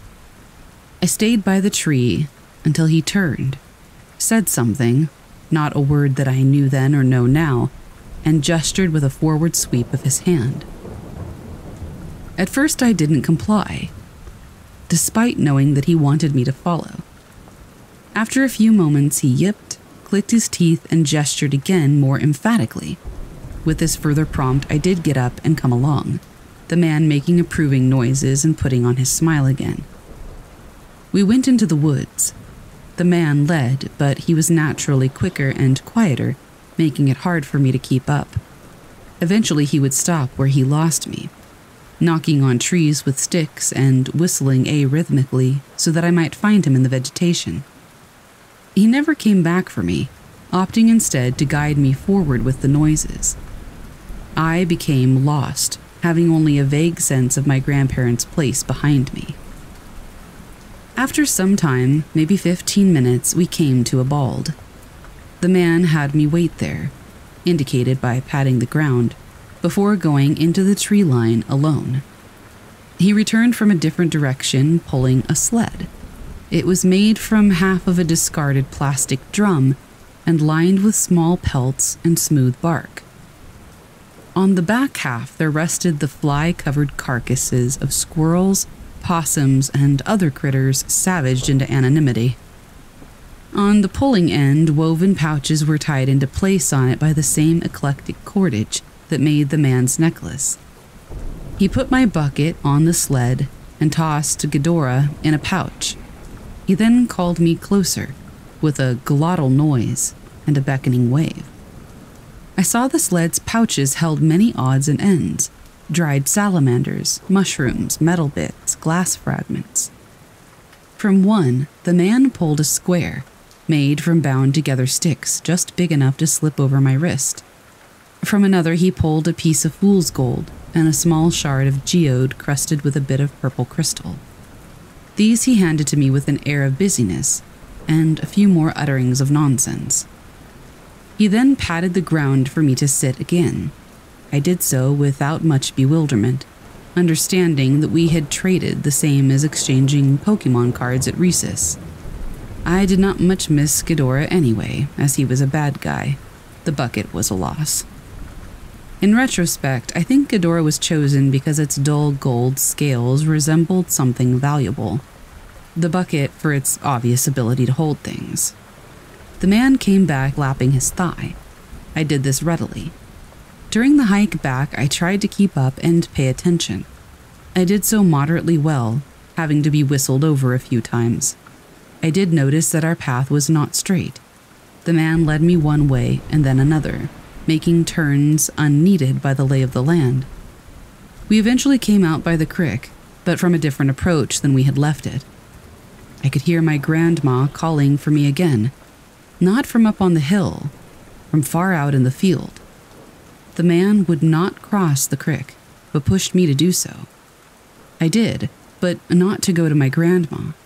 Instead, I crept back to the house and around the opposite side. There I laid in the shrubs by our front door, pretending to sleep when I was found. I swore that I had been there the whole time. When I was sent back to my room, I placed my fool's gold, crystal, and charm in my bedside table for safekeeping. The next day, I went back into the creek to pick up my toys. The man was not there. However, throughout that summer, he did visit me again, to sit under the tree or throw rocks at the water or yammer softly to himself. I would bring snacks and candy to share, and he would likewise give me stringy dried meat, which I ought not to have eaten, or honeysuckle blossoms, which I would still eat, taken from my old bucket. He seldom visited long and never splashed and whooped like the first time he did on that first meeting. At this point, you might be wondering why I've posted this to Backwoods Creepy and not Backwoods Weird but Wholesome, I guess. Well, that's because there are two more occasions that I want to tell you about one gruesome, one awful. The eventful one occurred near the 4th of July. I had brought two boxes of bang snaps to the creek. The man was initially wary of the little fireworks, but quickly came to appreciate their miniature pyrotechnics he took the box I gave him gratefully, even taking the empty box, likely for the wood shavings, which are excellent tinder. During the use of the bang snaps, I had scared a turtle into the water and to the opposite bank. It sat there watching us from the far shore. If you're squeamish about animal stuff, this is probably a part you should skip. The man, after stowing the bang snaps in the bucket, noticed the turtle. With little thought, he scooped up a smooth stone and threw it with force and accuracy into the turtle. He then waded over to retrieve the slider, which struggled meekly in his grasp, one leg knocked off clean. On my side of the river, he took from the bucket a new piece of stone. One side was rounded and fit in his hand. The other came to a flinty cutting edge. Working with deft experience, the man began chopping the live turtle above its neck, pulling up on the shell top. I'll spare you the rest of the details, but the thing struggled and it was horrible to witness. The man rinsed the shell in the river and offered it to me. In wordless horror, I ran. That evening, I came back to shuffle the dead turtle into the flowering waters of the creek. The shell itself was nowhere to be found. This experience did not deter me from going to the creek, or the man from visiting again. However, sometimes he would try to call me away from the creek with thumps and whistles. I would tell him I heard him and refused to move. On some occasions, he would join me, on others, he would leave. The last time we met, we were sitting under the trees sharing Cow Tales. From the woods, there came whistling and the staccato knocking of a woodpecker. The man looked up and whistled back. There were a few more such exchanges before he stood, collected his bucket, and beckoned for me to follow. I was curious, and I felt comfortable with the man as a guide, so I did as I was asked. He took me to the bald, a direct path this time, periodically stopping to call or respond to the other in the woods. Waiting for us at the bald was a woman and a child. The woman was dressed the same as the man, topless and wrapped around the waist. She was dirty, with long hair and a wiry frame. The child was in a similar state, wearing a sack that went to their knees. The man sat on the ground and the woman joined him, sitting in his lap but leaning forward so that her elbows rested on her crossed knees. She had dark brown eyes that were fixed to me. The other child would not look up. I didn't know what to do, and I didn't speak. The other kid lifted their sack to wipe at their nose. The man made a noise and drummed on the woman's back. The kid looked at them, still hanging her head, hair covering her face. The woman yammered and swatted at what I now figured was a girl lazily, the man echoing her noises, slapping skin to skin once more. At this bizarre scene, the girl stumbled toward me, stopping close enough that I could smell her and hear her wheezing breath. She was thin but not emaciated, and slightly taller than me should she have straightened up. The man and woman fussed some more, and the girl leaned close and pressed her cheek to mine. Her hair was in between us, greasy and cold.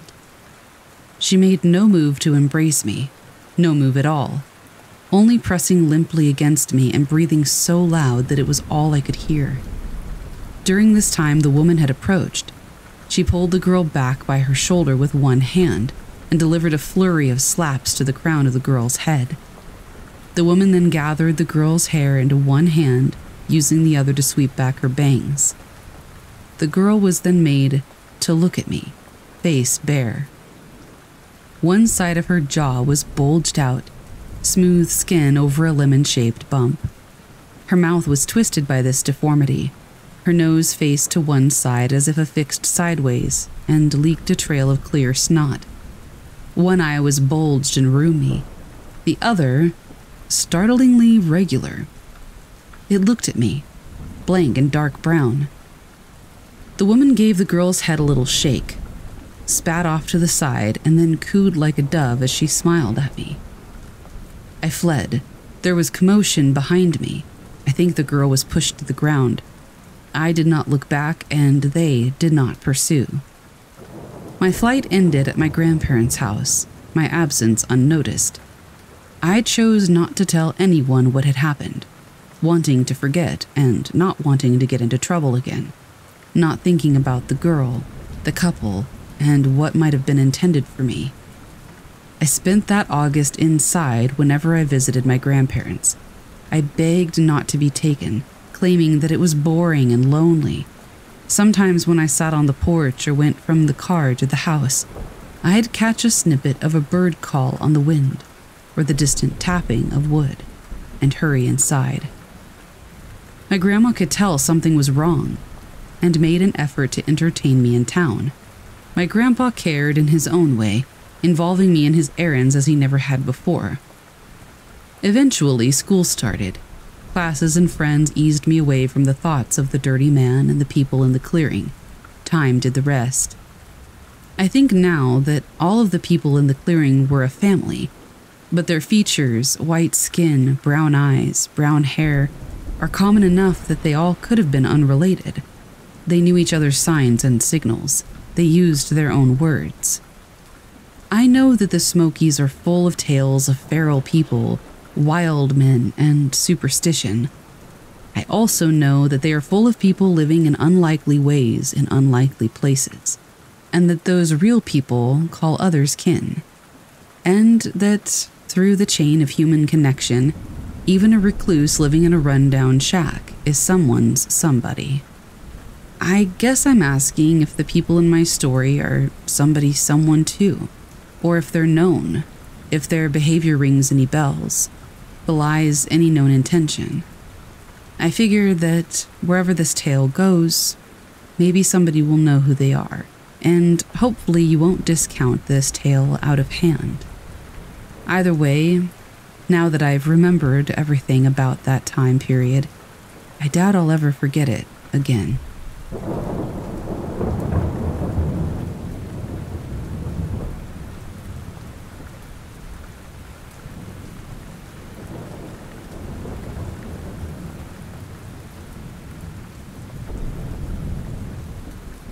I know this story is probably the most cliche horror movie plot sounding thing in the world, but I assure you that it's 100% real.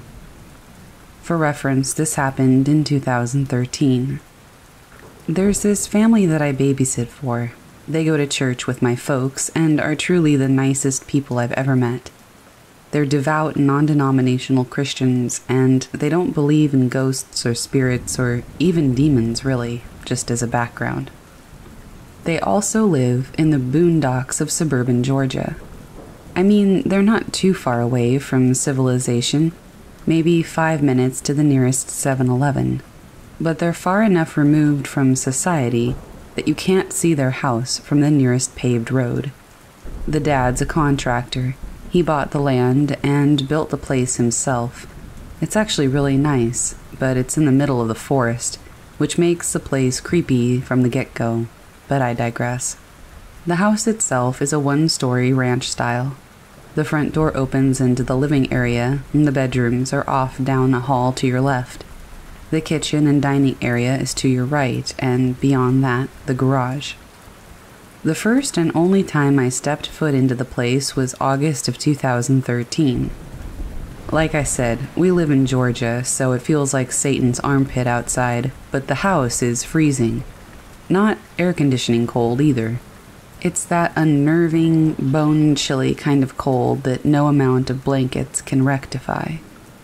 I actually checked the thermostat a few times during my stay, and it was set on 76. My teeth shouldn't have been chattering. Something else that's weird, and I feel like it ought to be mentioned before we get started proper it's dark in the house. Even with the lights on, it's hard to see into the next room and that's in broad daylight. At night, it's even worse. I never really understood how they lived there. I'm not one for sunny days, but I do like to see where I'm going. Anyway, so the parents leave for wherever they were headed, and the kids, a boy about 6 and a girl about 3, are fed, washed, and in bed by 8:30. Now I'm left to my own devices and I end up channel surfing. For a while, maybe an hour, Everything is hunky dory. And then I hear the garage door open. A minute later, I hear the back door, the door that leads from the kitchen into the garage, open and shut, and footsteps wander around the kitchen. The kitchen floor is made of stonework, so it has a pretty distinct sound when it's trod upon, especially by dress shoes. My first thought was, oh, they're home early. Fantastic.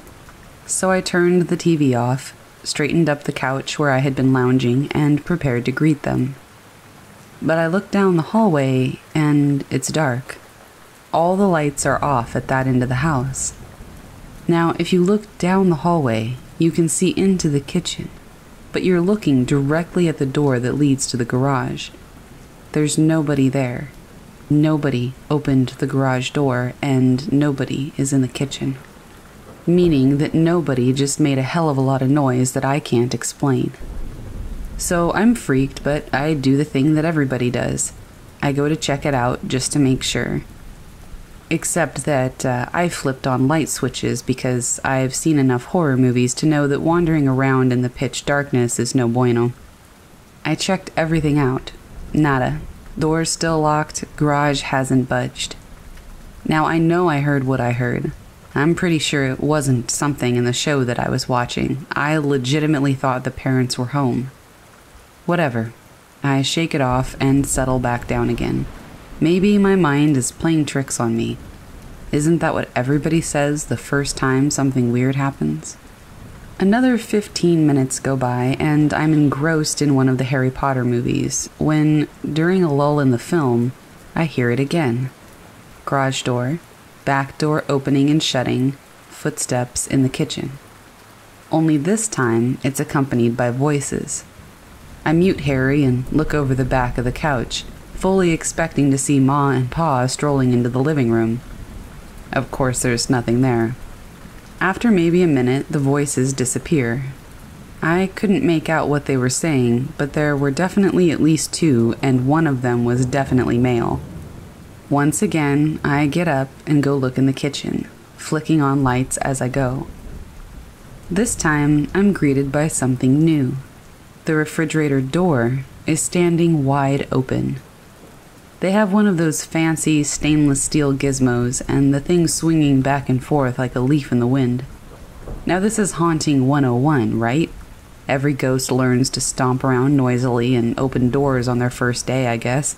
But this thing had a child-proof locking mechanism on it. Great. So now ghosts can not only open doors, they can solve complex tasks to accomplish the feat. I shut the fridge and wander back down the hallway again, but I don't get into the living area good before it sounds like all hell's broken loose in the kitchen.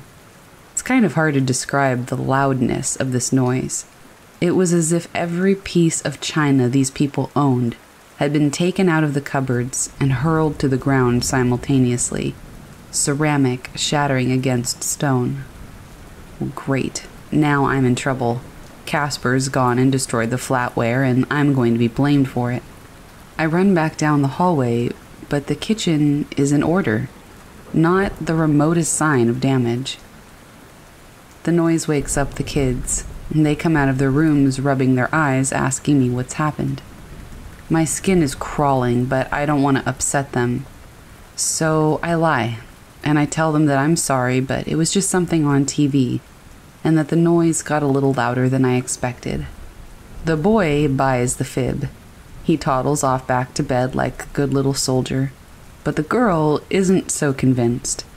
In fact, she looks directly past me, down the hallway to the kitchen, as if she knows exactly what it was that woke her up. She sees that I've muted the Chamber of Secrets and asks if she can stay with me for a while, just until she feels like she can go back to sleep. I'm freaked out enough at this point to agree. Having a three year old for company is better than none at all, right? So together we settle back on the couch. She ends up curling up right next to me and nodding off in a matter of minutes. For a while, things are peaceful. The movie ends, and I'm sitting there watching the credits scroll and listening to the theme music when, for no apparent reason, the fireplace next to the TV bursts into flames. Reminder these people live in the woods. They don't have any newfangled fancy pants gas fireplace that you would expect to see in a house in a subdivision. They use actual wood and kindling and actual matches. So while there's always the possibility that they had lit a fire and just didn't put it out all the way, please also remember that we're in Georgia in August. Nobody in their right mind burns a fire in the dog days of summer in the South. It just doesn't happen. But here I am, staring at the roaring, cozy looking fire, and about that time I hear the garage door again. This time, however, it's actually the parents. They come traipsing in, jangling keys and dropping their crap on the counter, turning on lights and calling out for me. Dad makes his way into the living room and notices the fire. If you were cold, you could have just adjusted the thermostat, he says. Curious, but not upset that I've apparently decided to set up camp in his living room. I tell him that I didn't start it, and that it started all on its own. He just kind of looks at me funny and mentions that they haven't used the fireplace since the winter before, so there shouldn't be any reason for it to be lit, which I already knew, but ultimately just sort of brushes it off. I figure, whatever. He's obviously got bigger balls than I do if that doesn't freak him out. The mother comes in and picks up the little girl to take her back to bed. She's still half asleep, and I can hear her tell her mom the old man lit the fire again. Now I know she's half asleep and could very well have just been dream talking, but I somehow doubt that. And I can guarantee you that there was no old man in that house with me. At least not one that I could see. I don't stick around to answer any questions about why the girl was out of bed or who the old man was that she was talking about. The dad pays for my time, and I dip out as quickly as I can while still being polite about it. I never went back there to babysit the kids, and just four months after my experience, they moved out of the house that the father had built from the ground up. They said it was something to do with his business, taking him into another town. Funny though, they sold it to another couple in the church, who also moved out within three months of moving in. They wouldn't talk about why, just made vague excuses when my parents asked about it. I don't know who lives there now, if anyone.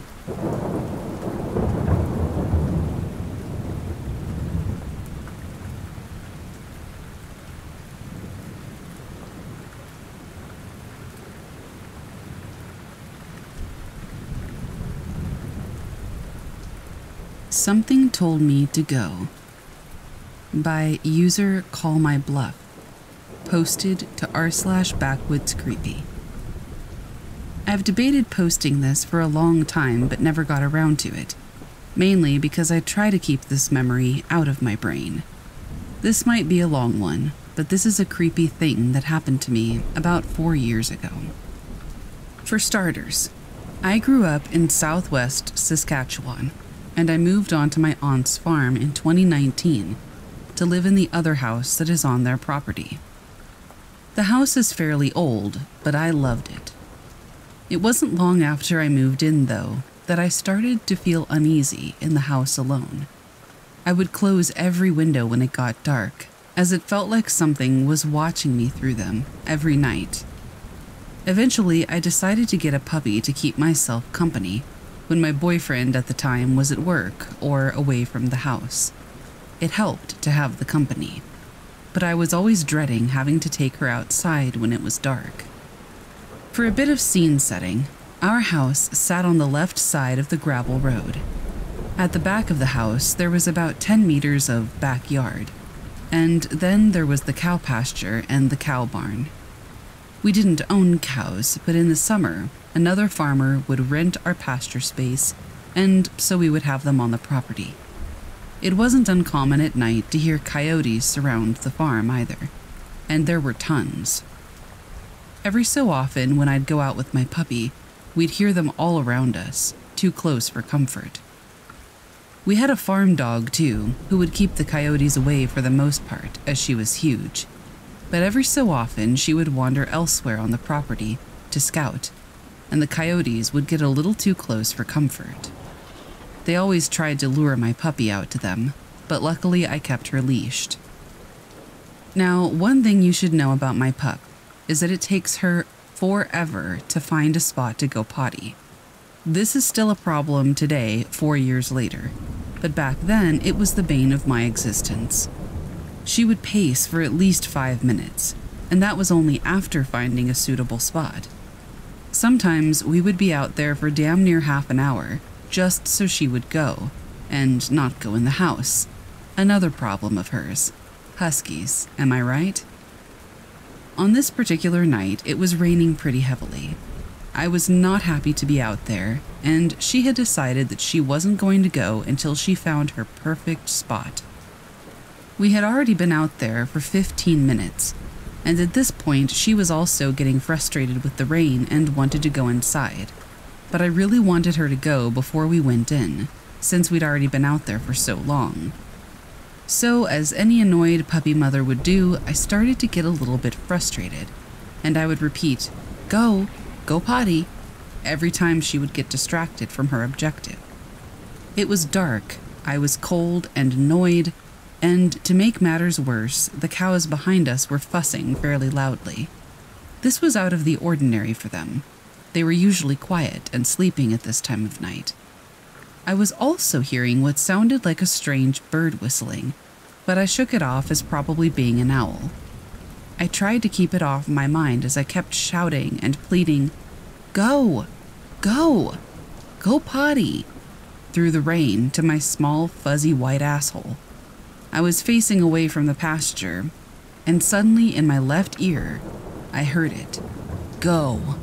Now, one thing you should know about me is I have a very strong flight response typically, but this froze me on the spot, as I was mostly just confused at what I had just heard. I tried telling myself that I didn't hear it.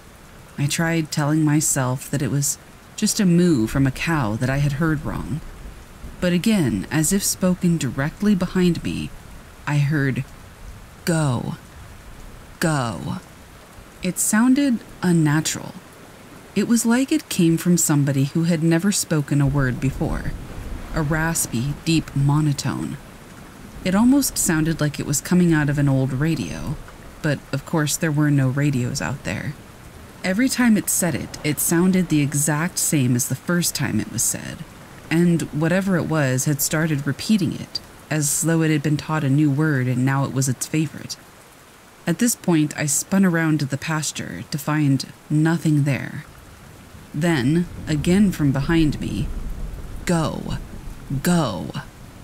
This had all happened in the span of about three seconds, and at this point, I remember shouting out loud, all right, don't have to tell me twice. As I picked up my little fur ball and made a dash for my front door. I swiftly locked both doors behind me and sat bewildered in my kitchen.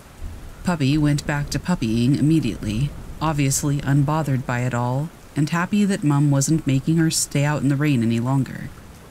I picked up my phone and called my aunt, asking her if my uncle had been out in the field with the cows.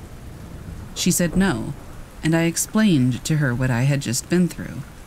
She sent my uncle over to check the pasture, but soon after he told me he hadn't seen or heard anything. He said he would check the pasture again in the morning. I spent my night hiding from the windows, with the lights and TV on loud enough to not hear anything outside. The next morning, when my uncle checked on the pasture, he found two calves dead. I suppose that explains the colossal cow panic that had ensued the night before. I regret this, but I didn't push for more information, as at the time I honestly just didn't want to know. But they told me the other day that they didn't find anything out of the ordinary. A few months later, I moved off the farm. I just couldn't be in that house alone anymore, and my boyfriend and I had parted ways. A few months after that, I started going to therapy for the paranoia that this had caused me. I started feeling like people were watching me and were out to get me. Another few months after that, I moved out of the province for good, and I finally felt safe. I'm wondering if any of you have any idea what this would have been. There's no chance that it would have been someone in our field. We were pretty far away from town and neighbors and we have cameras that would have seen anybody enter our property. Coyotes are common, but I don't think they're capable of speaking. Any ideas?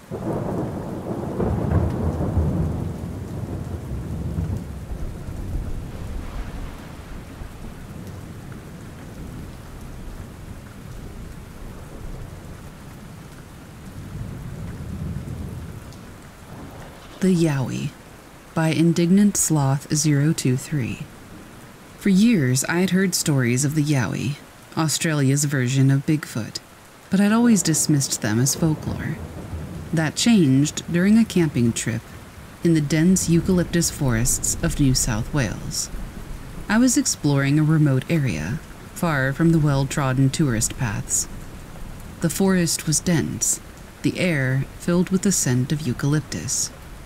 It was the perfect escape from city life, or so I thought. On the second night, something unusual happened. I was sitting by the campfire, the only source of light in the pitch black forest.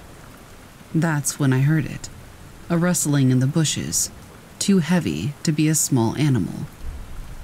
I initially thought that it might be a kangaroo or a lost hiker, but then the rustling grew louder, closer. Curious and a bit unnerved, I grabbed my flashlight and shone it toward the noise. The light caught something, or someone, standing at the edge of the trees. It was tall, easily over two meters, and covered in thick, dark fur. For a moment, I froze, trying to process what I was seeing. The creature was humanoid, but not human. Its eyes reflected the light from my flashlight, giving them a ghostly glow. It stood there, watching me, its chest rising and falling with deep, slow breaths. Then, as suddenly as it appeared, the creature turned and vanished into the forest. The underbrush shook violently as it retreated, leaving behind a heavy silence. I didn't sleep that night, and at first light I packed up and left. Along the way, I saw large, unusual footprints near my campsite, deeper and larger than any human could make. Later, I did some research, and I found the tales of the Yowie, how it's apparently been seen for generations in these forests. Most locals just take it as a mystery that was better left alone. And I decided that maybe they were right.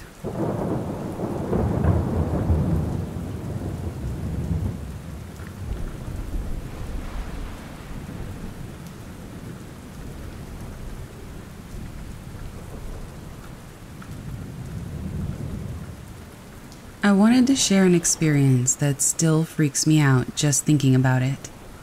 Just down the road from where I used to live a few years ago in southeast Australia is the opening into about a hundred acres of woodland and bush. I frequently went in there when I was younger to do the usual things riding and camping, etc. I was out driving at about 11:30 p.m. with my girlfriend, and as we were in the area, I decided to show her the woodlands while we were there. She loves everything to do with nature, and it was summer, so it was extremely warm. I left my car with the lights shining into the trees as we weren't going in too far, and it was pitch black inside. The two of us just sat, having a smoke, chatting, and generally relaxing. She was sitting on a sort of map of the area that had been put in some plastic, and I was keeping an eye on the trees as I had a feeling that something was just wrong. I've read stories before about people who felt like they were in danger, even though nothing around them was perceptibly off, and this was that same feeling. Every sense was almost reaching out, and my adrenaline was up, but there wasn't really anything in my eyeline that seemed any different. After lighting another cigarette to calm my nerves, I scanned the tree line again and realized that it looked different from before. It was only after staring into the darkness that I saw that there was moonlight, which was now lighting up grass. Before, it couldn't reach the grass, and it dawned on me that that was because there was a black shape blocking it. I assumed it was a tree. The only way that I can describe it was that all sound just ceased and everything went dead silent. A few seconds later, this disgusting feeling of dread fell over me, and I saw motion in the dark of the path as this thing crawled toward us on all fours. I've seen nearly every animal in the outback here, and we don't have any large predators like in the United States or Europe. But somehow I knew this thing was a predator. and it wasn't hiding itself from us, just slowly crawling toward us. I don't know if my girlfriend saw it or not, as I couldn't look away, but just as it reached the line that my car lights were able to illuminate, it reared up onto two legs and just sat, staring at us. I'm 6'4, and this thing was about another meter taller than me, with arms that were far too long, that reached down near the ground. All I could make out was an off white, almost yellowish fur on it, and in the dim light, could make out the silhouette of its head as being that of a dog or a wolf. I wasn't able to move as it stared at me, but it was at this point that my girlfriend gasped, which seemed to break me out of whatever was stopping me from thinking logically. I grabbed her by the arm and we sprinted to the car, slammed the doors, and tore out of there as fast as I could. Both of us were too scared to speak until about a half an hour later. We've both discussed it many times, and the feeling that we had was what I imagine a rabbit sees when it catches a wolf or a fox looking at it that this is something that would be able to end us with absolute ease if it chose to. Neither of us have ever been able to come up with any explanation for what it was, but it has definitely changed the way I view the woods and bush when I go camping or hiking now.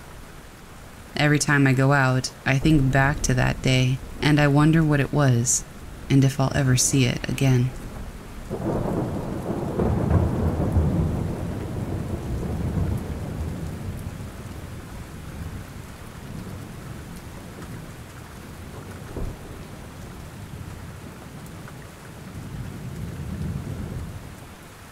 The Haunted Outback Station by Outback Packer 93. I've traveled through the Australian outback several times, but my last journey left me with an experience that still haunts my dreams. It happened near an abandoned sheep station, a place where the sunsets paint the sky in fiery hues and the nights are as dark as pitch. I was on a solo road trip, following a dusty trail that cut through the heart of the outback. I planned to camp near this old sheep station that I'd heard about from a local in town. They said it was abandoned decades ago, left to the mercy of time and the harsh outback elements. I arrived at the station as the sun began to dip lower, just below the horizon. The place was a crumbling relic, its once busy yards now overtaken by the wild. I set up camp, cooked a simple meal, and settled in for the night. As twilight deepened, I noticed something odd. There was a figure standing near the old water tank, a silhouette barely discernible in the fading light. Thinking it must just be another traveler or a local, I called out a greeting. No response. The figure just stood there, motionless. Curiosity overcame me, and I grabbed my flashlight, heading toward the figure. As I got closer, the air grew inexplicably colder, a chill that seeped into my bones. The figure became clearer. It was a man, dressed in what looked like old fashioned shepherding garb, his face obscured by the shadow of his hat. I stopped a few meters away, unsure of what to say or do. Then the figure slowly lifted its head, and I saw its face, or rather, the lack of it. Where features should have been, there was only an empty void, a darkness deeper than the night around us. Fear gripped me, rooting me to the spot. The figure took a step forward, and as it did, it began to fade, becoming more and more translucent until it vanished altogether, leaving nothing but the cold night air and a lingering sense of dread. Obviously, I didn't sleep that night. Every sound seemed amplified, every shadow a potential specter. As soon as the first light of dawn broke over the horizon, I packed up and left, not stopping until I reached the bustle of a nearby town. Later, I learned that the station had a tragic past. Decades ago, a young shepherd had vanished while out in the fields. His body was never found, and it was said that his spirit still wandered the outback, forever bound to the land he once tended.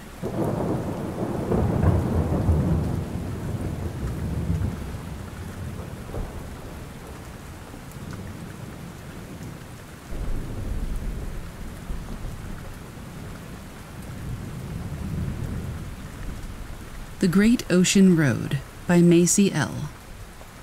It was during my time as a backpacker in Australia when I stumbled upon something I still can't quite explain. I had been traveling along the Great Ocean Road, soaking in the breathtaking views and the sense of freedom. One evening, I decided to camp near the Twelve Apostles, those magnificent rock formations that rise majestically from the Southern Ocean. I set up my tent on a secluded patch of land, away from the usual tourist spots. The night was clear, and the stars were particularly bright, adding to the sense of serenity of the place. However, as I settled into my tent, an uneasy feeling crept over me. It was a sensation that I couldn't shake off, a sense of being watched. Around midnight, I heard a strange noise outside my tent. It wasn't an animal, it was a soft, rhythmic tapping, like someone gently knocking on a door. I thought it might be another traveler, perhaps lost or in need of help, so I unzipped my tent to look out. What I saw was baffling. There was a figure standing near the edge of the cliff, silhouetted against the moonlit sky. It was tall and slender, and seemed to be looking out at the sea.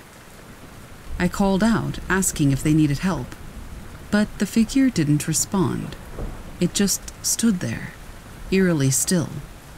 Curiosity overcame my initial apprehension, and I decided to approach. As I got closer, the figure turned toward me. That's when I realized this was no ordinary person. Its features were indistinct, almost like a shadow, but with a faint luminosity that seemed to be from somewhere else. I stopped in my tracks, my heart pounding. The figure didn't seem threatening, but its presence alone was intimidating. It then raised what seemed like an arm and pointed out toward the sea before turning back and vanishing into thin air. I was left standing there with my mind racing. I looked toward where it had pointed, but I saw nothing unusual. The sea was calm, and the twelve apostles stood silently in the distance. I didn't sleep much that night. In the morning, I asked around in the nearest town, but nobody had heard of anything like what I had described. Some locals did share tales of ghostly sightings and strange occurrences along the coast, but nothing matched my experience, and to this day, I don't know how to explain it.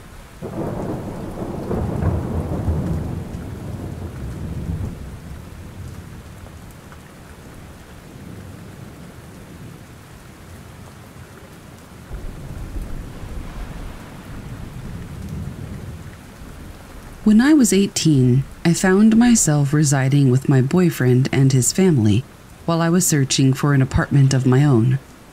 In exchange for my lodging, I was entrusted with the care of his three year old nephew. A communication barrier existed between us. He was a French speaker, and I only knew English, which presented a unique challenge. On one occasion, he was murmuring something in my direction and I had to ask his mother to interpret. Drawing closer, she discerned that he was repeating, My little duck, over and over. In another incident, he gently pushed open my door, clutching a butter knife in his hand, cast an unnerving smile my way, and then silently disappeared. During one of our TV sessions where we conversed in English, his mother commented, Sometimes it's as if he comprehends us. In response, he rotated his head toward us, uttered a simple, yes, and then refocused his attention on the television. Upon my departure, he performed a bizarre act of placing his blanket in the fire and then dragging it out, causing a fire to break out in the living room. What added an even stranger layer to this tale was that my boyfriend's mother was an avid follower of voodoo, to such an extent that his father refused to consume her cooking or wear any clothes that she had laundered, just in case, I guess. He took it upon himself to roam the house each night. carrying a church incense burner to bless each room.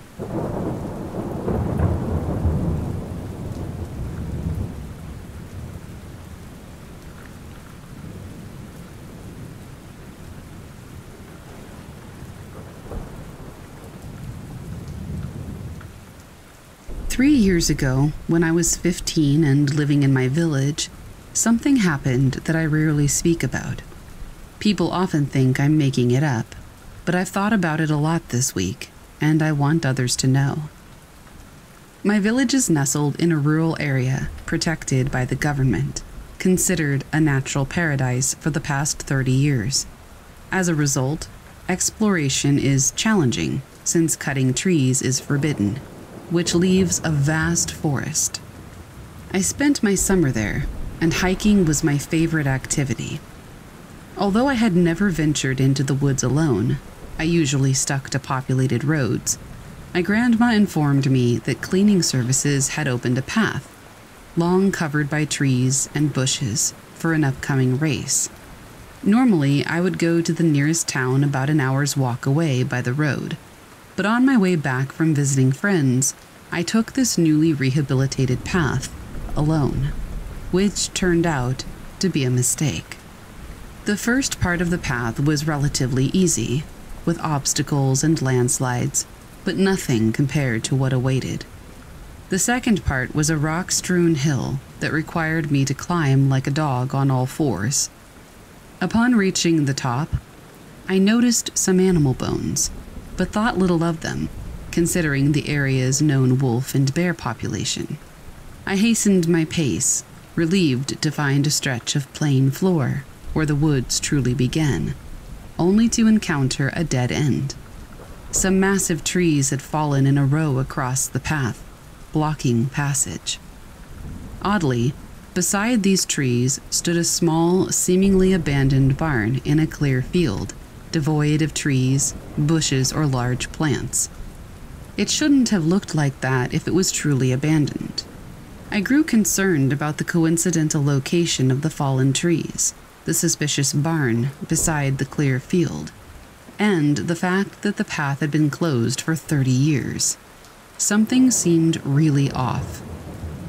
Continuing on, I approached the last hill my grandma had described, which led to the village. Suddenly, a silence fell, allowing me to hear branches cracking behind me. At first, I thought it was a bird, but the sound grew closer, resembling footsteps. Trying to convince myself it was an animal, I quickened my pace, and so did the footsteps. Terrified, I began to run, and so did whatever was behind me. I then heard incredibly loud grunts my heart pounding as I sprinted towards safety. I reached my village in a minute or so, bursting into the patio of a relative's house and closing the door behind me, catching my breath for 10 minutes or so before returning home. Even now, recalling the place, the lack of a signal, and those haunting grunts chills me to the bone. I can't shake the feeling that something was following me that the barn and the trees were merely distractions to slow me down. Needless to say, I never ventured into the woods alone again.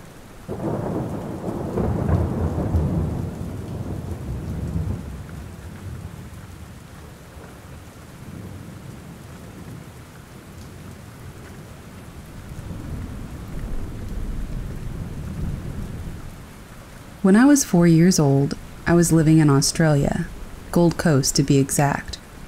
I don't remember much at all about that age, which is pretty normal. But there is this one thing that keeps coming back into my mind to this very day. This wasn't just some nightmare the kids usually have. I was wide awake, and I remember I felt everything that happened. I was put to bed by my parents sometime during the night. They left the room, and I was all by myself. I remember trying to fall asleep, but I was suddenly interrupted by some creepy figure. I remember being pulled off my bed and dragged underneath the bed by my arms. I couldn't move at all and I was unable to speak. I remember seeing this very dark figure with bright eyes holding on to me. From that point on, I can't remember what happened.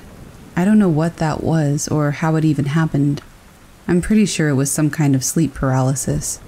But if you have any idea, let me know.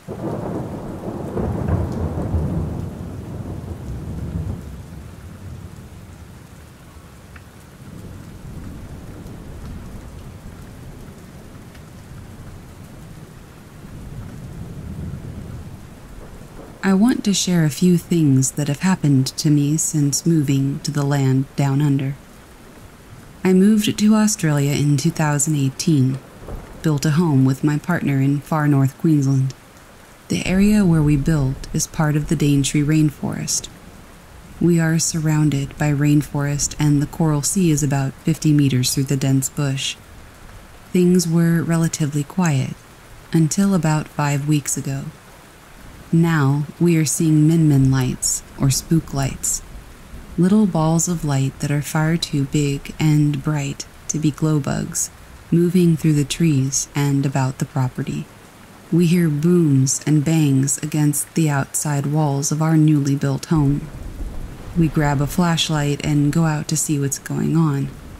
The noise is so loud that if it had been a bird or a bat, the poor thing would have broken a neck or at least stunned itself.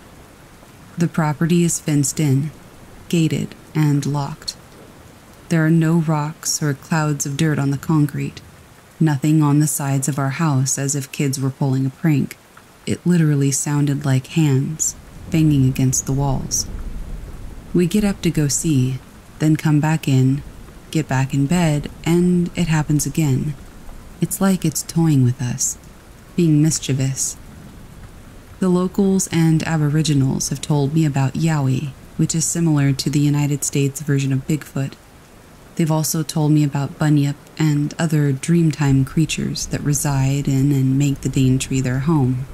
It is one of the oldest rainforests on the planet. We are surrounded by the beauty of nature, and now it's like every night is a new adventure. We don't know what might happen next.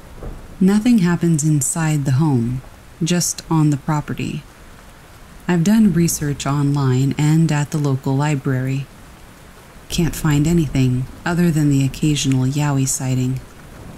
I've gotten in touch with a few ghost hunting teams and asked my questions. I'm waiting for a response to see if they might know anything. My partner's sister said that we may have built our home on a gravesite, but I doubt this. Not everything is built on a gravesite. It may just be the land itself. I know the Daintree is very special to the Aboriginal. It's sacred, in fact. Why is it that when things like this happen, I never have my cell phone in hand? It's like I'm so caught up in the moment, all I can do is experience it.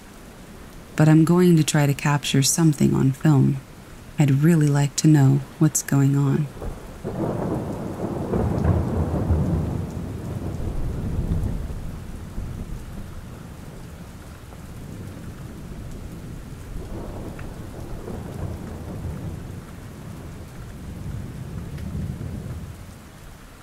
My grandpa was born in the last years of the 19th century and spent his entire life living in rural Idaho as a farmer and rancher.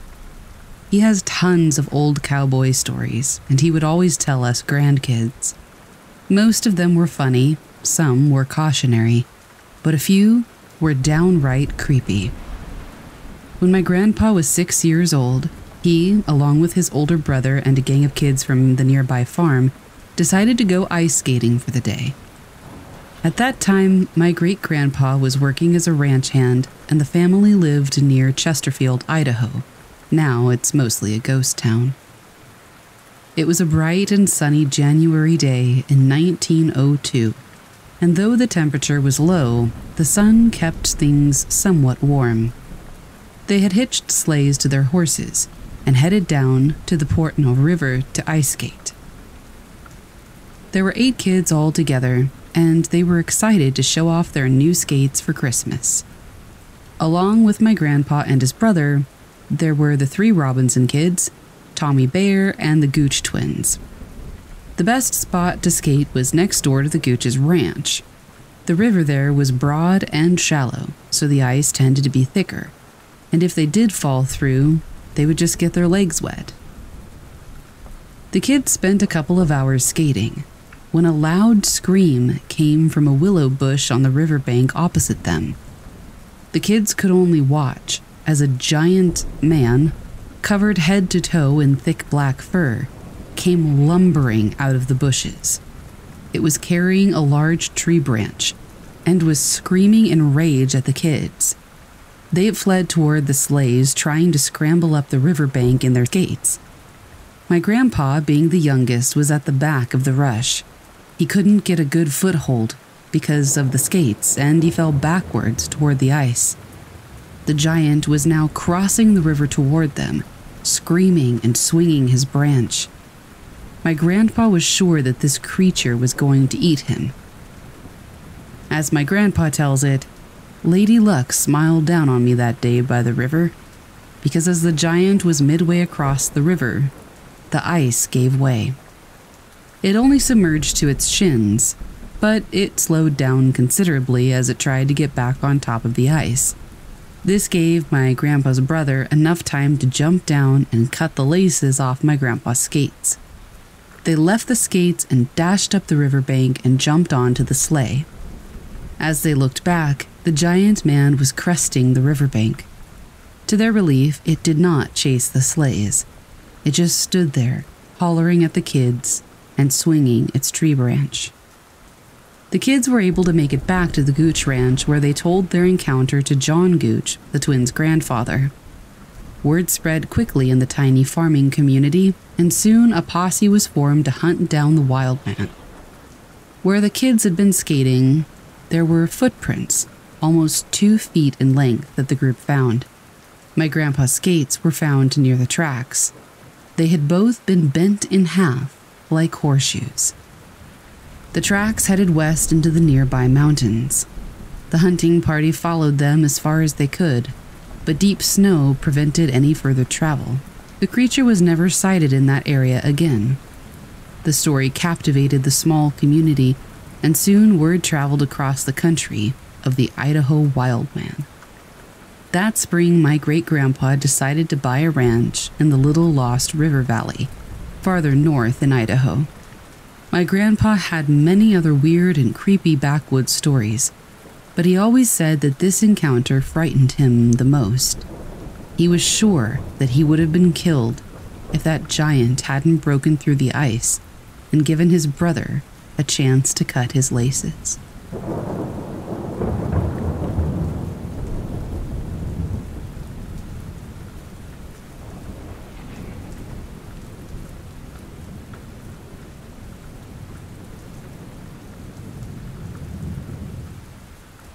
This story happened many years ago, around the months of June and July.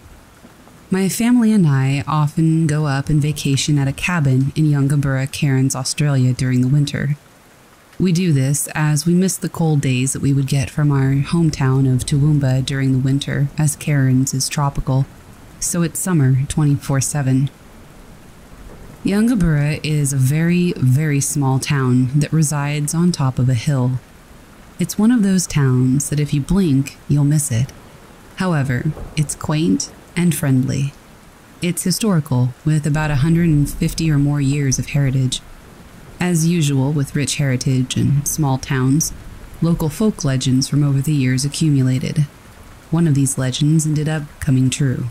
We rented this cabin that was on the brink of bushlands, and it was next door to an old farmhouse that has quite a bit of land including some of the bushland the cabin backed onto. To get to the cabin, you had to walk up a somewhat steep dirt road that also leads to the aforementioned farmhouse. The dirt road also had a medium sized pond that ran along it. This dirt road came off one of the main streets of Yungaburra. Anyway, on our last night staying there, I went to the pub to see one of my good friends who lives in Yungaburra. I had to drive early the next morning, so I didn't have a drop of alcohol. He, on the other hand, did not have anywhere to drive the next morning, so he pretty much drained the pub. It got to about 11:30 and I decided that I'd better get back to the cabin to go to sleep. The cabin was only a 15-minute walk. So, after saying my goodbyes, I started to walk back. As I was walking, I realized that not driving was a dumb idea, as it was about 5 Celsius or 41 degrees Fahrenheit. I had a very thin jumper on, and that was it. As I continued to walk on, it grew colder, and I started to shiver big time. I finally reached the entrance to my driveway, and God did it look ominous. There were no street lights leading along the dirt road, so it was pitch black. I decided to get out my phone and turn the flashlight on. It was at this point that I knew something was very wrong. After I turned my flashlight on, fog started to roll in. At first, it was only light fog, but it continued and developed into heavy fog and then it surpassed heavy fog, and then I could barely see my shoes below me. All I could see was white in front of me. I said to myself, well, here we fucking go. Something's about to happen. Get it over and done with. My flashlight was now rendered superfluous. I decided to stop walking as I knew that there was a steep ditch with a pond at the bottom, and the last thing I wanted was to fall into it. As I stood there, only getting colder and even more terrified, I saw a lantern in the distance, a small amber light coming down the driveway. Then I heard, Son, is that you? Come here out of the fog, follow the lamp. It was my mum. I couldn't yet see her, so instead I followed the light. I continued to follow it for about three minutes, safely walking up the dirt driveway I saw the light climb up the steps and I heard the door open, so I knew that I was near the cabin. Then the light went out. I continued to walk in the direction that I had seen it last. I was calling out for my mom to turn it back on, and there was no reply. I finally ran into a wooden guardrail, literally, and some steps. I walked up the steps, and instantly my knees felt weak. They had turned to jelly. I wasn't home. I was on the doorstep of the old abandoned farmhouse. The door was there, swaying open in the gentle wind, making a sinister creaking noise along with it. There are three things you do in this type of situation the three F's, if you will flight, fight, freeze. And I was frozen to the core. I didn't know what to do. I couldn't turn around and find my way back. I was definitely not stepping foot inside that house. I was stuck. I then heard a voice coming from inside the house. My son, welcome home. Nasty weather, hmm? The voice no longer sounded like my mom's. It had a prominent British accent. It was then that I realized I would rather be out in the fog than standing on the doorstep of this house. I quickly walked down the stairs. I heard the voice now yelling, My son, where are you going? I started to sprint, but as I was running, I smashed my foot and leg against some sort of stone and fell flat onto the ground. It took a chunk out of my knee, and I had cuts all along my hands. I still have some scars from it. I turned around and realized that I had not tripped over a stone. Well, not any stone. I had tripped over a tombstone. At this point, I screamed, got up, and started to run even more.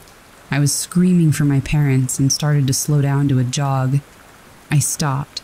I thought that I got far enough away from the house.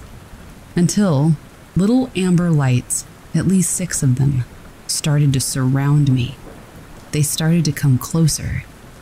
I found a gap between them and ran for it. Yet again, I felt like I was sprinting for my life. It was like I was in a race, but the medal at the end was just my life. Before I knew it, slam, I ran straight into a wall with my head being the contact point. I blacked out, and from what I can remember, I was woken up by my dad who heard something smack into the cabin. Apparently, when he went out to get me, he saw one little amber light flickering near the farmhouse through all the fog. That was the end of my night, and any vacation near that cabin. We decided not to leave early the next morning to give me some time to rest. This also gave me time to ring up my friend so he could come over and perhaps give me some insight into what I had experienced and what my dad saw. He and I sat out on the patio. I could see the farmhouse only about 500 meters away. It looked old and desolate. This is the folk legend, according to him. Apparently, back when the small town was first being founded, that farmhouse was one of the first ones built, late 19th century, during the 1910s or something. A well known mother, Anne was her name, had let her son play with some of his mates down on the main stretch of town one day. It started to get late, and as it got later, Anne grew more worried. Then heavy fog started to roll in. She decided to get her kerosene lamp and go looking for him. As she walked down, she could hear his footsteps, and she told him to follow the lamp. When she made her way back to the house, she was not accompanied by her son. It wasn't until the next morning that they found him dead in the bottom of the pond. He had hit his head hard and died instantly. The grave is apparently that of her son's. The mother apparently searches for her son on winter nights and lures males from the pub on late, cold, dark nights, mistaking them for her own lost son. The Yungaburra fog is one of the scariest things I've ever experienced. I've gotten used to generic things stuff moving, stuff missing, shadows, all that sort of thing. So I wanted to share something truly unique that happened to me.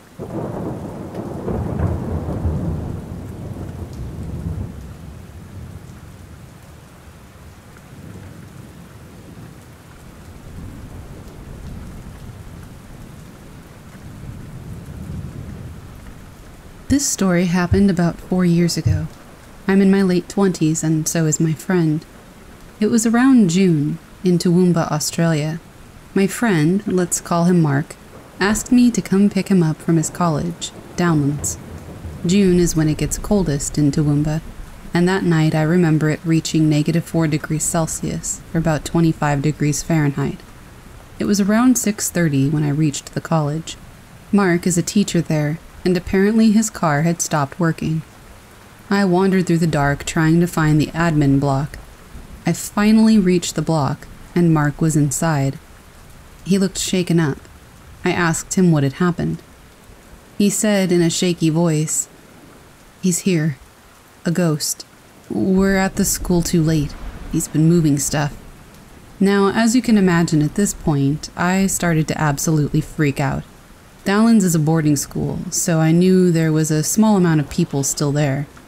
However, the boarding block and admin block are far, far apart, and I was not about to wander through the dark pathways with Mark spouting the stuff that he was.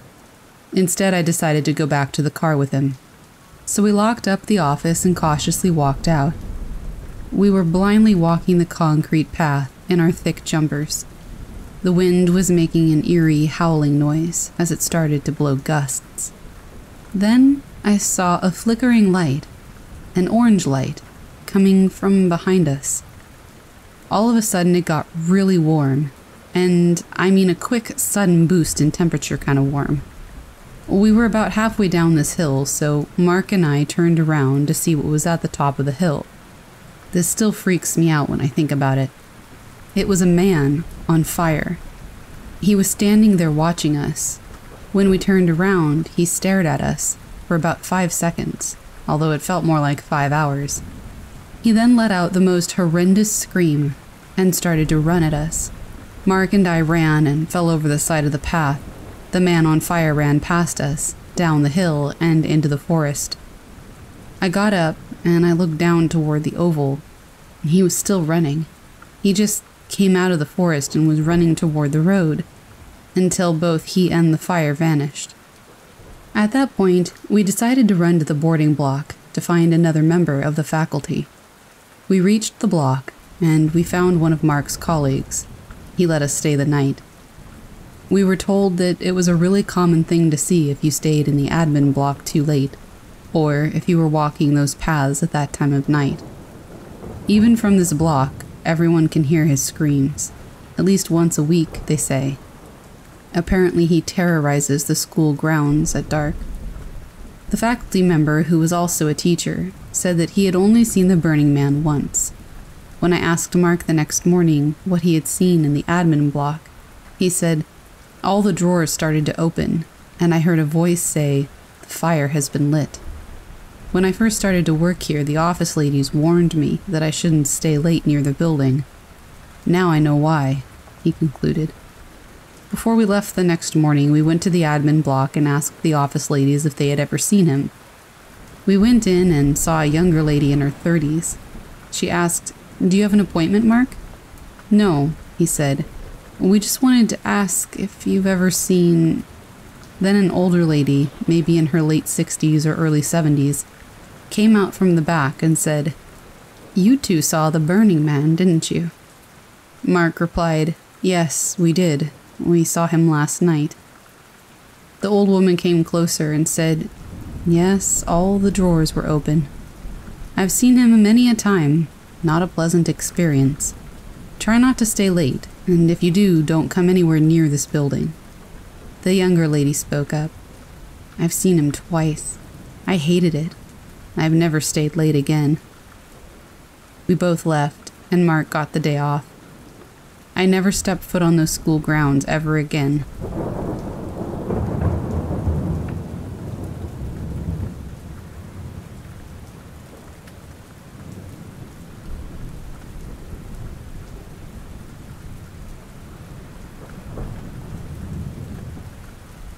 This is by far the spookiest experience my family and I have ever had regarding the paranormal. I'm currently living in Australia, and this all started when I moved into my current house around three years ago. In my culture, we believe that whenever a family moves into a new home, a priest should come to perform various prayers to bless the house. However, when my mom bought the house, we immediately went on holiday for three months so we were unable to perform the rituals. Everything started when we first came back to our house. Just some background my mom raised me on her own, so it was just the two of us staying in the house at the time. I was still in high school, and my mom worked in the city, so we both took the train every morning. My mom always left home earlier than I did, so it was my job to lock up every morning. My mom worked late almost every day, so I would get home first and be home alone for at least five hours every day. One morning, as I left home, I began to feel paranoid that I had not locked the door. So I went back to check it. The door was locked. Later that day, when I came home from school, I walked up my driveway to find that the door was standing wide open.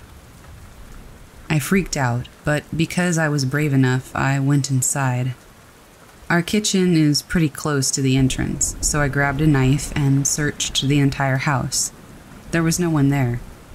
I decided not to tell my mom because she was already really stressed with work, and I didn't want her to freak out. Over the next few days, other strange things started happening. For one, our garage door would randomly start opening whenever we were home. My mom was kind of scared, but then we thought maybe our neighbor's garage remote functioned at the same frequency or something, and it was activating our door too, so we dismissed it. It had been about two months since we were living in our new house, and everything seemed to be normal again. Until one day, when I was awoken in the middle of the night by my mom. She looked super scared and asked me if I had come to her room to wake her up. I said no, I was half asleep and I had no idea what she was rambling on about. She didn't believe me and made me swear that I hadn't. I always play scare pranks on my family, so I can kind of see why. I swore I didn't and I asked her what was going on. My mom is a super light sleeper, and so while she was sleeping, she heard somebody prop her door open. She looked up and saw the figure of a boy and thought it was me. So she asked it what was wrong and blinked, and there was nothing there, but her door was still open. She called my name a few times, and there was no response, hence why she came into my room. I have to admit, given the stuff happening with the doors, I was kind of scared, but I convinced my mom that she was imagining things, and she went back to sleep. Ever since that night, up to this very day, my mom still sleeps with her door open and the living room light on.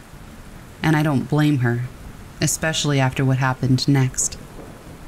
Two weeks after this incident occurred, my mom's best friend and her son and daughter, they were both around my age, came over from our homeland, Malaysia, to visit us. I was really excited, as I've always been close to them. One thing you should know about my aunt she's had many experiences growing up with the paranormal, so she's super scared of ghosts. For this reason, her kids and I always used to play pranks on her. One day, the four of us were playing poker on the dining table while my mom was taking a nap in the living room. Suddenly, my mom rushes out of the living room, her eyes wide open, and she looked really scared. She asked who had woken her up from her nap. The four of us were completely dumbfounded as we'd been playing cards the entire time. She then told us that she felt someone tap her shoulder while she was asleep. When she opened her eyes, there were two feet on the floor, but when she blinked, the feet were gone and nobody was there. My mom was full on freaking out now, especially after what had happened the other night.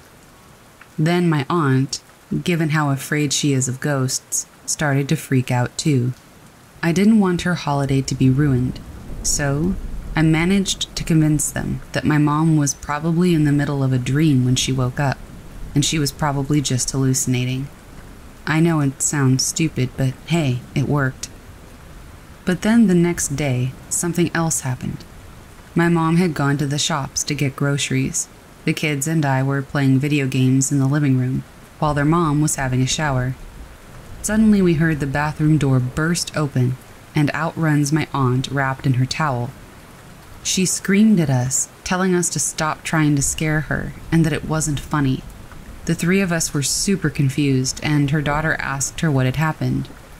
She told us that she knew that we were the ones knocking on the bathroom door even after she told us to stop three times. I know it probably seems like she was overreacting, but I cannot emphasize how afraid of ghosts she is.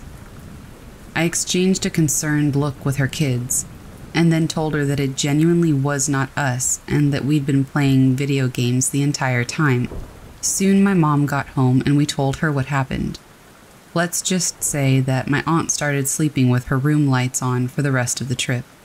Soon my aunt and her kids had gone home, and it was back to me and my mom again. We were back to our regular routine. My mom was finally at peace, and she hadn't seen anything for a while, apart from the same thing with the garage door every once in a while. The same, however, could not be said for me. It seemed that it had come to be my turn to be tormented. As I mentioned before with my mom at work, I would be home alone for a few hours every day, I began to start hearing things. The strange thing is, it would never occur while I was in the living room. Whenever I went to use the toilet or went to sit in my room, I would start hearing things coming from the living room and kitchen. It started out small, just the sound of some panting, like if you'd just run a long distance. But the minute that I entered the living room, nothing. There would be no sound at all. It soon started to get worse, I would hear footsteps pacing around outside my room, and spoons and pots falling in the kitchen. But every time that I stepped out into the living room, the noises would stop, and everything would be just as I had left it. There was even a time when I thought I heard a kid laughing right outside the door when I was using the toilet. I decided not to tell my mom yet because she seemed to be getting over her experiences, and I didn't want to scare her again. But one day I felt that I needed to tell her, and we decided that that day it was time we contacted our priest to perform the prayers for our house. It was the day that my best friend and his parents came over for dinner. It all started as an innocent dinner. My best friend and his family were Malaysian too, and we were having a great time talking about home while having a signature Malaysian meal. My friend's dad was telling us a story when all of a sudden his face just froze and his eyes widened. He honestly looked like he was having a stroke. His face contorted into a frown, and he just stared down at the table. My mom and I shared a worrying look, but my friend and his mom just continued eating like nothing was happening. Suddenly, his dad seemed to return to us, and he continues telling the story as if nothing just happened. He could see, though, that my mom and I looked worried. Suddenly, his wife tapped him on the shoulder and said, Just tell them. He frowned at his wife and just kept eating. There was an awkward silence for a few minutes, and then he finally decided to address the elephant in the room. He apologized for scaring us and assured us that there was no need to worry. He then went on to tell us about his life. Since he was a child, he'd been very religious, and from a young age, he felt a very close connection to God. He regularly meditated and was very spiritual. He was so spiritual that when he came into his mid 20s, he had awoken a gift. He was able to see dead people. I kid you not. When he said this, I immediately looked at my friend, waiting for him to start laughing at some prank. But my friend's face was dead serious, and he continued looking at his dad as he told the story. He told us that he could see them everywhere when he was walking his dog on the street, when he was sitting in the park, in people's houses, and even sometimes sitting on people who had been possessed. He said the spirits were drawn to him because they knew he could see them, and they would stalk him, begging him to help them reach the afterlife. He said there was simply nothing he could do because these people had died before their time, and that they would simply have to wait on Earth until it was their time. Back home, he was regularly contacted by people having paranormal experiences to perform a cleansing to drive evil spirits away. He told us about some of those experiences, but I don't feel like it's my place to share them here. He then asked us something that gave me chills. Have you guys performed the prayers for your house yet?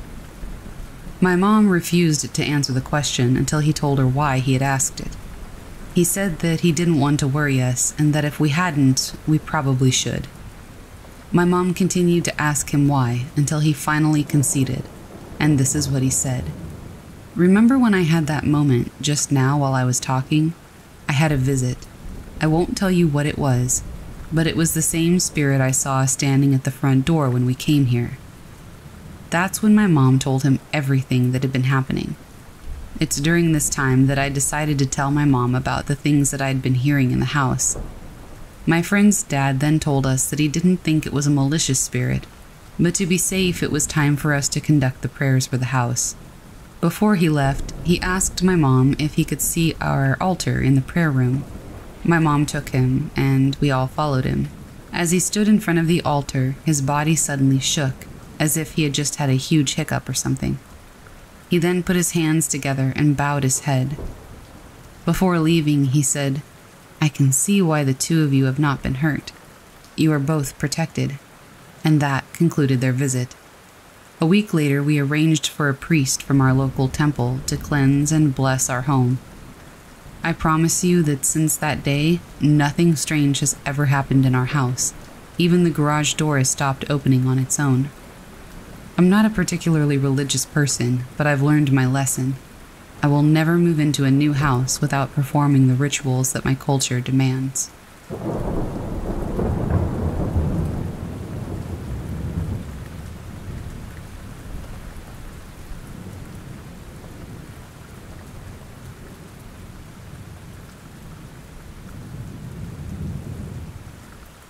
Something in the Outback by Roger L. I've never been one to believe in the supernatural, but what I experienced during my trip to the Australian outback changed everything. It started as a typical adventure. I was camping in a remote area, miles away from the nearest town. The first few nights were peaceful, filled with stargazing and the sounds of nature. But on the fourth night, things took a bizarre turn. I was awakened by an eerie, pulsating light outside my tent. Initially, I thought it was someone with a flashlight, but the light was too bright, and it seemed to hover in midair. Cautiously, I unzipped my tent and peered out. What I saw was inexplicable. A luminous orb like object was floating a few feet off the ground. It wasn't any drone or aircraft I was familiar with. The orb was emitting a soft humming sound, and its light pulsated rhythmically, casting strange shadows on the ground. Frozen in fear and curiosity, I watched as the orb began to move.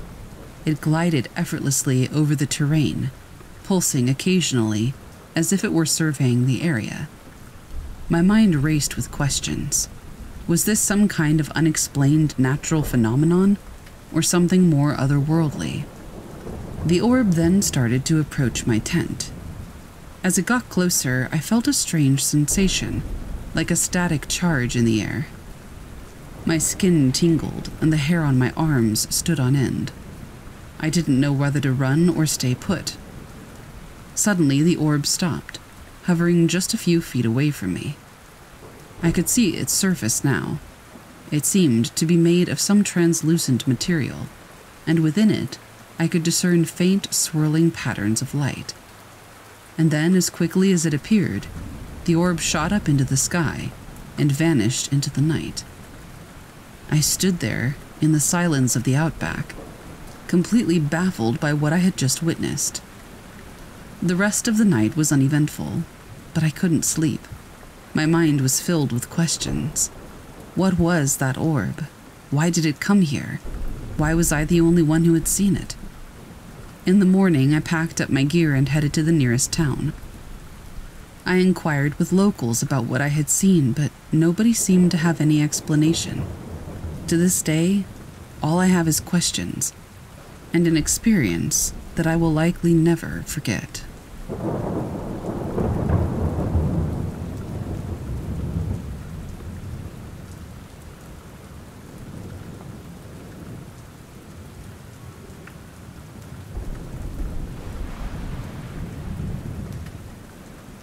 The basement door at my house never shuts unless you push it closed.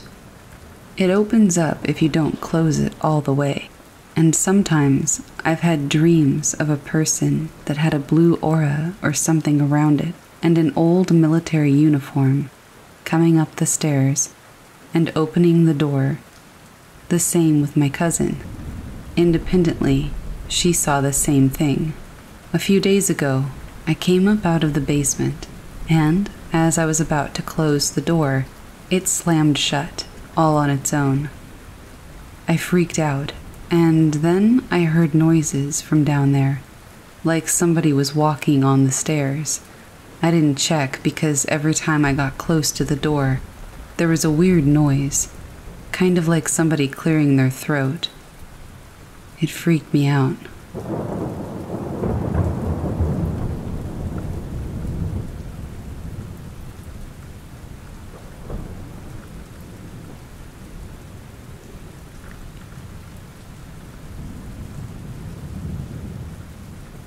A couple of years ago, I babysat for a family friend. She and her husband lived with their two kids a girl about seven, who we'll call Kay, and a boy about 12, who we can call Jay. I babysat these kids so much that we became very close, brother and sister type deal. They weren't difficult kids. They had a hard home life because their parents were borderline abusive, but they were still good kids. I tried my best to be a positive adult I was only 18 or 19 during this experience. The family moved around a lot. I've known them now for over six years, and they have moved every single year.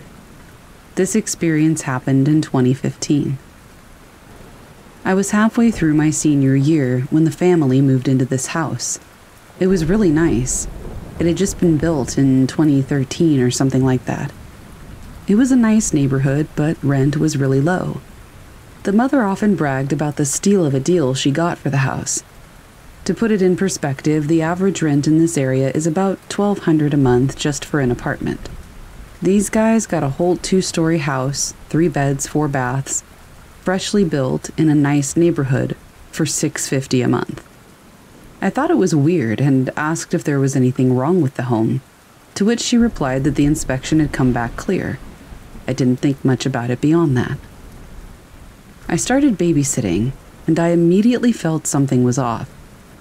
I have anxiety, so going to new places really puts me in a funk, so I just figured that's what it was, at first.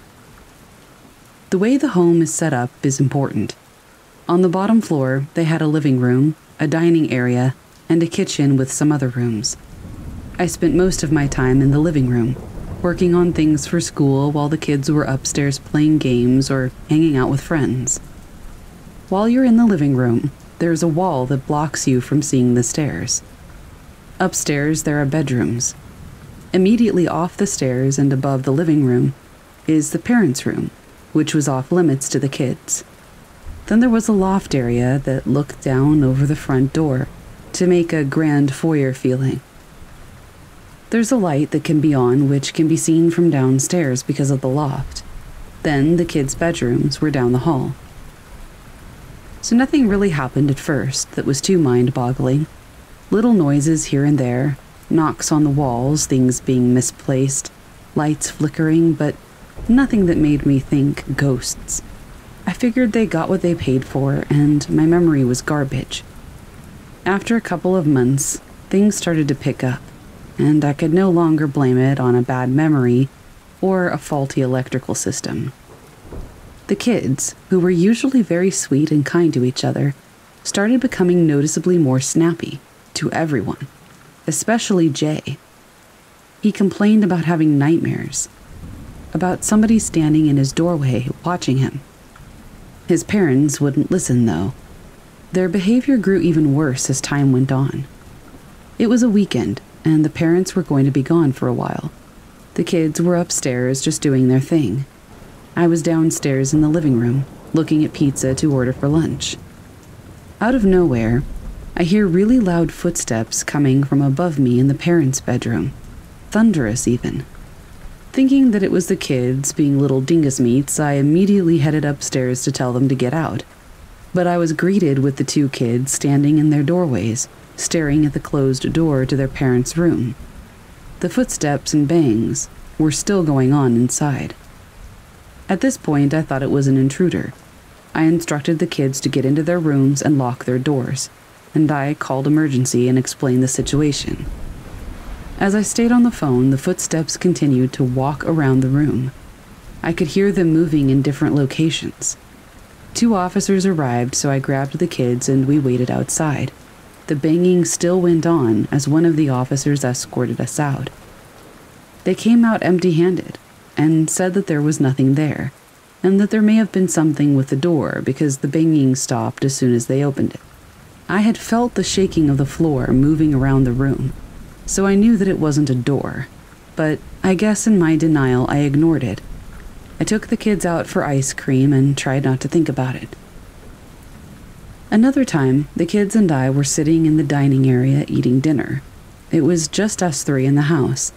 From the dining area, you could see the light upstairs was on, and it cast a shadow onto the floor. I was making a joke about how I'm the only one who knows how to turn a light off around here. And that's when I saw a shadow of a hand from upstairs on the front door. And I think that's when it really started settling down with me that the house was haunted. The kids didn't see it, and I didn't tell them. I figured it would just add stress that they really didn't need. I told the parents that night when they came home, but they brushed me off, saying they've never experienced anything at all. This continued on for a while. I would experience something, the kids would, but the parents wouldn't believe any of us. It was summer, just after I graduated high school. I remember it vividly because I was awake reading articles about a huge thing that happened in my town. That's when the banging from upstairs started happening. I was used to it at this point, but what I was not used to was the banging footsteps coming down the stairs. These steps were methodical and menacing. I felt terrible energy in the room, and it was cold, despite it being in the middle of summer in the south. I counted the seconds between steps and it was five, every single time. I called out to the kids and told them to stop joking around, but I knew it wasn't them. I was terrified. The footsteps stopped at the bottom of the stairs, and I couldn't see who was there. Then I saw an apparition of a little girl. She had brunette hair and a red dress. She looked innocent enough, but the energy in the room was so heavy I almost threw up. She looked at me, and I looked at her, and she didn't move. I thought I was hallucinating, so I started to rub my eyes. But when I finished rubbing them, she was still there, right in front of me. no longer at the foot of the stairs. I never heard her move. In that situation, I couldn't move or do anything. My mind just went to kid brain, and I hid under the blanket I was using. I called the parents crying and told them to come back immediately. When they came, the energy in the room lightened, and I finally came out from under the blanket. She was gone. They asked what was wrong and what happened, and I told them, but of course it didn't matter, because they wouldn't believe me. I then informed them that they needed to find another babysitter because I would not be returning. I still wonder about the kids. I hope they ended up okay. They moved out of that house at the end of the year, but I'm not sure if what I saw was attached to them or not. I'm still not sure what I saw. Anyway, I still have nightmares about the girl, and it's still a really frightening event for me.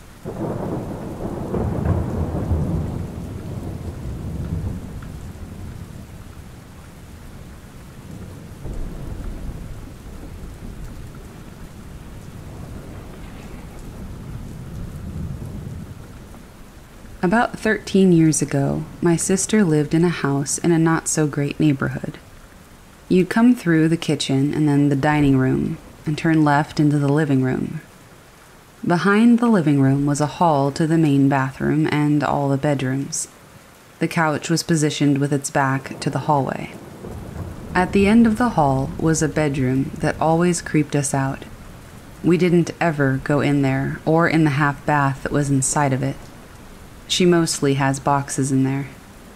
Well, my niece's nursery was right beside that room, and we always had weird stuff happen in there. One time, my sister was asleep and heard a voice scream one of my niece's names in her ear. She got up and ran into the nursery and saw a dark figure over the crib. My niece had gotten tangled in the crib bumpers. The figure looked at her and disappeared. Now, that was the least creepy thing. Whenever I was over, I used to have nightmares about the main bathroom being covered in blood. I have a lot of nightmares though, so I never thought anything of it. Until one night, I was supposed to be babysitting while she went out on a date night. I was laying on her couch, and she was in the bathroom taking a shower. I'm just hanging out, and I hear her call my name. I called back, What? And she yelled back, Nothing. I just shook it off as her being annoyed, and it happened three more times. Finally, I got up and stormed to the bathroom door and knocked as loud as I could. I said, You're gonna wake up the girls. Why do you keep calling me? She was quiet for a second and said, I'm not calling you. I was pretty creeped out, but I went to sit back on the couch to wait for her to be done showering. Then I heard the door of the back bedroom creak. I turned around, looked down the hall, and saw the door open by itself. And then, in my sister's voice, I heard something say, Hey, come here. Nope. She moved out soon after. All kinds of crazy things happened there. We later found out that a man killed his mother in her bathroom and then killed himself, just a few years before my sister lived there.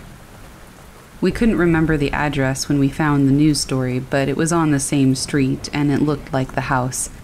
It would also explain the nightmares I had, so I'm pretty sure that it was definitely that house.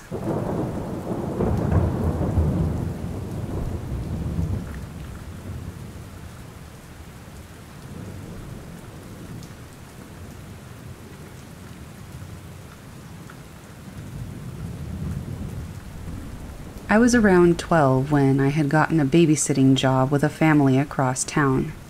This family was new to the area and just recently bought the house next to my best friend's place. My first day over was to get familiar with the kids and the house. The parents stayed and evaluated me and, of course, answered any questions I had.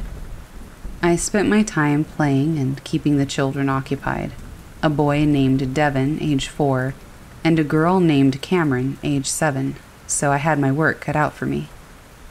Cameron wanted me to go to her room so she could show me her toys. I followed her up the two flights of stairs, but as we came to the top of the stairs, I felt strangely lightheaded, and the hair on my arms rose up. I had an intense feeling of being watched, like there was someone else up there with us. I tried to ignore this sensation and continued with my duties of finding Cameron's favorite doll so we could go back downstairs. At the end of the day, it was decided that I was a good match and I was to come back on Saturday morning. As I headed home, I couldn't shake that feeling that I had gotten upstairs. I told myself, nah, it's nothing. And I brushed it off to just being in a new place with unfamiliar surroundings. That Saturday morning, I showed up to a busy home as the parents tried to get out the door and show me the last minute things I needed for the day ahead. The kids were up in their PJs eating breakfast and already talking to me about all the fun things they wanted to do today. After the parents left, I ushered the kids off to get changed. As I was cleaning up the breakfast dishes, I heard a loud bang coming from the dining room.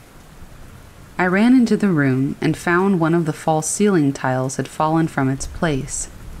Puzzled, I tried to put it back up, but it was not an easy task. After some struggling, I managed to fit it back in. I thought, how could this thing have fallen out by itself? The day went on, and now it's close to lunchtime. The kids are watching TV, and I'm in the kitchen making something for lunch, when again I hear a loud bang coming from the dining area. I look, and sure enough, that tile has come out again. This time I leave it for the parents to see when they get home. I figured maybe they could fix it. Now the kids wanted to play hide and seek. We started off with Cameron seeking and myself and Devon hiding. As Cameron started to count, we scurried around trying to find the best hiding place. I found the downstairs bathroom to be the best place for me. It was easy enough for Cameron to find me, and I hid Devon close to me so I could keep an eye on him. As I entered the bathroom, I closed the door quietly behind me. I walked a few steps into the room and was now facing the mirror. As I was looking at my reflection, I also noticed something behind me, moving. It was the closet door directly behind me, slowly opening. The closet door opened halfway and then slowly closed again on its own. I had that same feeling come over me, the one that I had when I was upstairs on my first day. Wide eyed with fear, I turned the bathroom door and ran out.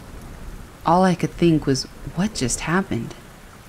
I was really starting to worry that this house was haunted, and I now had every horror movie I ever watched playing through my head. Now I'm finding that I'm really uncomfortable, but I decide that it's best to just keep occupied. I break out a board game for us to play in the living room floor. Hungry Hungry Hippo, I think it was. We were playing for around 20 minutes before I noticed something out of the corner of my eye, moving. I turned my head to see what it was.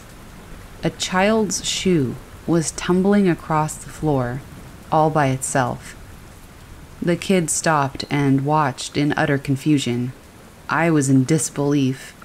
Cameron let out a scream and she ran for the door. I grabbed Devon and followed. We went to my friend's house next door and told her mom everything. I'm not sure if she believed me, but we stayed over there until the parents got home. When they showed up, we told them what we saw. I don't think they believed me either. I showed the panel that had fallen out. Apparently, it's been an issue since they moved in and as for the rest of my accounts, they chalked it up to a child's excessive imagination. I know what I saw and what I felt. I wasn't imagining. I later found out a bit of history about the house. Apparently, a man died in that house of a heart attack upstairs in a room above the dining room, right above where the panel kept falling out. Sometimes I think it was his spirit still in that house, Maybe he was just trying to play with us.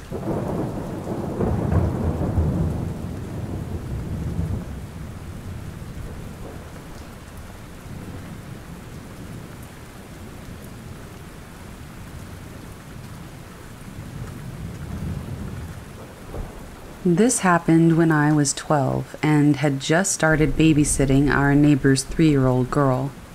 I am a twin, so at that age, my sister and I did everything together, even babysitting. The house next door was built in the 1800s and brought a lot of history. My grandparents actually owned it at one time before inheriting the house next door, the house we lived in. I grew up in an all female household.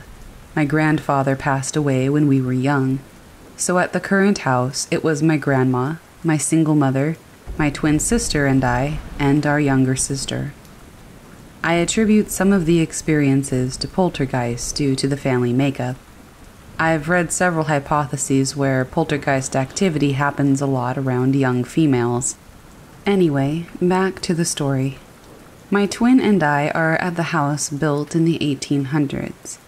It's our first night ever babysitting, and it's the parents' first night away from their three year old daughter. The daughter screams and screams at the top of her lungs due to the separation from her parents. This goes on and on. My sister and I tried playing with her, talking to her, singing to her, but nothing worked. This was in the mid 90s, so we, as 12 year olds, did not have cell phones. We used our neighbor's house phone to call my grandma and mom to see what we might do to calm her down.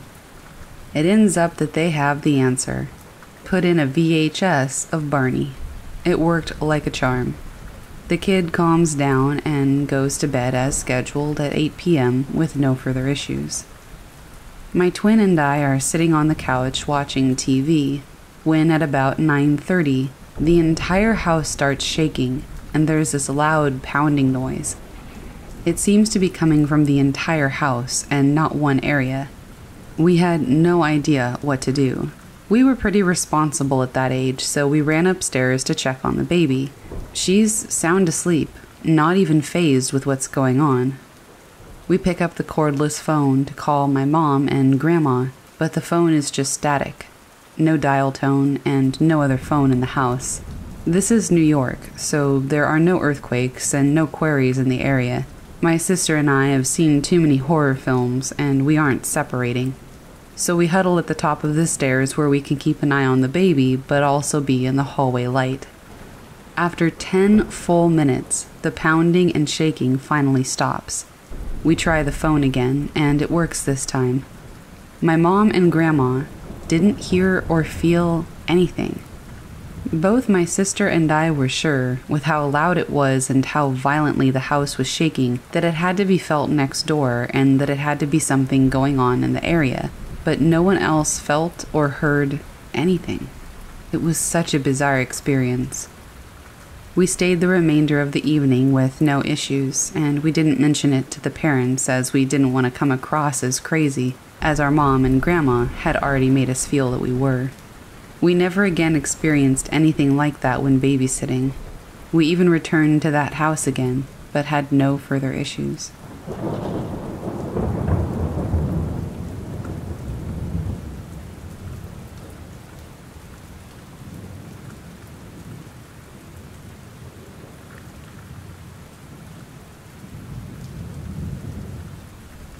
I've been hearing knocks coming from the attic and from the walls for a while now. Recently, they've been happening coincidentally right under me. I'll move to one area and it will happen there. And then, on a separate occasion, I'll be in an entirely different room, and still, it will knock above me or below me. I've had a history of sleep deprivation, anxiety, and depression. I've heard my name whispered in my ear, and something whisper, Help me. Sounded like some kind of zombie. Recently, I've been having terrifying hallucinations. As I'm about to cross into the first stage of sleep, I always feel or hear something that wakes me up immediately, back and forth from being awake to the entering of the first stage of sleep. I feel something tug at my pillow and the mattress moving as if somebody's trying to lift it. Eventually, I figured all of this was a hallucination for multiple reasons. I've recorded when I felt something push the pillow behind me and there's nothing there. On other occasions, I have felt tremors caused by my body and shaking that felt exactly like what I thought something else was causing. But the noises and seeing things move on their own has been happening for a while now, way before my hallucinations. And those happened out of nowhere. I usually only have motion hallucinations rather than seeing or hearing things. The knocking is really freaking me out. Could it be possible that I'm hallucinating all of this? Or is it actually real? Either way, it doesn't matter. I've told my parents about the experiences I've had, but they keep denying that it's real. I'm tired of living in fear. If anybody has any idea how to ignore it or get rid of it, I'd love to know.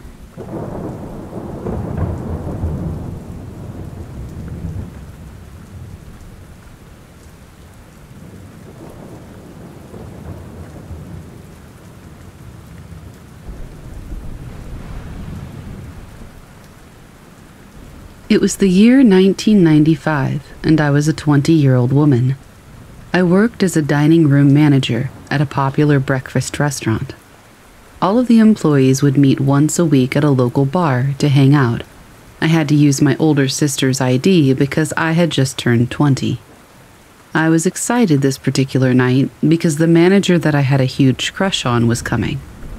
That night, I had decided not to drink too much and that would probably be the main factor in my survival. The guy that I had a crush on chose not to drink either. When closing time came, we all decided to go over to another coworker's house because we were still having fun.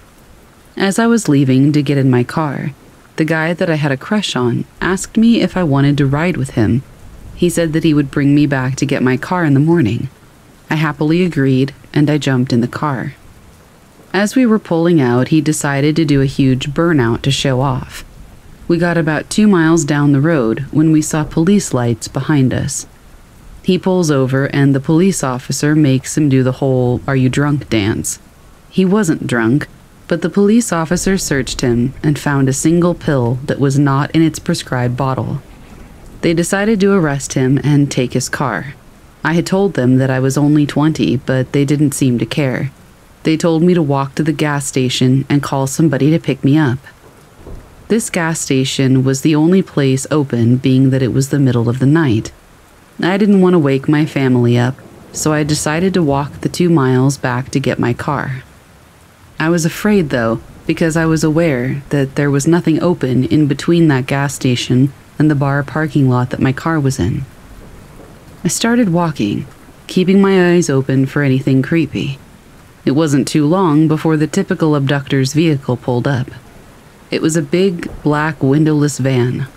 I was walking northbound, which made the passenger side closest to me. A man who was about 30 asked me if I needed a ride. I, of course, said no and continued on. He continued to ask a few more times, but he realized that I was not budging. I had that gut feeling you get when you know that something is just wrong. He just continues driving at my walking pace. He's looking around nervously. I had no doubt that he was trying to figure out how to get me. I was thinking of what I would do if he tried. I decided that if his car stopped, I was going to run to the other side of the road, back towards the gas station.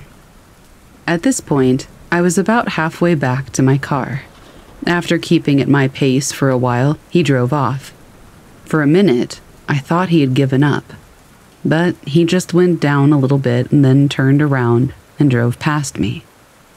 I watched him turn around again and head back toward me. He pulls up to me again and asks me to get in. I said no, I don't need a ride.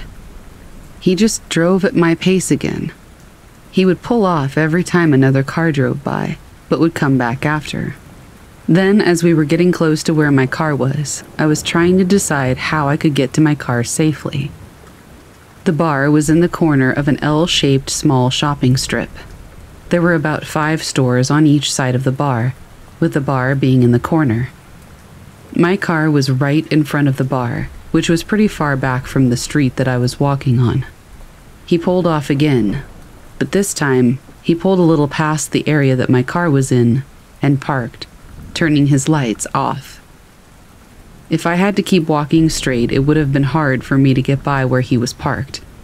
I decided to count to three and run toward my car with everything I had. I had my keys in hand, pushing the unlock button as I ran. I kept my eye on what he was doing as well. He pulled toward me, slowly, but I think he was wondering what in the world I was doing running into a closed, dark parking lot. As I reached my car and jumped in, he pulled right in front of it. As I was locking the door, we made eye contact. He looked shocked that I had a car. I backed out and took off. I watched behind me, making sure that he wasn't following me. After I got home, I debated on calling the cops, but I thought nothing would come of it, so, regrettably, I didn't. It was about a year later, while watching the news, that I saw him and his van again. He had kidnapped and murdered a young woman. They actually believe he killed more than just her, though. I was devastated. I'm not sure if I had called the police if anything would have changed, but at least it would have been on record. I learned that people looking for victims will often drive around bars at closing time, hoping to find a drunk woman walking home alone. I really do believe that not drinking that night saved my life.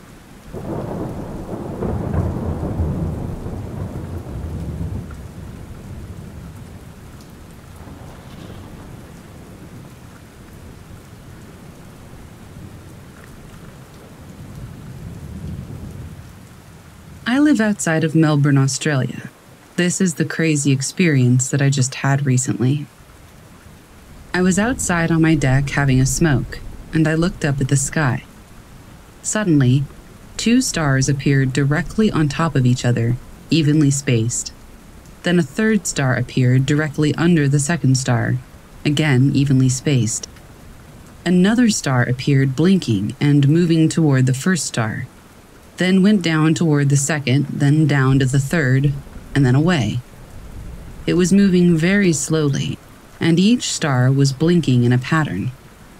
I called my partner outside to verify what I saw, and he confirmed that I wasn't crazy and witnessed the moving stars slowly move in patterns that normal craft or satellites couldn't move in.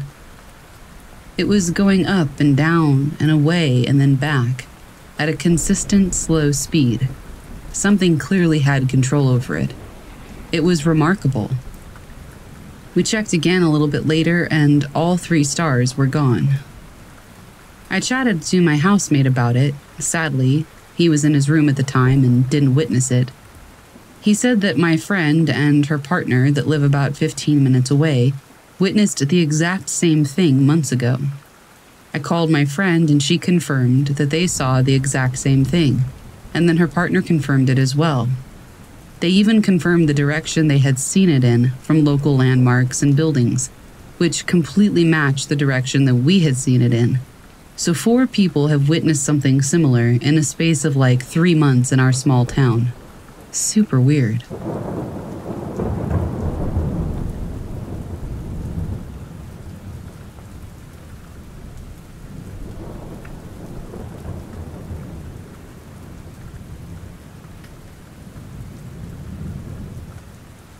A few years ago, I temporarily lived in a cabin out in the woods with my friend due to some unexpected life circumstances. One night, we had another friend over, and all three of us had a smoke session in the backyard at about 3 a.m. That was when we started to hear a strange noise in the woods. It kind of sounded like a humming engine coming closer to us. Suddenly, my friend shouts in confusion as he explains that he briefly got blinded by a distant light. A few seconds later, my other friend notices a flying object near the treetops, about 40 meters away. When he points out that the object is see through and that you can actually see the outlines of the treetops behind it, we are all just stunned and we just look in awe, in complete silence until the object spirals away super fast up toward the sky, in a manner that is certainly not possible with any known technology we have. Then it disappeared. We rushed inside, and my friend had the brilliant idea to have everybody draw what they had seen simultaneously without looking at each other's to confirm what we saw. We all showed our pictures at the same time, and we all drew the exact same thing. We kicked ourselves over not recording the event for proof, but later realized that all of us had left our phones inside while going out to smoke. We joked about the light scanning us to see if we had any recording devices on us. We all went to bed, with both of them sleeping upstairs, and with myself being downstairs, alone. As I lay down, pondering over the experience and feeling a bit uneasy, I suddenly see two orbs floating around the room. One was red, and one was blue. I get a bit freaked out and pretend to be asleep while I watch these orbs float around for about five minutes. Then they disappeared. Eventually, I fell asleep, and when I woke up the next day, I was eager to share my experience. They informed me that when they woke up and went outside, the door handle crumbled in their hands, like all of the components of the door handle had been dismantled. It was a very surreal experience overall. Aliens, advanced technology not known to the public, I don't know, but it certainly gives me this childlike hope that there's more to this life than the dull reality we live in.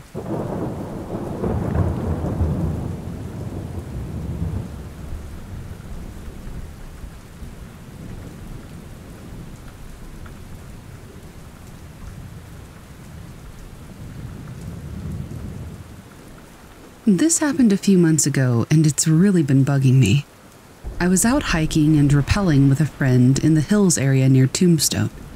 I want to mention that I have spent quite a bit of time solo hiking and camping. I'm used to hearing noises and brushing it off. Anyway, it's late afternoon, and I'm the first one to rappel down. I got to the bottom, and while my partner was getting ready to follow, we heard this noise that I would describe most like a growl or a snarl. It sounded like it was coming from the ridge above both of us. If facing the cliff, it sounded like it was coming from the right side. We both looked around, but didn't see anything. I encouraged him to come down, and I even half joked that it was probably just a bear or a mountain lion. At that point, I wasn't even feeling that nervous I figured that once the two of us were together again, we would be pretty intimidating to an animal. While he rappelled down, I heard a loud crash to what seemed to be parallel to me on my left. By this point, I'm starting to get pretty scared because this sound was getting closer and closer. Somehow it had gone from right to left on an exposed cliff face without either of us seeing it. He successfully rappelled down, and we both agreed we needed to get out of there. We still had a steep downhill climb to the car. We packed up the gear as fast as we could. As we get our packs back on, we heard what sounded to me like a howler monkey. The noise was close, and we still couldn't see what was making it. Of course, it was from the direction that we needed to go. We hauled butt down that mountain and got in the car. I know that it can be pretty easy to let the mind play tricks, but we have the exact same account of what happened. Both of us are really familiar with what's out there, and we've never heard anything like it. Now, this is the part that I hesitate to tell, because I know it sounds even more insane. But we both heard whispering and giggling, like it was right next to us, but we still couldn't see anything. I keep trying to explain to myself that our minds just played a trick the same trick, but a trick. The first noise I would chalk up to maybe a bear or a mountain lion. Animals are stealthy. They could run in front of us without us noticing, I guess. Something else could have fallen to the right side. What made that monkey noise, though? I don't know. And why do we both say we heard whispering? I don't know. I don't know if anybody else has creepy experiences in Arizona. I want to believe somebody was just pranking us, but there wasn't a single other car in the parking area. My friend believes that we experienced something supernatural. I honestly have no idea what to think.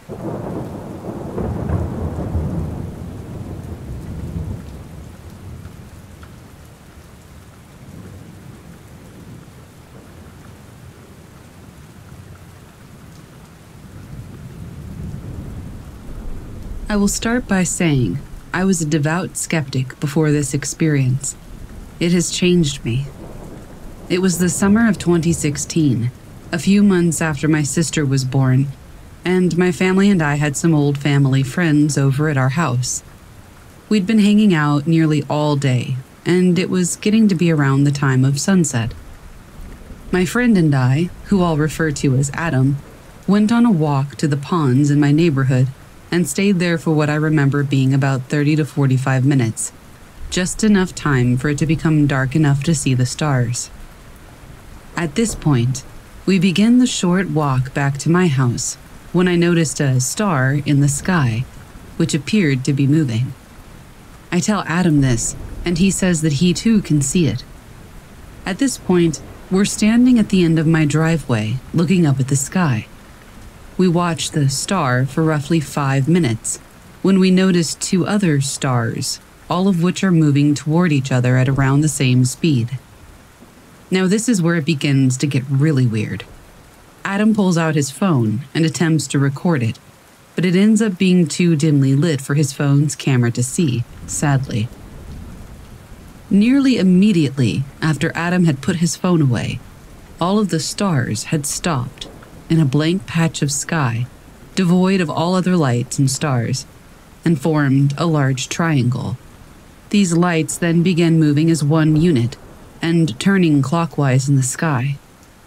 They remained in this formation and movement for nearly five minutes before stopping, then proceeded to move at a speed which I've never seen before, away from each other, and disappeared into the night. Based on the reactions of people back at the house, both Adam and I were visibly shaken up. When we tried to explain what had happened, they shrugged it off, as us just not knowing what we saw. I know what I saw, and so does Adam. Green Cove Springs has a history of military and government establishments and compounds, none of which are currently active. However, there is a significant amount of military infrastructure still in use as housing and places of business. It makes me wonder if this had something to do with some sort of test flight. Either way, we saw what we saw, even if we don't know what it is.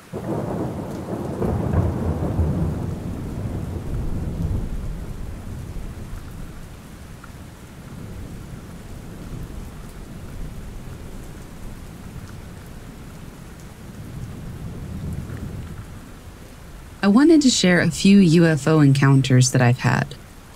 The first was when I was about 11. I was riding home with my dad in the car. I looked out the window and saw a ship. It was shaped more like a small city, black with multiple spires. I told my dad, and he saw it as well and gunned it home. The odd part was his reaction, which is connected to the next encounter. I asked about the ship, and he went apeshit. Started screaming about nothing being there and that we never saw anything, even though he described it when I pointed it out. Fast forward to about four years ago, which makes me around 34 years old at the time. I was at work at the hotel, and the housekeeper calls me over. It's Veterans Day, so I figure she wants me to check out the parade. Instead, she points out a white sphere in the sky we stare at it, and it moves at an insane speed, then splits into six smaller spheres. I tell her, Congratulations on your first UFO sighting. It keeps moving around the parade, and I tell her not to worry. It's probably just observing. The thing is, when I asked her later if any more weird stuff came out, I got the same reaction total freak out screaming about not seeing anything and it not being real. It was like the mind couldn't handle the situation and completely melted down. This final one is a bit more interesting. I had let my dogs out at night for a potty break, then a head count as they came back inside. Before I went in, I noticed a star bigger than the others. Not being a runner, I stayed put. It got closer, and I got a better look. It was a four pointed star, with many points about the size of a pressure cooker, all pulsating different colors. I decided to try some telepathy. I mean, I didn't do anything fancy like cross my legs and say Om. I just thought in my head, like you do when you have a grocery list. I asked it if it meant any harm. Give me red for no and green for yes. I got a red for no. I asked if it came from the stars. It turned green. I asked if it was just here for recon. Again, green. Finally, I thought, okay, you can be on your way. And it flew higher and farther. My point on the last one is to try to stay calm. It might scare you, but it's the best way to remember what you saw. I didn't get any missing time or the usual stuff like strange markings. It was just an odd encounter.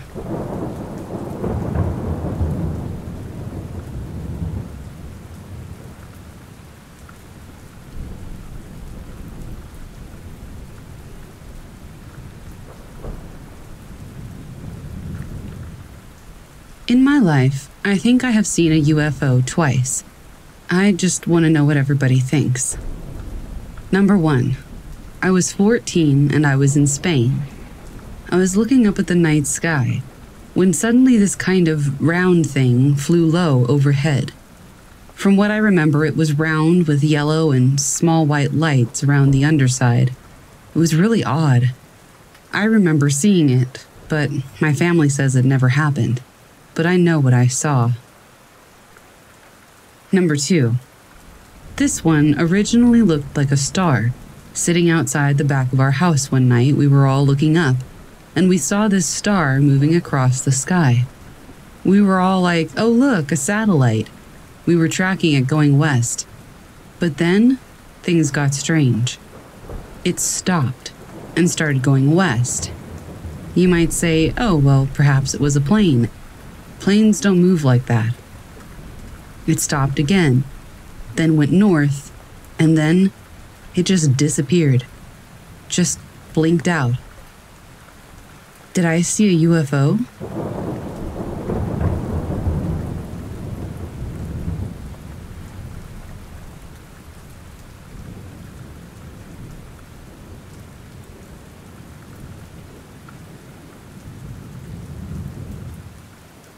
Ever since I was 13 in 2008, I've developed an interest in aliens and UFOs. I've grown enough of an interest to actually create a scrapbook of pictures of UFOs, declassified government documents, newspaper clippings, and things like that. All of these things were available from Google. I even recorded my own UFO sightings here and there, but I eventually threw them out because I was worried that I was sticking my nose where it didn't belong. In any case, this is one of my UFO experiences.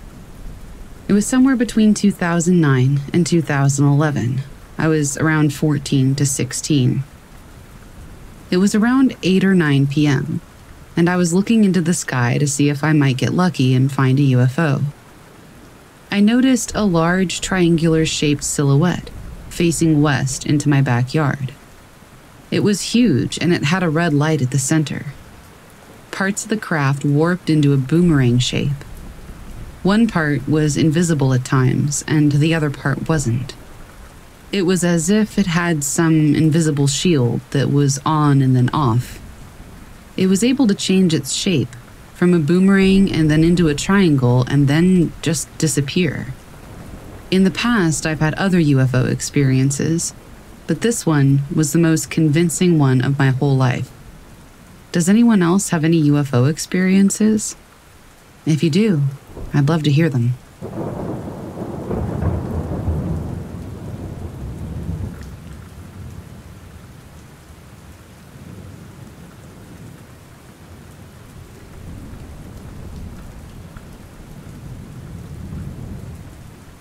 So, recently, I've been having really weird things happen at my house. Not only somewhat ghost related, but also UFO sightings at the same time. I just wanted to tell a couple of stories about my first ever UFO encounter. So, I was lying in bed. It was around 11:30 at night, and I'm leaning to the side of the patio door from my bedroom. I'm thinking for a while when I look through the blinds to see what looked to be a glowing object hovering above my neighbor's house. On the rim of this craft, there seemed to be a color changing rainbow, and then a few lights around it, blinking.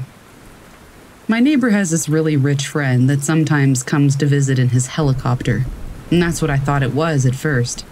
But I swear, there was absolutely no sound.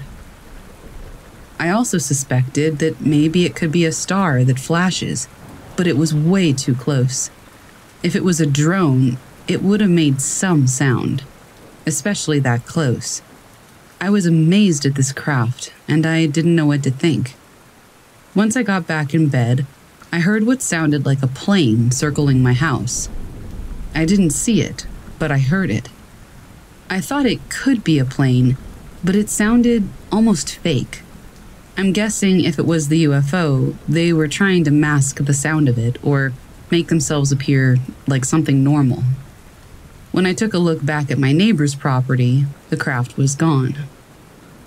Another story happened about the same time that I saw this other thing. Again, it was around 11:30 at night. And again, I was lying in bed, looking out the window and just sort of daydreaming. Again, I could see a light. It was glowing really white and almost pulsating. I didn't want to go see what it was, in fear that it could be ETs. From these experiences, I've decided to see what it is and investigate it. I really want to go confront them. I really want to go see what they are.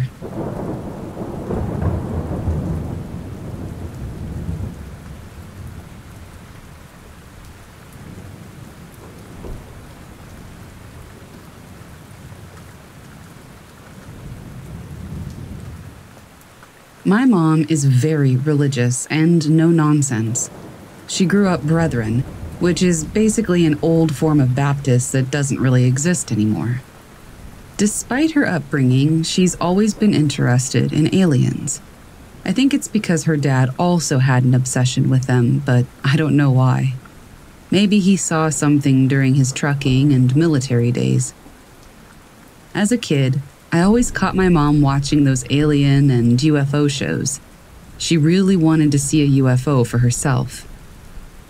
One night, she was traveling down the Appalachian Mountains in western North Carolina, coming from a festival in eastern Tennessee. It was fall, so the leaves were beginning to become bare, and you could see through them. She was driving along with my sister and my grandmother when she sees what looks like three to five lights in a circular shape. It's getting really close. My sister and grandmother notice it too. Soon it appears to be behind them, very low to the ground. My mom opens the sunroof and windows, but there's not a sound coming from anywhere. Then, something my mom describes as an opaque white column comes down onto the road behind her car and is following. Like the distance between the white column and the car never changes. My mom went from curious to freaked and guns it. I think the total time it followed was probably less than a minute. Eventually, it went away without a trace. When my mom finally got home that night and told me about it, I thought she would be excited, but it nearly scared her to death.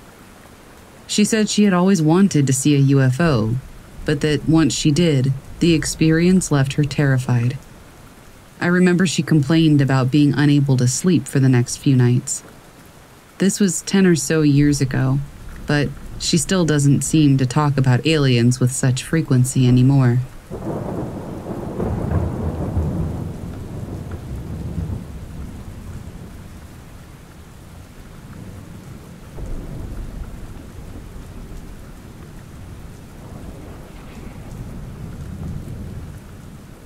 About two months ago, I was driving home from my parents' house late at night on a route that connects New York to Connecticut. My town in Connecticut directly borders New York State. The town has some serious hills bordering on small mountains. At one point on the route, the trees thin out to the left, revealing a large hill or small mountain, which can be seen pretty clearly from different perspectives for about two minutes. As I was driving on this particular night, I noticed two large, slow blinking and slow moving rectangular lights low in the sky. I couldn't see any specific features of any craft surrounding these lights, so my perspective could be off, but it seemed to me to be only about 20 meters higher than the top of the hill. I'm guessing the distance or height by how fuzzy the edges of the lights seemed to be, and by how large they appeared to be, in addition to the multiple perspectives provided by my consistent 40 miles per hour speed on the road. When I spotted it, it was nearly directly forward in my line of sight, off to the left just a bit. In the two minutes that I watched it, it moved maybe a half a mile farther to my left. For reference, the top of the hill that I mentioned is about a mile from that road in the same direction to the left. That would mean a speed of about 15 miles per hour. The lights were blinking too slowly to be standard aircraft strobes, on for about two seconds, off for another two, in a regular rhythm. They were moving and blinking in unison, which implies that they were both part of one larger thing. They seemed to be set about 30 to 40 yards apart from one another.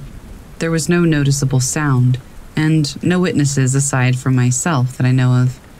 I had always thought that if I saw a UFO, I would love to follow it, but I was too freaked out, and I didn't do that. I felt like an instinctive horror I couldn't bring myself to deliberately get closer. If there is a next time, I will try harder to overcome that.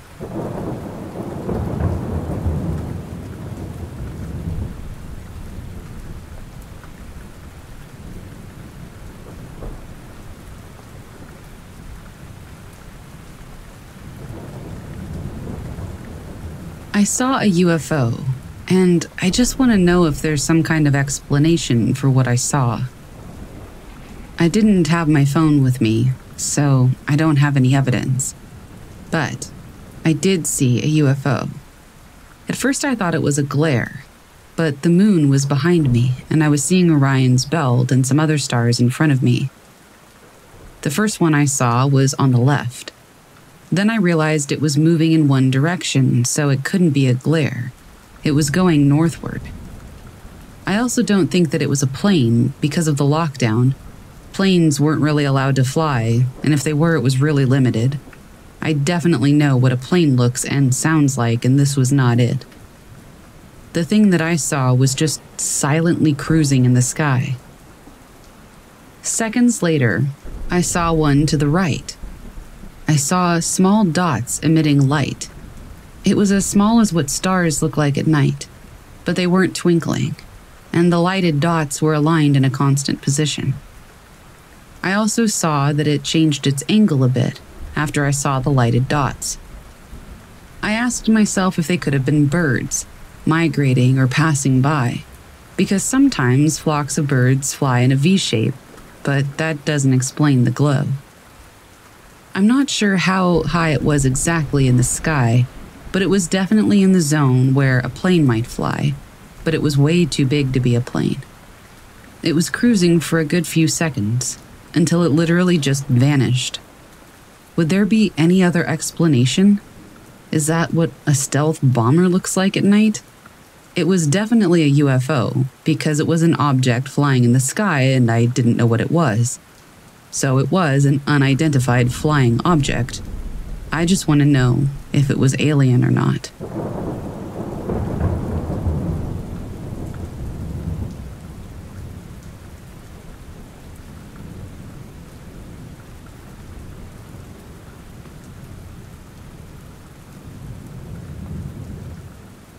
It started on my commute home from work.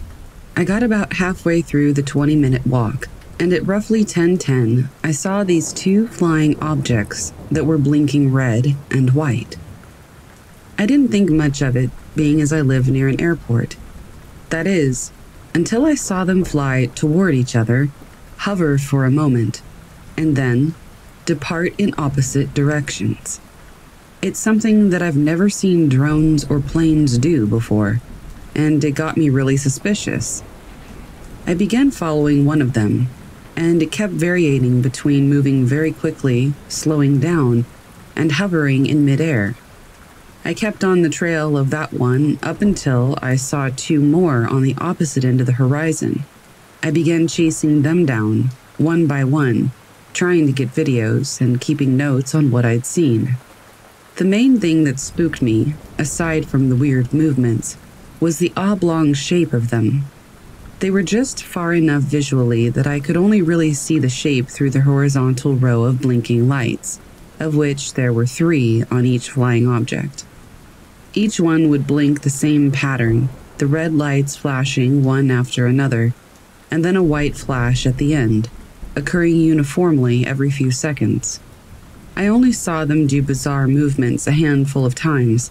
Otherwise, I was just chasing them as they sped by. There were at least five of them throughout my entire voyage, all around the town. I would truly love to believe that they were just regular aircraft, but every single thing about them was weird. I took a couple of videos, but they didn't really come out. My camera can't shoot that well in the dark. If anybody can point me in the direction of what these things might be, or what the light patterns might mean, or really anything at all, let me know. It's been haunting me all night.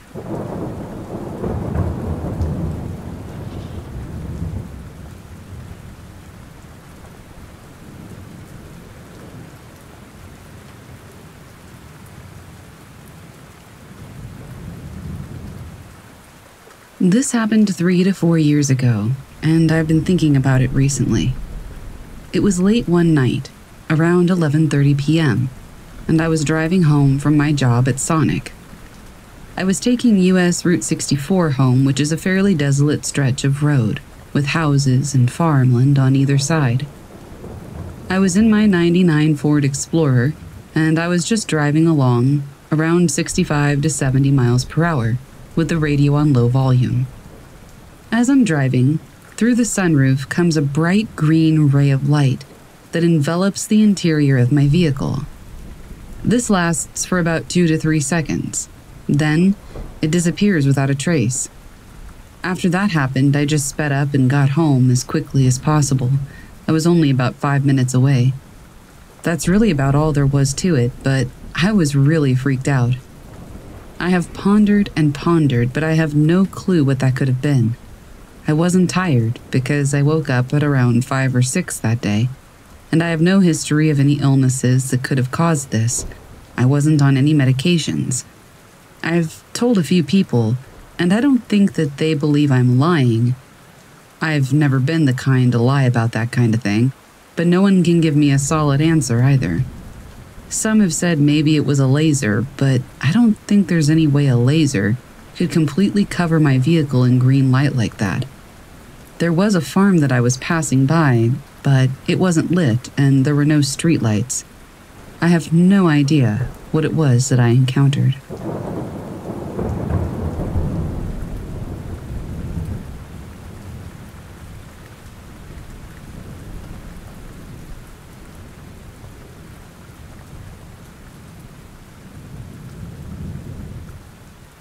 On the evening of September 7th, 2006, my friend Jen and I were driving home from a friend's house near to where the Big Ear Radio Observatory used to be. It was somewhere around 10 p.m., near the corner of Cheshire Road and Route 23 between Delaware, Ohio, and Lewis Center, Ohio. We were driving down Route 23, heading south toward Lewis Center, when Jen saw a bright light very distant in the sky. We both jokingly said, it's probably a UFO. So we keep driving, and we eventually lose sight and forget about the distant object in the sky.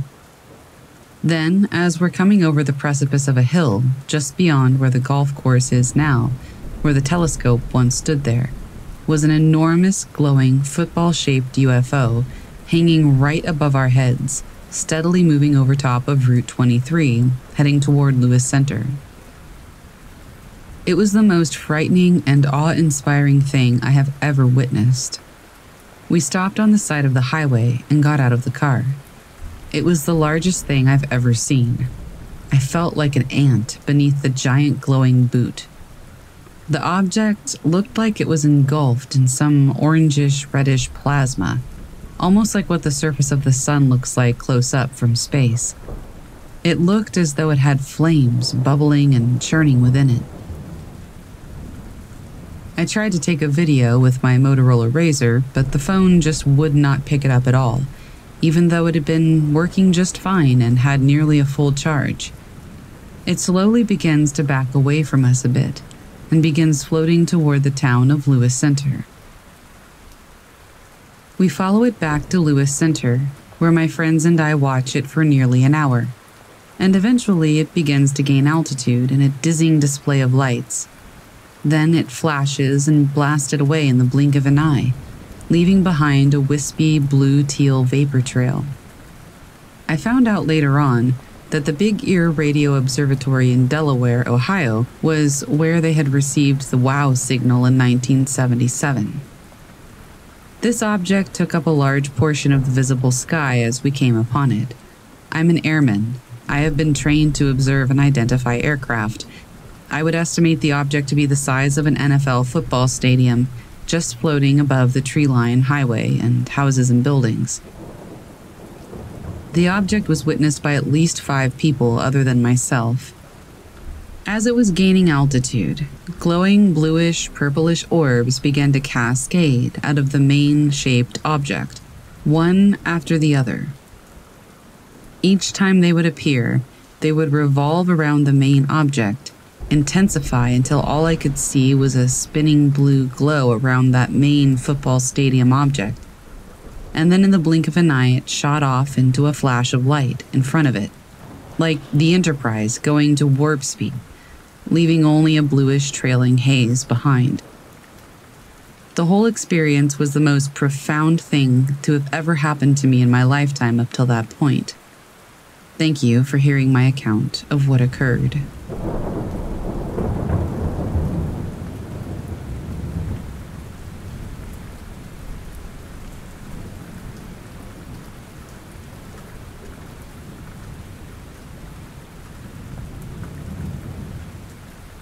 Thought I'd share a few stories that I heard from my ex boyfriend's mom that I thought were pretty fascinating. We're all from the same reservation, so I can explain the setting pretty well. Basically, there's this one bush road that takes you from the reserve deep into the woods until you get to another town. But that stretch of dirt road goes on for about 45 minutes. I think it was an old logging road once, but now we just call it the limit and we use that area of the forest for camping, fishing, ski doo riding, and four wheeler riding, stuff like that. It's also just a chill road to drive down with your friends. If you're from a small town, you know how it is. Anyway, she had two paranormal experiences on this particular road, which isn't entirely out of the ordinary.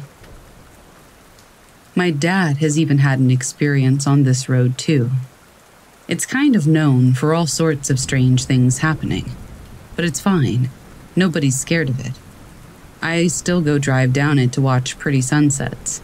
It's just chill like that. The first story is about a weird time loop. She and her cousin were driving down this road to go get some water, since there was also a natural spring around there. On their way back, their car stalls out and just won't start up again. This happened back in the 80s, so there weren't any cell phones you could use to call for help. So they started walking. They weren't too far, and they had plenty of daylight left, so it was fine. But as they're walking, they see another car stopped in the distance. They think, oh, cool, we can get a ride from these guys. But as they get closer, they see that it's the same make and model of their car. They get even closer, and they realize that no, it's the same car. They're confused as heck, but can completely verify that it is their car by looking in the windows. The sweater she left in the back seat, the empty pop can her cousin was drinking out of. Everything inside was exactly as they had left it, and honestly, they just didn't know what to do. They hadn't turned off that dirt road at all. They hadn't even walked far enough to make it to another trail that they could turn off on. They thought it was weird, but figured they should just keep walking, as it's all they could do. They keep going, and sure enough, up ahead down the road, there's a parked car, the same as before. This time, they are tripping out, and they run up to it, and yep, it is 100% their car again. Her cousin gets a stick from the woods and leaves it on the hood of the car, saying that if they keep walking and the same things happen, at least they can see if the stick would have been moved. They take off walking and it happens again. This time, the stick is gone. She described the feeling of being afraid that the time loop would just go on forever, but it didn't. The next time they walked down the road, they realized they were able to walk farther, and eventually they made it back to the reservation. They got help and towed the car, but never got an explanation or figured out what happened with the car and the time loop. She has no idea why the stick that they left on the hood of the car disappeared, and I don't have any idea either. The second story is about a UFO sighting she had with some friends on that same road. This happened years later, after the first incident, maybe in the early 90s, and it was during the summertime. She and her friends were riding around in a car, having a few beers, not the driver, obviously, and listening to music. One of their friends commented that there must be a four wheeler in the woods, but that it's weird since there were no trails there. They look over to see what he's talking about, and all they can see are these white lights emanating from deep in the woods. They could see that there's a source of light, but they couldn't see the object itself through the trees. The driver slows down and turns down the music. She says that there wasn't anything too alarming about what they were seeing at that point, but that there was just this feeling that something wasn't right. And she said that everyone felt it because all of them got quiet as they looked out the windows, which were wide open. When things got quiet, they were able to hear a low humming. She had a hard time describing the humming, just that it was very low, but that it almost felt like ringing in the ears. They all heard it. They were silent, looking at the lights. But then, whatever it was shot up directly into the sky, and they saw a UFO. This was so long ago that she told me about it and that it happened that I wish I could describe more about how it looked. But she did say that the second it shot into the sky, it changed into all sorts of colors that seemed to rotate around the craft. It paused right above the tree line for a few seconds, and then it just took off right into the horizon, lights changing again when it moved. Those are her experiences. It's weird, too, that everyone's experiences on this road are so vastly different. There are some sightings of creatures from our Algonquin folklore. There's Bigfoot sightings, UFO sightings, time loops. And then I have other friends who just heard really creepy singing that got closer and closer with no source. We also just found out that our entire reservation is sitting atop a huge uranium deposit. Apparently, it's the largest in our province, but I'm not sure. Nuclear mining companies keep trying to build mines, and we keep refusing. I'm wondering if that has something to do with it, because the amount of paranormal things that happened around here is pretty wild.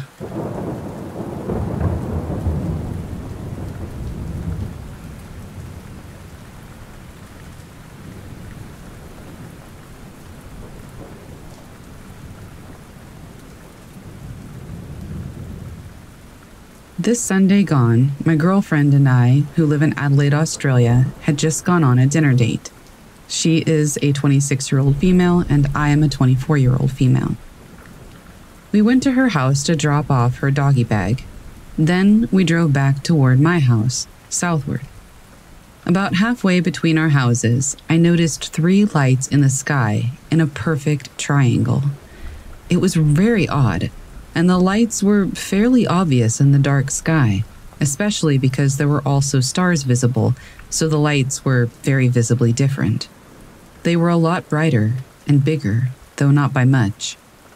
I pointed it out to her, and immediately she said, Holy cow, what the heck is that? At first, I thought I might be seeing things, but when she reacted, I knew it wasn't just my eyes playing tricks. We quickly noticed that the lights were moving at about the same speed we were and had started to flash green and red sporadically. We decided to follow it for as long as we feasibly could.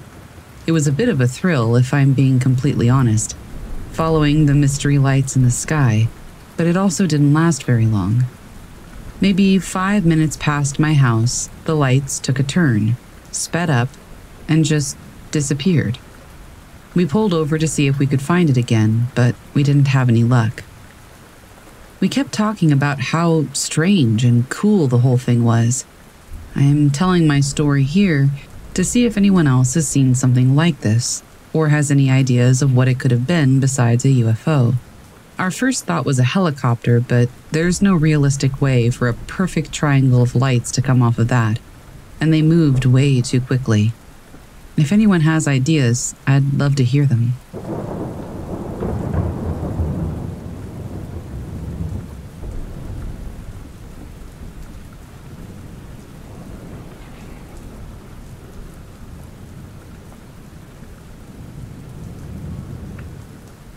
Back in 2011, on a family vacation in Jamaica, my siblings and I were sitting on the beach stargazing. That is, until we noticed this one point of light that was moving unnaturally and without sound. It had the brightest color, and it looked kind of like a dim star, except that it was moving in circular and figure eight type patterns. For perspective, the patterns were no bigger in diameter than the Little Dipper's cup. It was moving with the pattern and speed reminiscent of when one uses a laser pointer to get a cat's attention. 15 to 20 minutes after noticing it, it just faded away. Could this have been a weather balloon? It definitely wasn't a plane, a helicopter, or a satellite. At least, none like the ones I've ever seen. I'm trying to find images of weather balloons from the ground at night, but every image is too close up, or simply doesn't look at all like what I saw.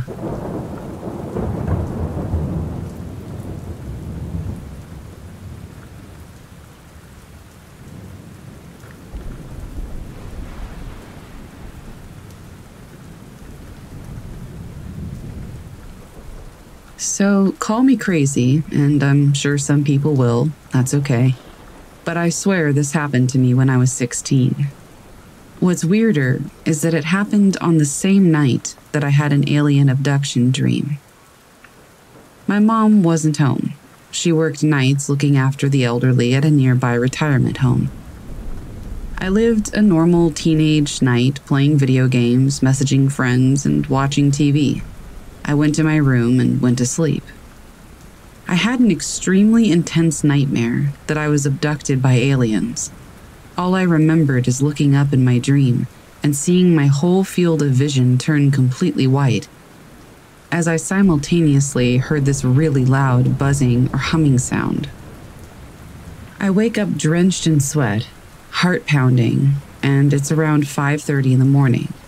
But what's weirder is that I'm not in my bed. Confused as heck, I look around the room, and to my surprise, I'm somehow in my mom's room, frozen in fear and confused. I tried to figure out what was going on. After about 20 to 30 minutes, I finally calmed myself down enough to get up. So I get up, and when I go downstairs, I can see through the door to our backyard, which is made of glass, and I can clearly see that the gate to our backyard is wide open. It's an old fashioned wooden gate, and it hadn't been opened in years because it was covered in vines and was always left locked. I go to investigate, and as I go to unlock the back door, the door handle goes down with no resistance at all. And I realize, crap, this door is already unlocked, which only added to how shook up I was, to be honest. So, hesitantly, I go into the backyard anyway. And I look at the gate, which is also open. I look for footprints or boot marks, thinking that somebody must have kicked the gate open. Nothing. I look more closely. The old rusty lock to the gate, which hasn't been opened in years, is still there. Not bent, not damaged, not broken at all. Just a bit rusty, the same as it's always been.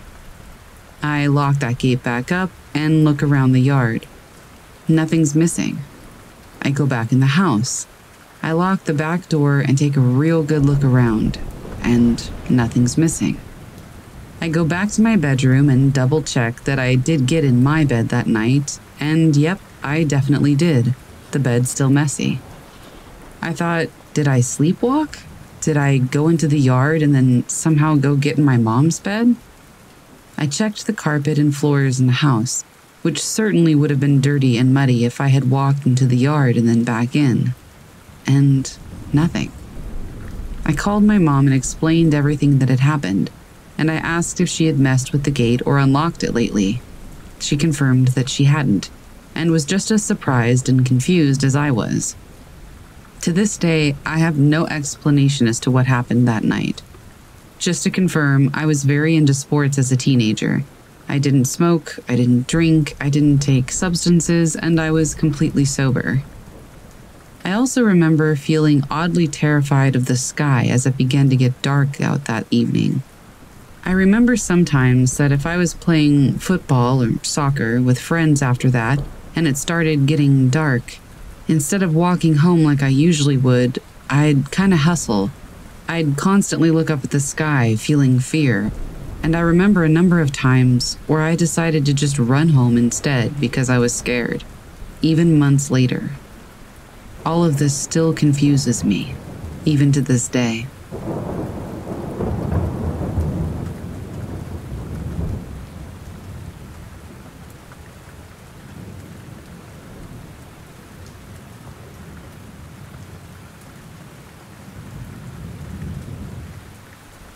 I've had over a week to think about this, and I can't come up with a satisfactory, rational explanation. I live in the north coast of Northern Ireland, not far from the Giant's Causeway, just to give some reference that people might know. Just over a week ago, I was sitting watching television with my wife. I sit by one of the windows sometimes because there's a plug in for my laptop there.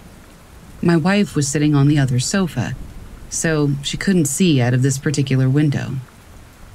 It was around 8:30 and perfectly dark outside. If I looked out, I could see the lights of our local town, Ballymoney. It's tiny, more of a village, really. Just to set the scene, we're about three miles out, surrounded by farmland. Anyway, I'm watching TV and occasionally glancing out the window when suddenly I see this bright light just over the fields. It's multicolored, and it kind of blooms, growing larger. At first, I thought it was a firework, which would have been bizarre enough in late March, in the middle of the lockdown. Except it's too slow, if that makes sense. It brightened into maybe three different colors. It was hard to judge distances in the dark, but if I had to guess, I'd say that it was two acres or more away and larger than a family car, hanging maybe 80 to 100 feet up, pretty low. Eventually, it faded and disappeared again, not behaving anything like a firework, and far too large to be a flare. I said at the time that I thought I had seen somebody letting off fireworks. A few minutes later, I glanced out again, and there's a smaller light roving around in the same spot, but it vanished almost the moment I looked at it. This light was maybe a third of the size of the original and was moving left to right. I've thought about it ever since. The annual Ballymoney Town firework display is much further away, and we can always hear it from home. Yet this was soundless. Helicopters and drones don't have lights like that. And again, if there had been a chopper out there so low and so close, we'd have heard it. A drone still strikes me as most likely. We wouldn't have heard it inside the house, and I guess it might have been rigged with powerful lights, but they would have had to have been incredibly powerful. So, I don't know. I've never, ever seen or heard a drone over that area in the daytime, and I'm out there all the time. Honestly, I think maybe I saw a UFO. No lights in the sky were reported in local news or on social media, though, and I haven't seen anything since, so who knows?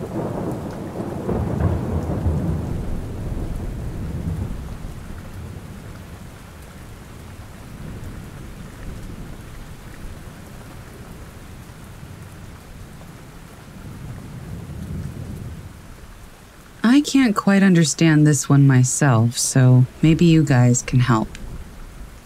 This was on the 11th of July, 2019.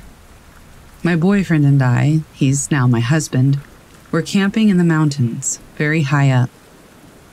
This area is so high up and remote that there is virtually no light pollution, so you can see almost every star in the sky when it's a clear night, like this one was.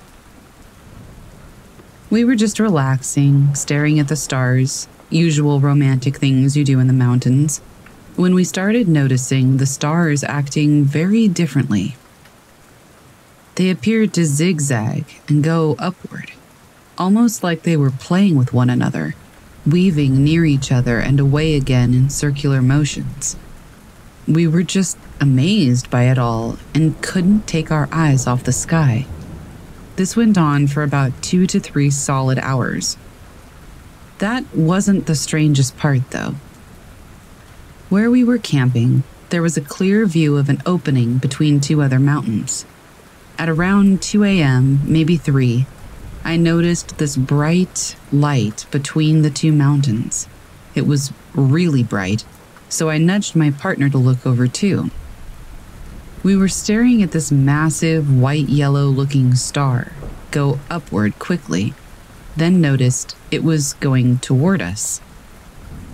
My partner is a man that isn't easily scared, and this really scared him to the point that he nearly broke my nose trying to hide fully in the tent with both of us screaming as this star just stopped right above us. When it was above us, right before we both panicked, it seemed to have a diamond type shape and it was super bright. But that isn't the strangest part. When we were in the tent, the light didn't shine through the tent. This thing didn't make a single noise so it wasn't a drone or anything like that. It was far too big. And what seemed like seconds later, we were both calm, looking at the stars again, like nothing happened, until sunrise. If both of us hadn't experienced this, if it was just one of us, I could try to make an excuse for it. But we both confirm each other's stories and saw the same exact thing, and I can't explain it. To top it all off, when I'm talking about it, or in this case typing, it feels like I'm lying and my partner feels the same way, like it never happened. It feels like I'm making it up, and the more I try to remember about that night, the more I can't remember. And he feels the same way too. It's like whenever I go to tell my story, something is actively trying to get me to believe that I didn't see what I saw or to stop talking about it. Has anyone else ever experienced anything like this? Does anyone have some answers? I'd love to know. Back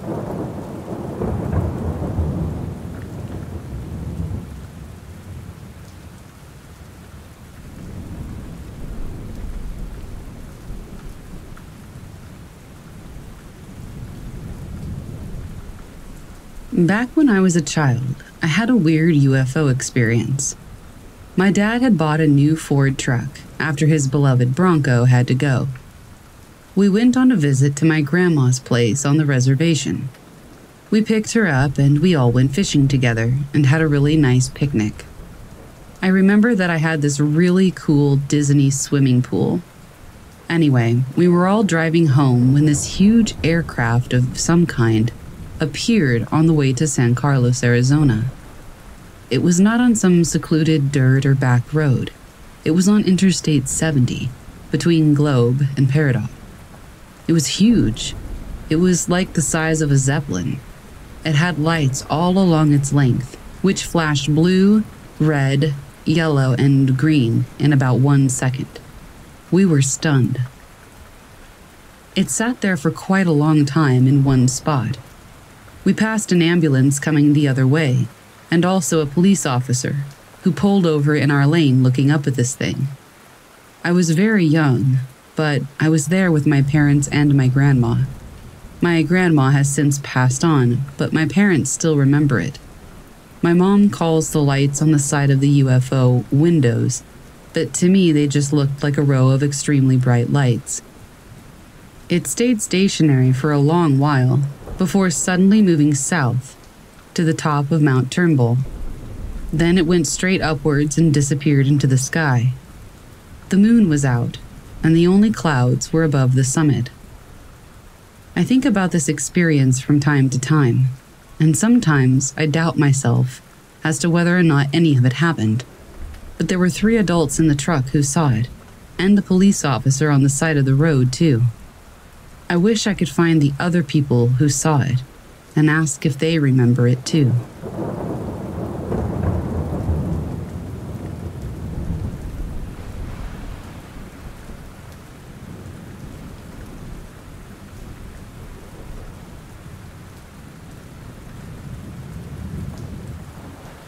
The year was 1976. We were living in the Middle East. My father was in the secret police called SAVAK. It was common that a helicopter would land in our backyard and pick my dad up for a mission or something like that. One night, I saw a bright light and it got my attention. I thought it was my dad returning home on the helicopter landing in the backyard, but I guess it wasn't. But I don't remember anything after the light got really close. I woke up in bed the next day. Well, I thought it was the next day, but I found out that a few days had actually passed. My father was standing next to my bed with two well dressed men. One was American, I think, and the other was a translator. He introduced one of them as Mr. John and told me they wanted to talk to me. I was confused, and they asked a lot of weird questions. Soon after my dad took me, my brother and sister moved us to the UK. We lived there for three years, until my next strange encounter. Once again, one of the original two men, Mr. John, with a new guy, questioned me once more. A few months later, on the 4th of July 1979, we moved to the US and we have lived here ever since. As time went by, I asked my dad questions about the moving, and the men questioning me but he would never talk about it until recently when he was diagnosed with dementia. The things he said were incredible, too incredible to be true. I thought it was the drugs or the disease. I thought that's pretty cool if it was true, but there's no way.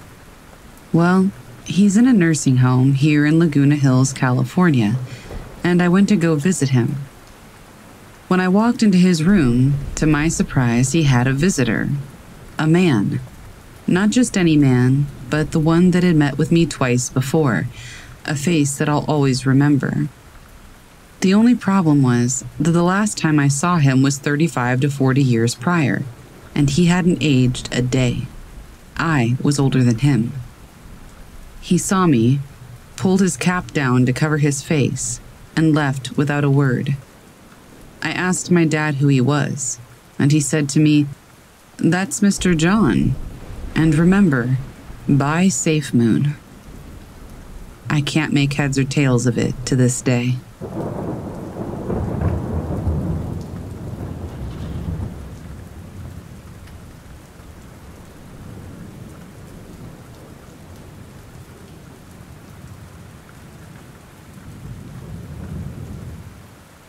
This isn't my story, but it's something that happened to my parents just a bit ago.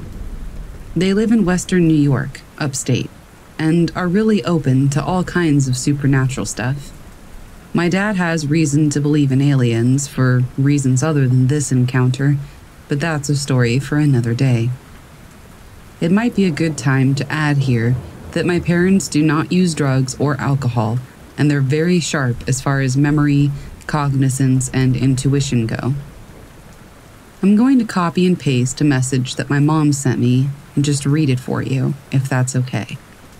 I just figured I'd put some feelers out there and see if anybody else has experienced something similar or has any sort of explanation. Quote Last weekend, we were coming back from Jamestown. Dad and I saw a frickin' UFO or something. Between Randolph and Steamburg, there was this huge, really bright light blinking on and off in the sky directly in front of us, and it was falling from the sky. except it was shooting directly downward. I thought it was a falling star at first, but after it blinked repeatedly, I thought, that is not a falling star. And even though I thought that it might have been a plane, I knew that it was too bright and going too fast to be one. Plus, as far as I know, planes don't make a habit of going straight down. Then, all of a sudden, it was gone, like mid sky. And I thought, well, it must have gone behind a hill or a mountain or into the trees. So, right then, I said, Did you see that? And Dad goes, What the F was that? He said that he was thinking the same things that I was. And at the same time, we both noticed there are no hills, there is no mountain, there's nothing for this thing to go behind. It was just cornfields and open space. This thing just disappeared. Next thing you know, it was directly behind us, mid sky, and it shot directly upward, back up into the sky. I was looking out my rearview mirror, and it lit up the whole sky, like an aura all around. But the brightness of it was still really bright white. Dad was turned around watching it, and it started following us. We had that same eerie feeling we had when we saw the Bigfoot that one time, and we were saying, What the F is that? All of a sudden, it just disappeared.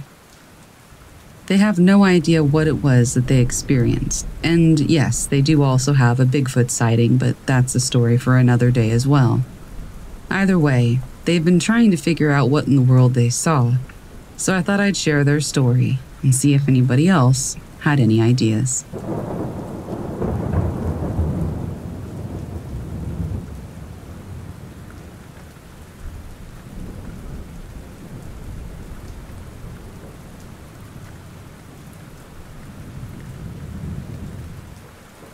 I'll start out by saying that I've seen my fair share of strange things in the skies.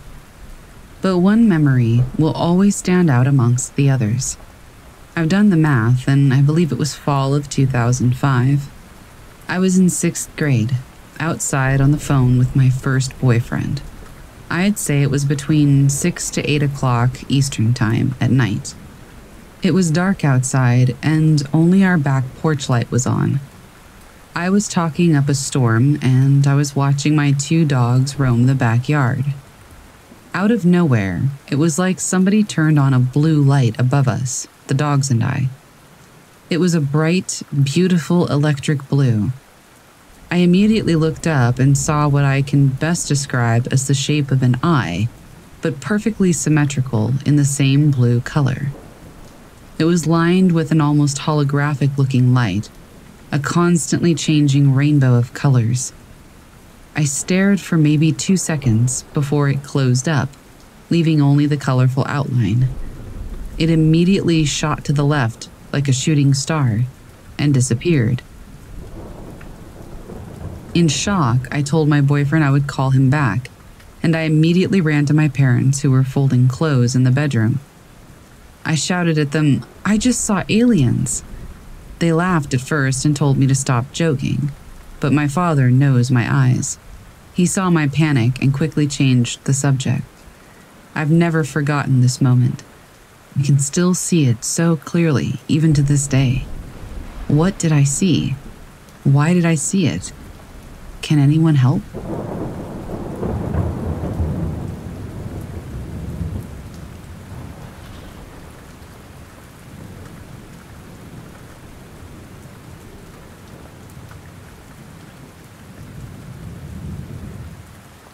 I'm going to try to make this short by stating just the simple facts of what I witnessed during two separate incidents.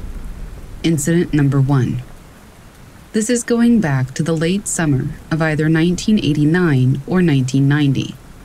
I was at work with two coworkers near Rhinebeck, New York. One of my coworkers was outside smoking when he called to me and another coworker to come outside and see something. When we exited the front door, we saw the classic V shaped craft hovering above a tree in the front yard. It was directly above the tree, which was just about the height of the building two stories, so maybe 30 feet. I ran up to the tree, which put the craft those same 30 feet above me. It had five to seven white lights, with the largest at the bottom center of the V, with the others running up from it. It made no noise, and even though whatever it was blocked out the sky, I couldn't make out a structure or body. It very slowly and silently started heading across the street and over a hill. My two coworkers went inside, but I remained in case it came back. It did. When it reappeared from behind the hill, the shape had changed. The lights were now in a straight line and were more of an orange color. It headed back toward my location, changing shape as it moved. The light formations just kept shifting. It took on the shape of a diamond, then an X, then back to a V, before it moved directly over the building. It kept going in that direction and then headed south and out of sight. Incident number two I was at home. Having recently moved into a new apartment, things weren't all organized and my new bed had not arrived, so I fell asleep on the floor. I should also mention here that I am an incredibly heavy sleeper. During the night, I woke up from a sound sleep and sat straight up. This was something that I had never done. Anyway, the corner of the room was lit up with what looked like dozens of very pale, multicolored lights. Staring at them, I noticed a shadow of a figure out of the corner of my right eye. It looked as though it was moving closer, and then, well, that's all I remember. The next day I woke up not immediately remembering what I had seen. All of the clocks in the house were either stopped at or flashing at 3 a.m. Even the VCR flashed that time and was also playing even though there was no tape in it. I had to unplug everything that had an electronic clock in the apartment in order to reset and fix things. It wasn't until I was doing that that I remembered what had taken place. I've been told that I should try hypnosis regarding the second incident, but I'm not really sure that I trust the practice. One of my friends is actually a licensed hypnotherapist, or whatever you call them, but I still don't know. In all honesty, I don't know if I want to know.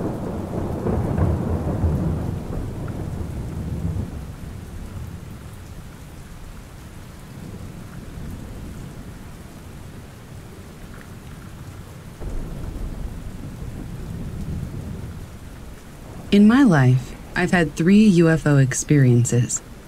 For context, I am a 40 year old male living in the southeastern United States. I will focus on the second one since it's the most unquestionable event of the three. In 2015, I was living in Lexington, South Carolina, which is right outside of Columbia, the state capital. On October 5th of that year, we experienced a thousand year flood that shut everything down and caused major damage throughout the Lexington Columbia area. My job requires me to be at work at 3:30 or 4 in the morning, same job I have now as I had then. My job was shut down on account of the flood, but my great and wonderful company decided that I needed to be there the next day to assess the damage, despite the fact that I would have to drive through a flood. Anyway, I woke up at 2, went downstairs, made some coffee, and per my usual morning routine, I stepped outside onto the back porch to have the coffee and enjoy the stillness of the twilight hours in solitude. It was lightly raining, not enough to mind it, and the sky was totally overcast with low clouds. That's important. We were in the suburbs about two blocks off of one of the main drags through town, Sunset Boulevard, 378. We weren't in the sticks, but we weren't metropolitan either. The sky was a slight orange from the streetlights reflecting off of the cloudy sky. Our house was at the end of a cul de sac. There were tall lime trees lining the back and sides of the property. So I'm drinking my coffee, leaning on the banister of the deck, and in front of me in the sky, I can see something moving in my direction. My first thought was, oh, it's an owl or some kind of large bird, judging by the shape. But slowly, As the shape got bigger and bigger, I realized that it looked smaller because it was far away, and once it was overhead, it came into clear view. It moved slowly, but it all happened so fast at the same time. It was overhead, over the house, over the pine trees, but under the clouds. It was a black triangle with a textured pattern on the bottom, the only side I could see. The texture is difficult to describe. Adidas makes this soccer shoe called the Nemesis. If you Google it, that's kind of how it looked embossed lines, perfectly black. The trees were probably about 40 to 50 feet tall, so I estimate that this thing was probably 60 to 80 feet off the ground, pretty low. It was about the size of your traditional Walmart parking lot. It made absolutely zero noise whatsoever. There were no lights. It moved as with intention, with no deviation in direction, like an air hockey puck perfectly gliding on a fixed trajectory. It was slow, maybe faster than a bicycle, but slower than a car. I don't know, 20 miles per hour if I had to guess. Once it made it over the house, I chased it through the gate on the side of the house, yelling to myself at 2:30 in the morning, "What the f was that? What the f was that?" In the front yard, I was just looking at it. It just quietly and discreetly skated off into the darkness, perfectly straight on, totally indifferent. I regret not getting any pictures, it just didn't occur to me. It came and went so quickly. In the moment, I just didn't know what to think. It's like my brain had nothing to reference against what I was seeing. It wasn't a bird, it was definitely not a plane. I thought maybe it was a drone, but it was so big and totally silent. It was difficult to process in the moment, but I know what I saw. There's no question about it. Anything outside of your scope of understanding or knowledge is the definition of alien. If I were to make up a story about seeing a UFO, a black, silent triangle is probably the last thing I would have come up with. I wonder if the flood had anything to do with its presence. It seemed too wild for it to not be connected somehow. The third encounter I had in my life was when I was stargazing with my son, on the same deck, at the same house. We have since moved, though. I was playing with the Google Sky app because I'm lame, and uh, it took a while to get a smartphone, so I was amazed at all the apps, even though they'd been out forever. Anyway, we were finding stars on a clear night, and then identifying them with the app. One particularly bright star stood out to the east of us, and I overlaid the phone with the star. The app showed nothing in the sky in that region. We calibrated it as well. As soon as I said, hey, there's no star there. It zoomed across the horizon, stopped, then zoomed up, then blinked out, like an old tube TV turning off. Its movements were very smooth and precise. If I were to hold up a yardstick in front of my field of vision with my arms extended, this thing went from one end to the other in a second. I couldn't tell you what that is in actual distance but it must have been an incredible distance to travel that quickly, and to stop on a dime and then redirect and disappear. My son was too young at the time to think much of it. I had heard from the wacky world of UFO conspiracies that UFOs can tell if you notice them, and I had always thought that that was baloney. But I have to admit, this thing tore off the second I noticed it and said something out loud. Pretty weird stuff.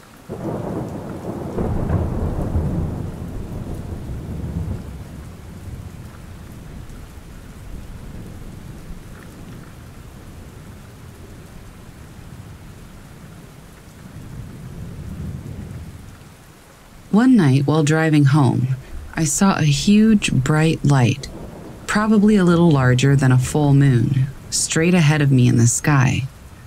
It changed colors from green to yellow, red, blue, and then two other similar lights showed up next to it. They changed colors for about 10 to 15 seconds. Then they all became one big white light and completely disappeared. Then they all came back, changed colors more, and then disappeared for good. I've just never seen anything like this, but I was wondering if anyone else had similar sightings.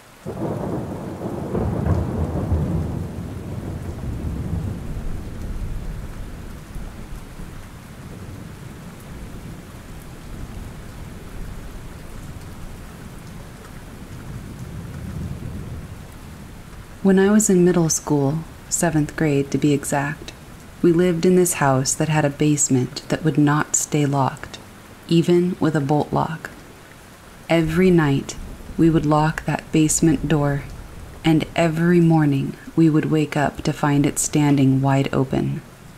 The basement was a dirt basement, so my mom had in the back of her head that somebody was probably murdered in the house and then buried in the basement but if that were true, none of us were going to go down there and find out. After all, my mother was a single mother of two young boys. In the room where the basement door was, you would often hear muffled voices, people having conversations, but they were always muffled, like they were far away or whispering. However, you could distinctly make out a male voice and a female voice. My mother was a nurse who worked night shifts at the local hospital. So, on the weekends, I would always have a friend spend the night. On a Saturday night, while myself, my brother, and my friend were sitting in the living room playing Sega, yes, this was ages ago, we heard a woman scream coming from the room with the basement. My mother would go to work at about 3 a.m. and work until about noon the following day, sometimes later. So when we heard the woman scream, it was about 4:30 a.m. on a weekend night, with just us boys alone in the house. After the scream, we quickly turned off the television and Sega and ran for my mother's room, where we all decided to sleep on her queen-sized bed while she was at work. The next morning, about 9 a.m., a few hours before my mother got home from work, my friend said that my mom came home last night, even though she was supposed to be at work. According to him, he woke up and saw a woman standing at my mother's bedroom door. After he saw her standing there, she told him, Go back to bed. Everything's okay. About 10 years later, during our family Christmas, we were all talking about the same house with the creepy basement and its basement dwellers. Finally, after all those years, my mother revealed to my brother and I that she woke up several times to see someone standing at the doorway of her bedroom. She said she didn't want to tell us because it would scare us. However, according to my mother, she saw several times a woman standing at her bedroom door. It gives me goosebumps to this day.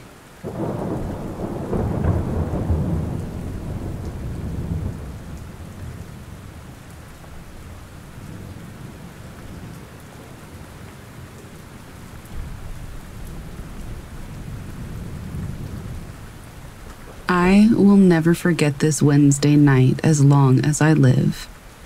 It was the summer before seventh grade, sometime in July. It was Wednesday night, early Thursday morning. The evening before, my family had watched the old school show Unsolved Mysteries. I awoke in the night, lying on my right side, awake, but my eyes still shut, completely silent. None of us ran fans back then to aid in sleep. I was awake and basically waiting to fall back asleep again. However, I decided to open my eyes. On the right side of my bed, right there, was a being, seemingly fixated on a plush bear that I kept in bed with me. And this being fit all of the descriptions that I've always heard or watched on television of an alien. Shorter, pale gray skin, and those awful eyes, huge, black, and slanted, staring at my bear, right by my bed. Honestly, I cannot put into words how I felt right at that moment. I was only just about 12. At some point, I pulled my covers over my head and felt an awful rushing through my body of super warm, then cool, then warm again. Only later in my life did I understand that I was most likely feeling shock. I couldn't scream. I felt frozen. Too scared to scream, maybe. What if I did scream? My mother and stepfather and two brothers would hear me. What the heck would they do if they came running into my room and saw this thing? What would it do? Is it going to kill me? Abduct me? What if it already had and it was returning me? All of these thoughts, plus a million more, just raced through my young mind. It's awful just recounting it all. Again, how could I ever forget something traumatic like this? So, being such a brave 11 year old, and after what felt like 12 hours, I decided to try and scare it. I decided that I would thrash my legs up and down from under my covers as hard as I could. I know, horrifying, right? I was so petrified, though. So I did this and then remained under my covers, just waiting. Nothing happened. So I stayed under the covers. This had to be at least close to going on two hours from when I first opened my eyes and saw this thing. As I lay wide awake, I heard a noise. To this day, I still can't explain exactly how it sounded, the sound felt as if it surrounded me and was coming from outside.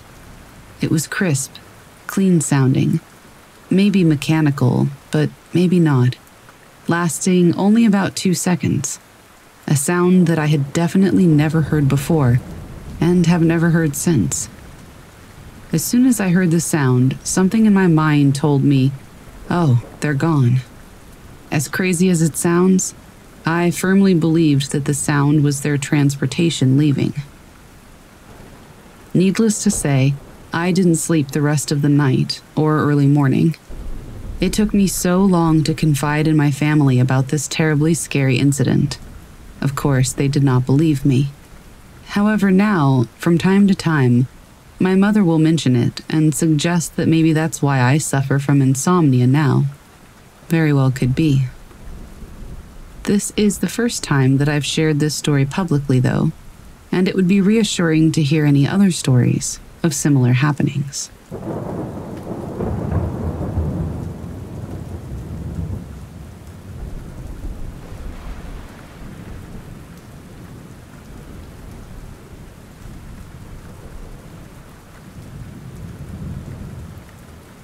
I was 10 years old my brother and I were the last ones off the bus from school every day. We were nearing my house, which is in the Midwest countryside. Lots of cows and trees and fields, stuff like that. Anyway, about a mile away from my house, I look out the window and I see an orange blimp in the sky. Standard American football shaped blimp. Surprisingly, I didn't think anything of it because a day or so before that, a bunch of kids and I at recess saw a blue blimp in the sky. I watched it, thought it was cool to see a blimp this far outside of town, especially near my house, and wasn't about to think another thing of it. After a few seconds, the blimp shifted from a football shape to a star, literally just shrunk before my eyes into a tiny, shiny dot that resembled a star in the night sky. Except it wasn't a star. It was just a blimp a second ago. Not even two seconds after it shifted, it launched even farther into the sky, shot down to its original height, and then shot completely off into space. It was the most bizarre thing I had ever experienced. I was a quiet kid, but being the last kid on the bus besides my brother, I shouted about it. When I got off the bus, I ran to my mother to tell her, like a crazy old man yelling about the end times. My mother said that I was crazy, naturally, and I never told my dad, because my mom shut me down pretty hard and it killed my mood. Fast forward years later, shortly after I turned 22, my dad and I took a short road trip to go pick up a car he bought halfway across the state. We talked about a lot and somehow got on the topic of UFOs. He told me that when he was 12 or 13, he and his brothers were playing down by a creek near their house, which, by the way, was only a few miles away from our house. They saw an orange football shaped object in the sky. I was absolutely blown away when he said that. My father's skeptical and doesn't believe in this kind of stuff, ever. But when I shared my story, he paused and said that it was very odd to have seen the exact same thing behave the exact same way more than 30 years apart.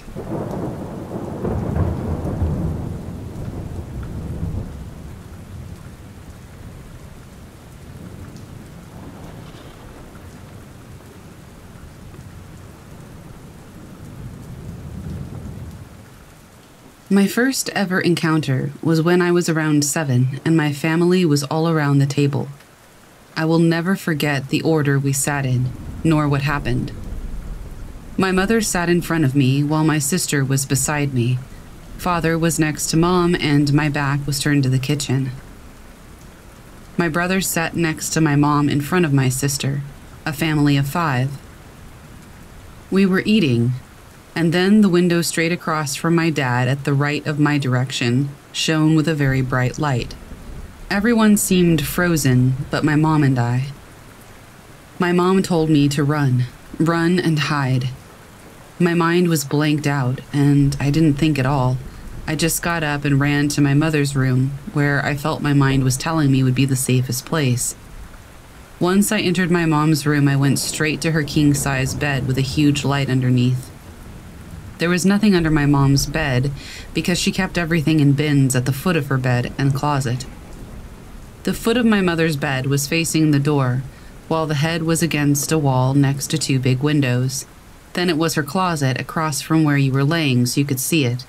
Then the bathroom was right next to that. Once I got under the bed, I saw that the light was still on. I looked through the cracks, and it was quiet. And then I saw about six sets of feet that were not human. Then I felt them start to surround me. One almost touched me by getting on the bed and reaching down through the crack. There were two through the crack, three in front, not showing their faces, but trying to reach further under. One was at the foot of the bed. Then I looked near me and saw a face that was gray and had huge eyes. I felt like I couldn't move, but when I looked closer, I saw a whole galaxy in its eyes. It was so pretty how the colors merged like a sunset, and for a second I almost forgot it was an eye. Then it moved or flinched, and I came to my senses. I looked around, and they were still moving to get me, while the one that I looked at was staying still and looking at the closet. Then I heard the closet door opened, and I saw Nega. Nega was my childhood imaginary friend that taught me the greater lessons than what is now being slowly forgotten.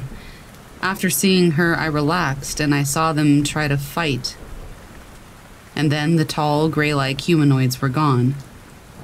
I looked at Nega, and then I looked at the bathroom to see another creature that had orange eyes that I know commonly stays in my mother's bathroom. Nega hushed me, and then I seemed to have forgotten what had happened until I turned 14. After this, I just carried on with life. I never saw my imaginary friend again, but old friend still lingers from time to time in my memories.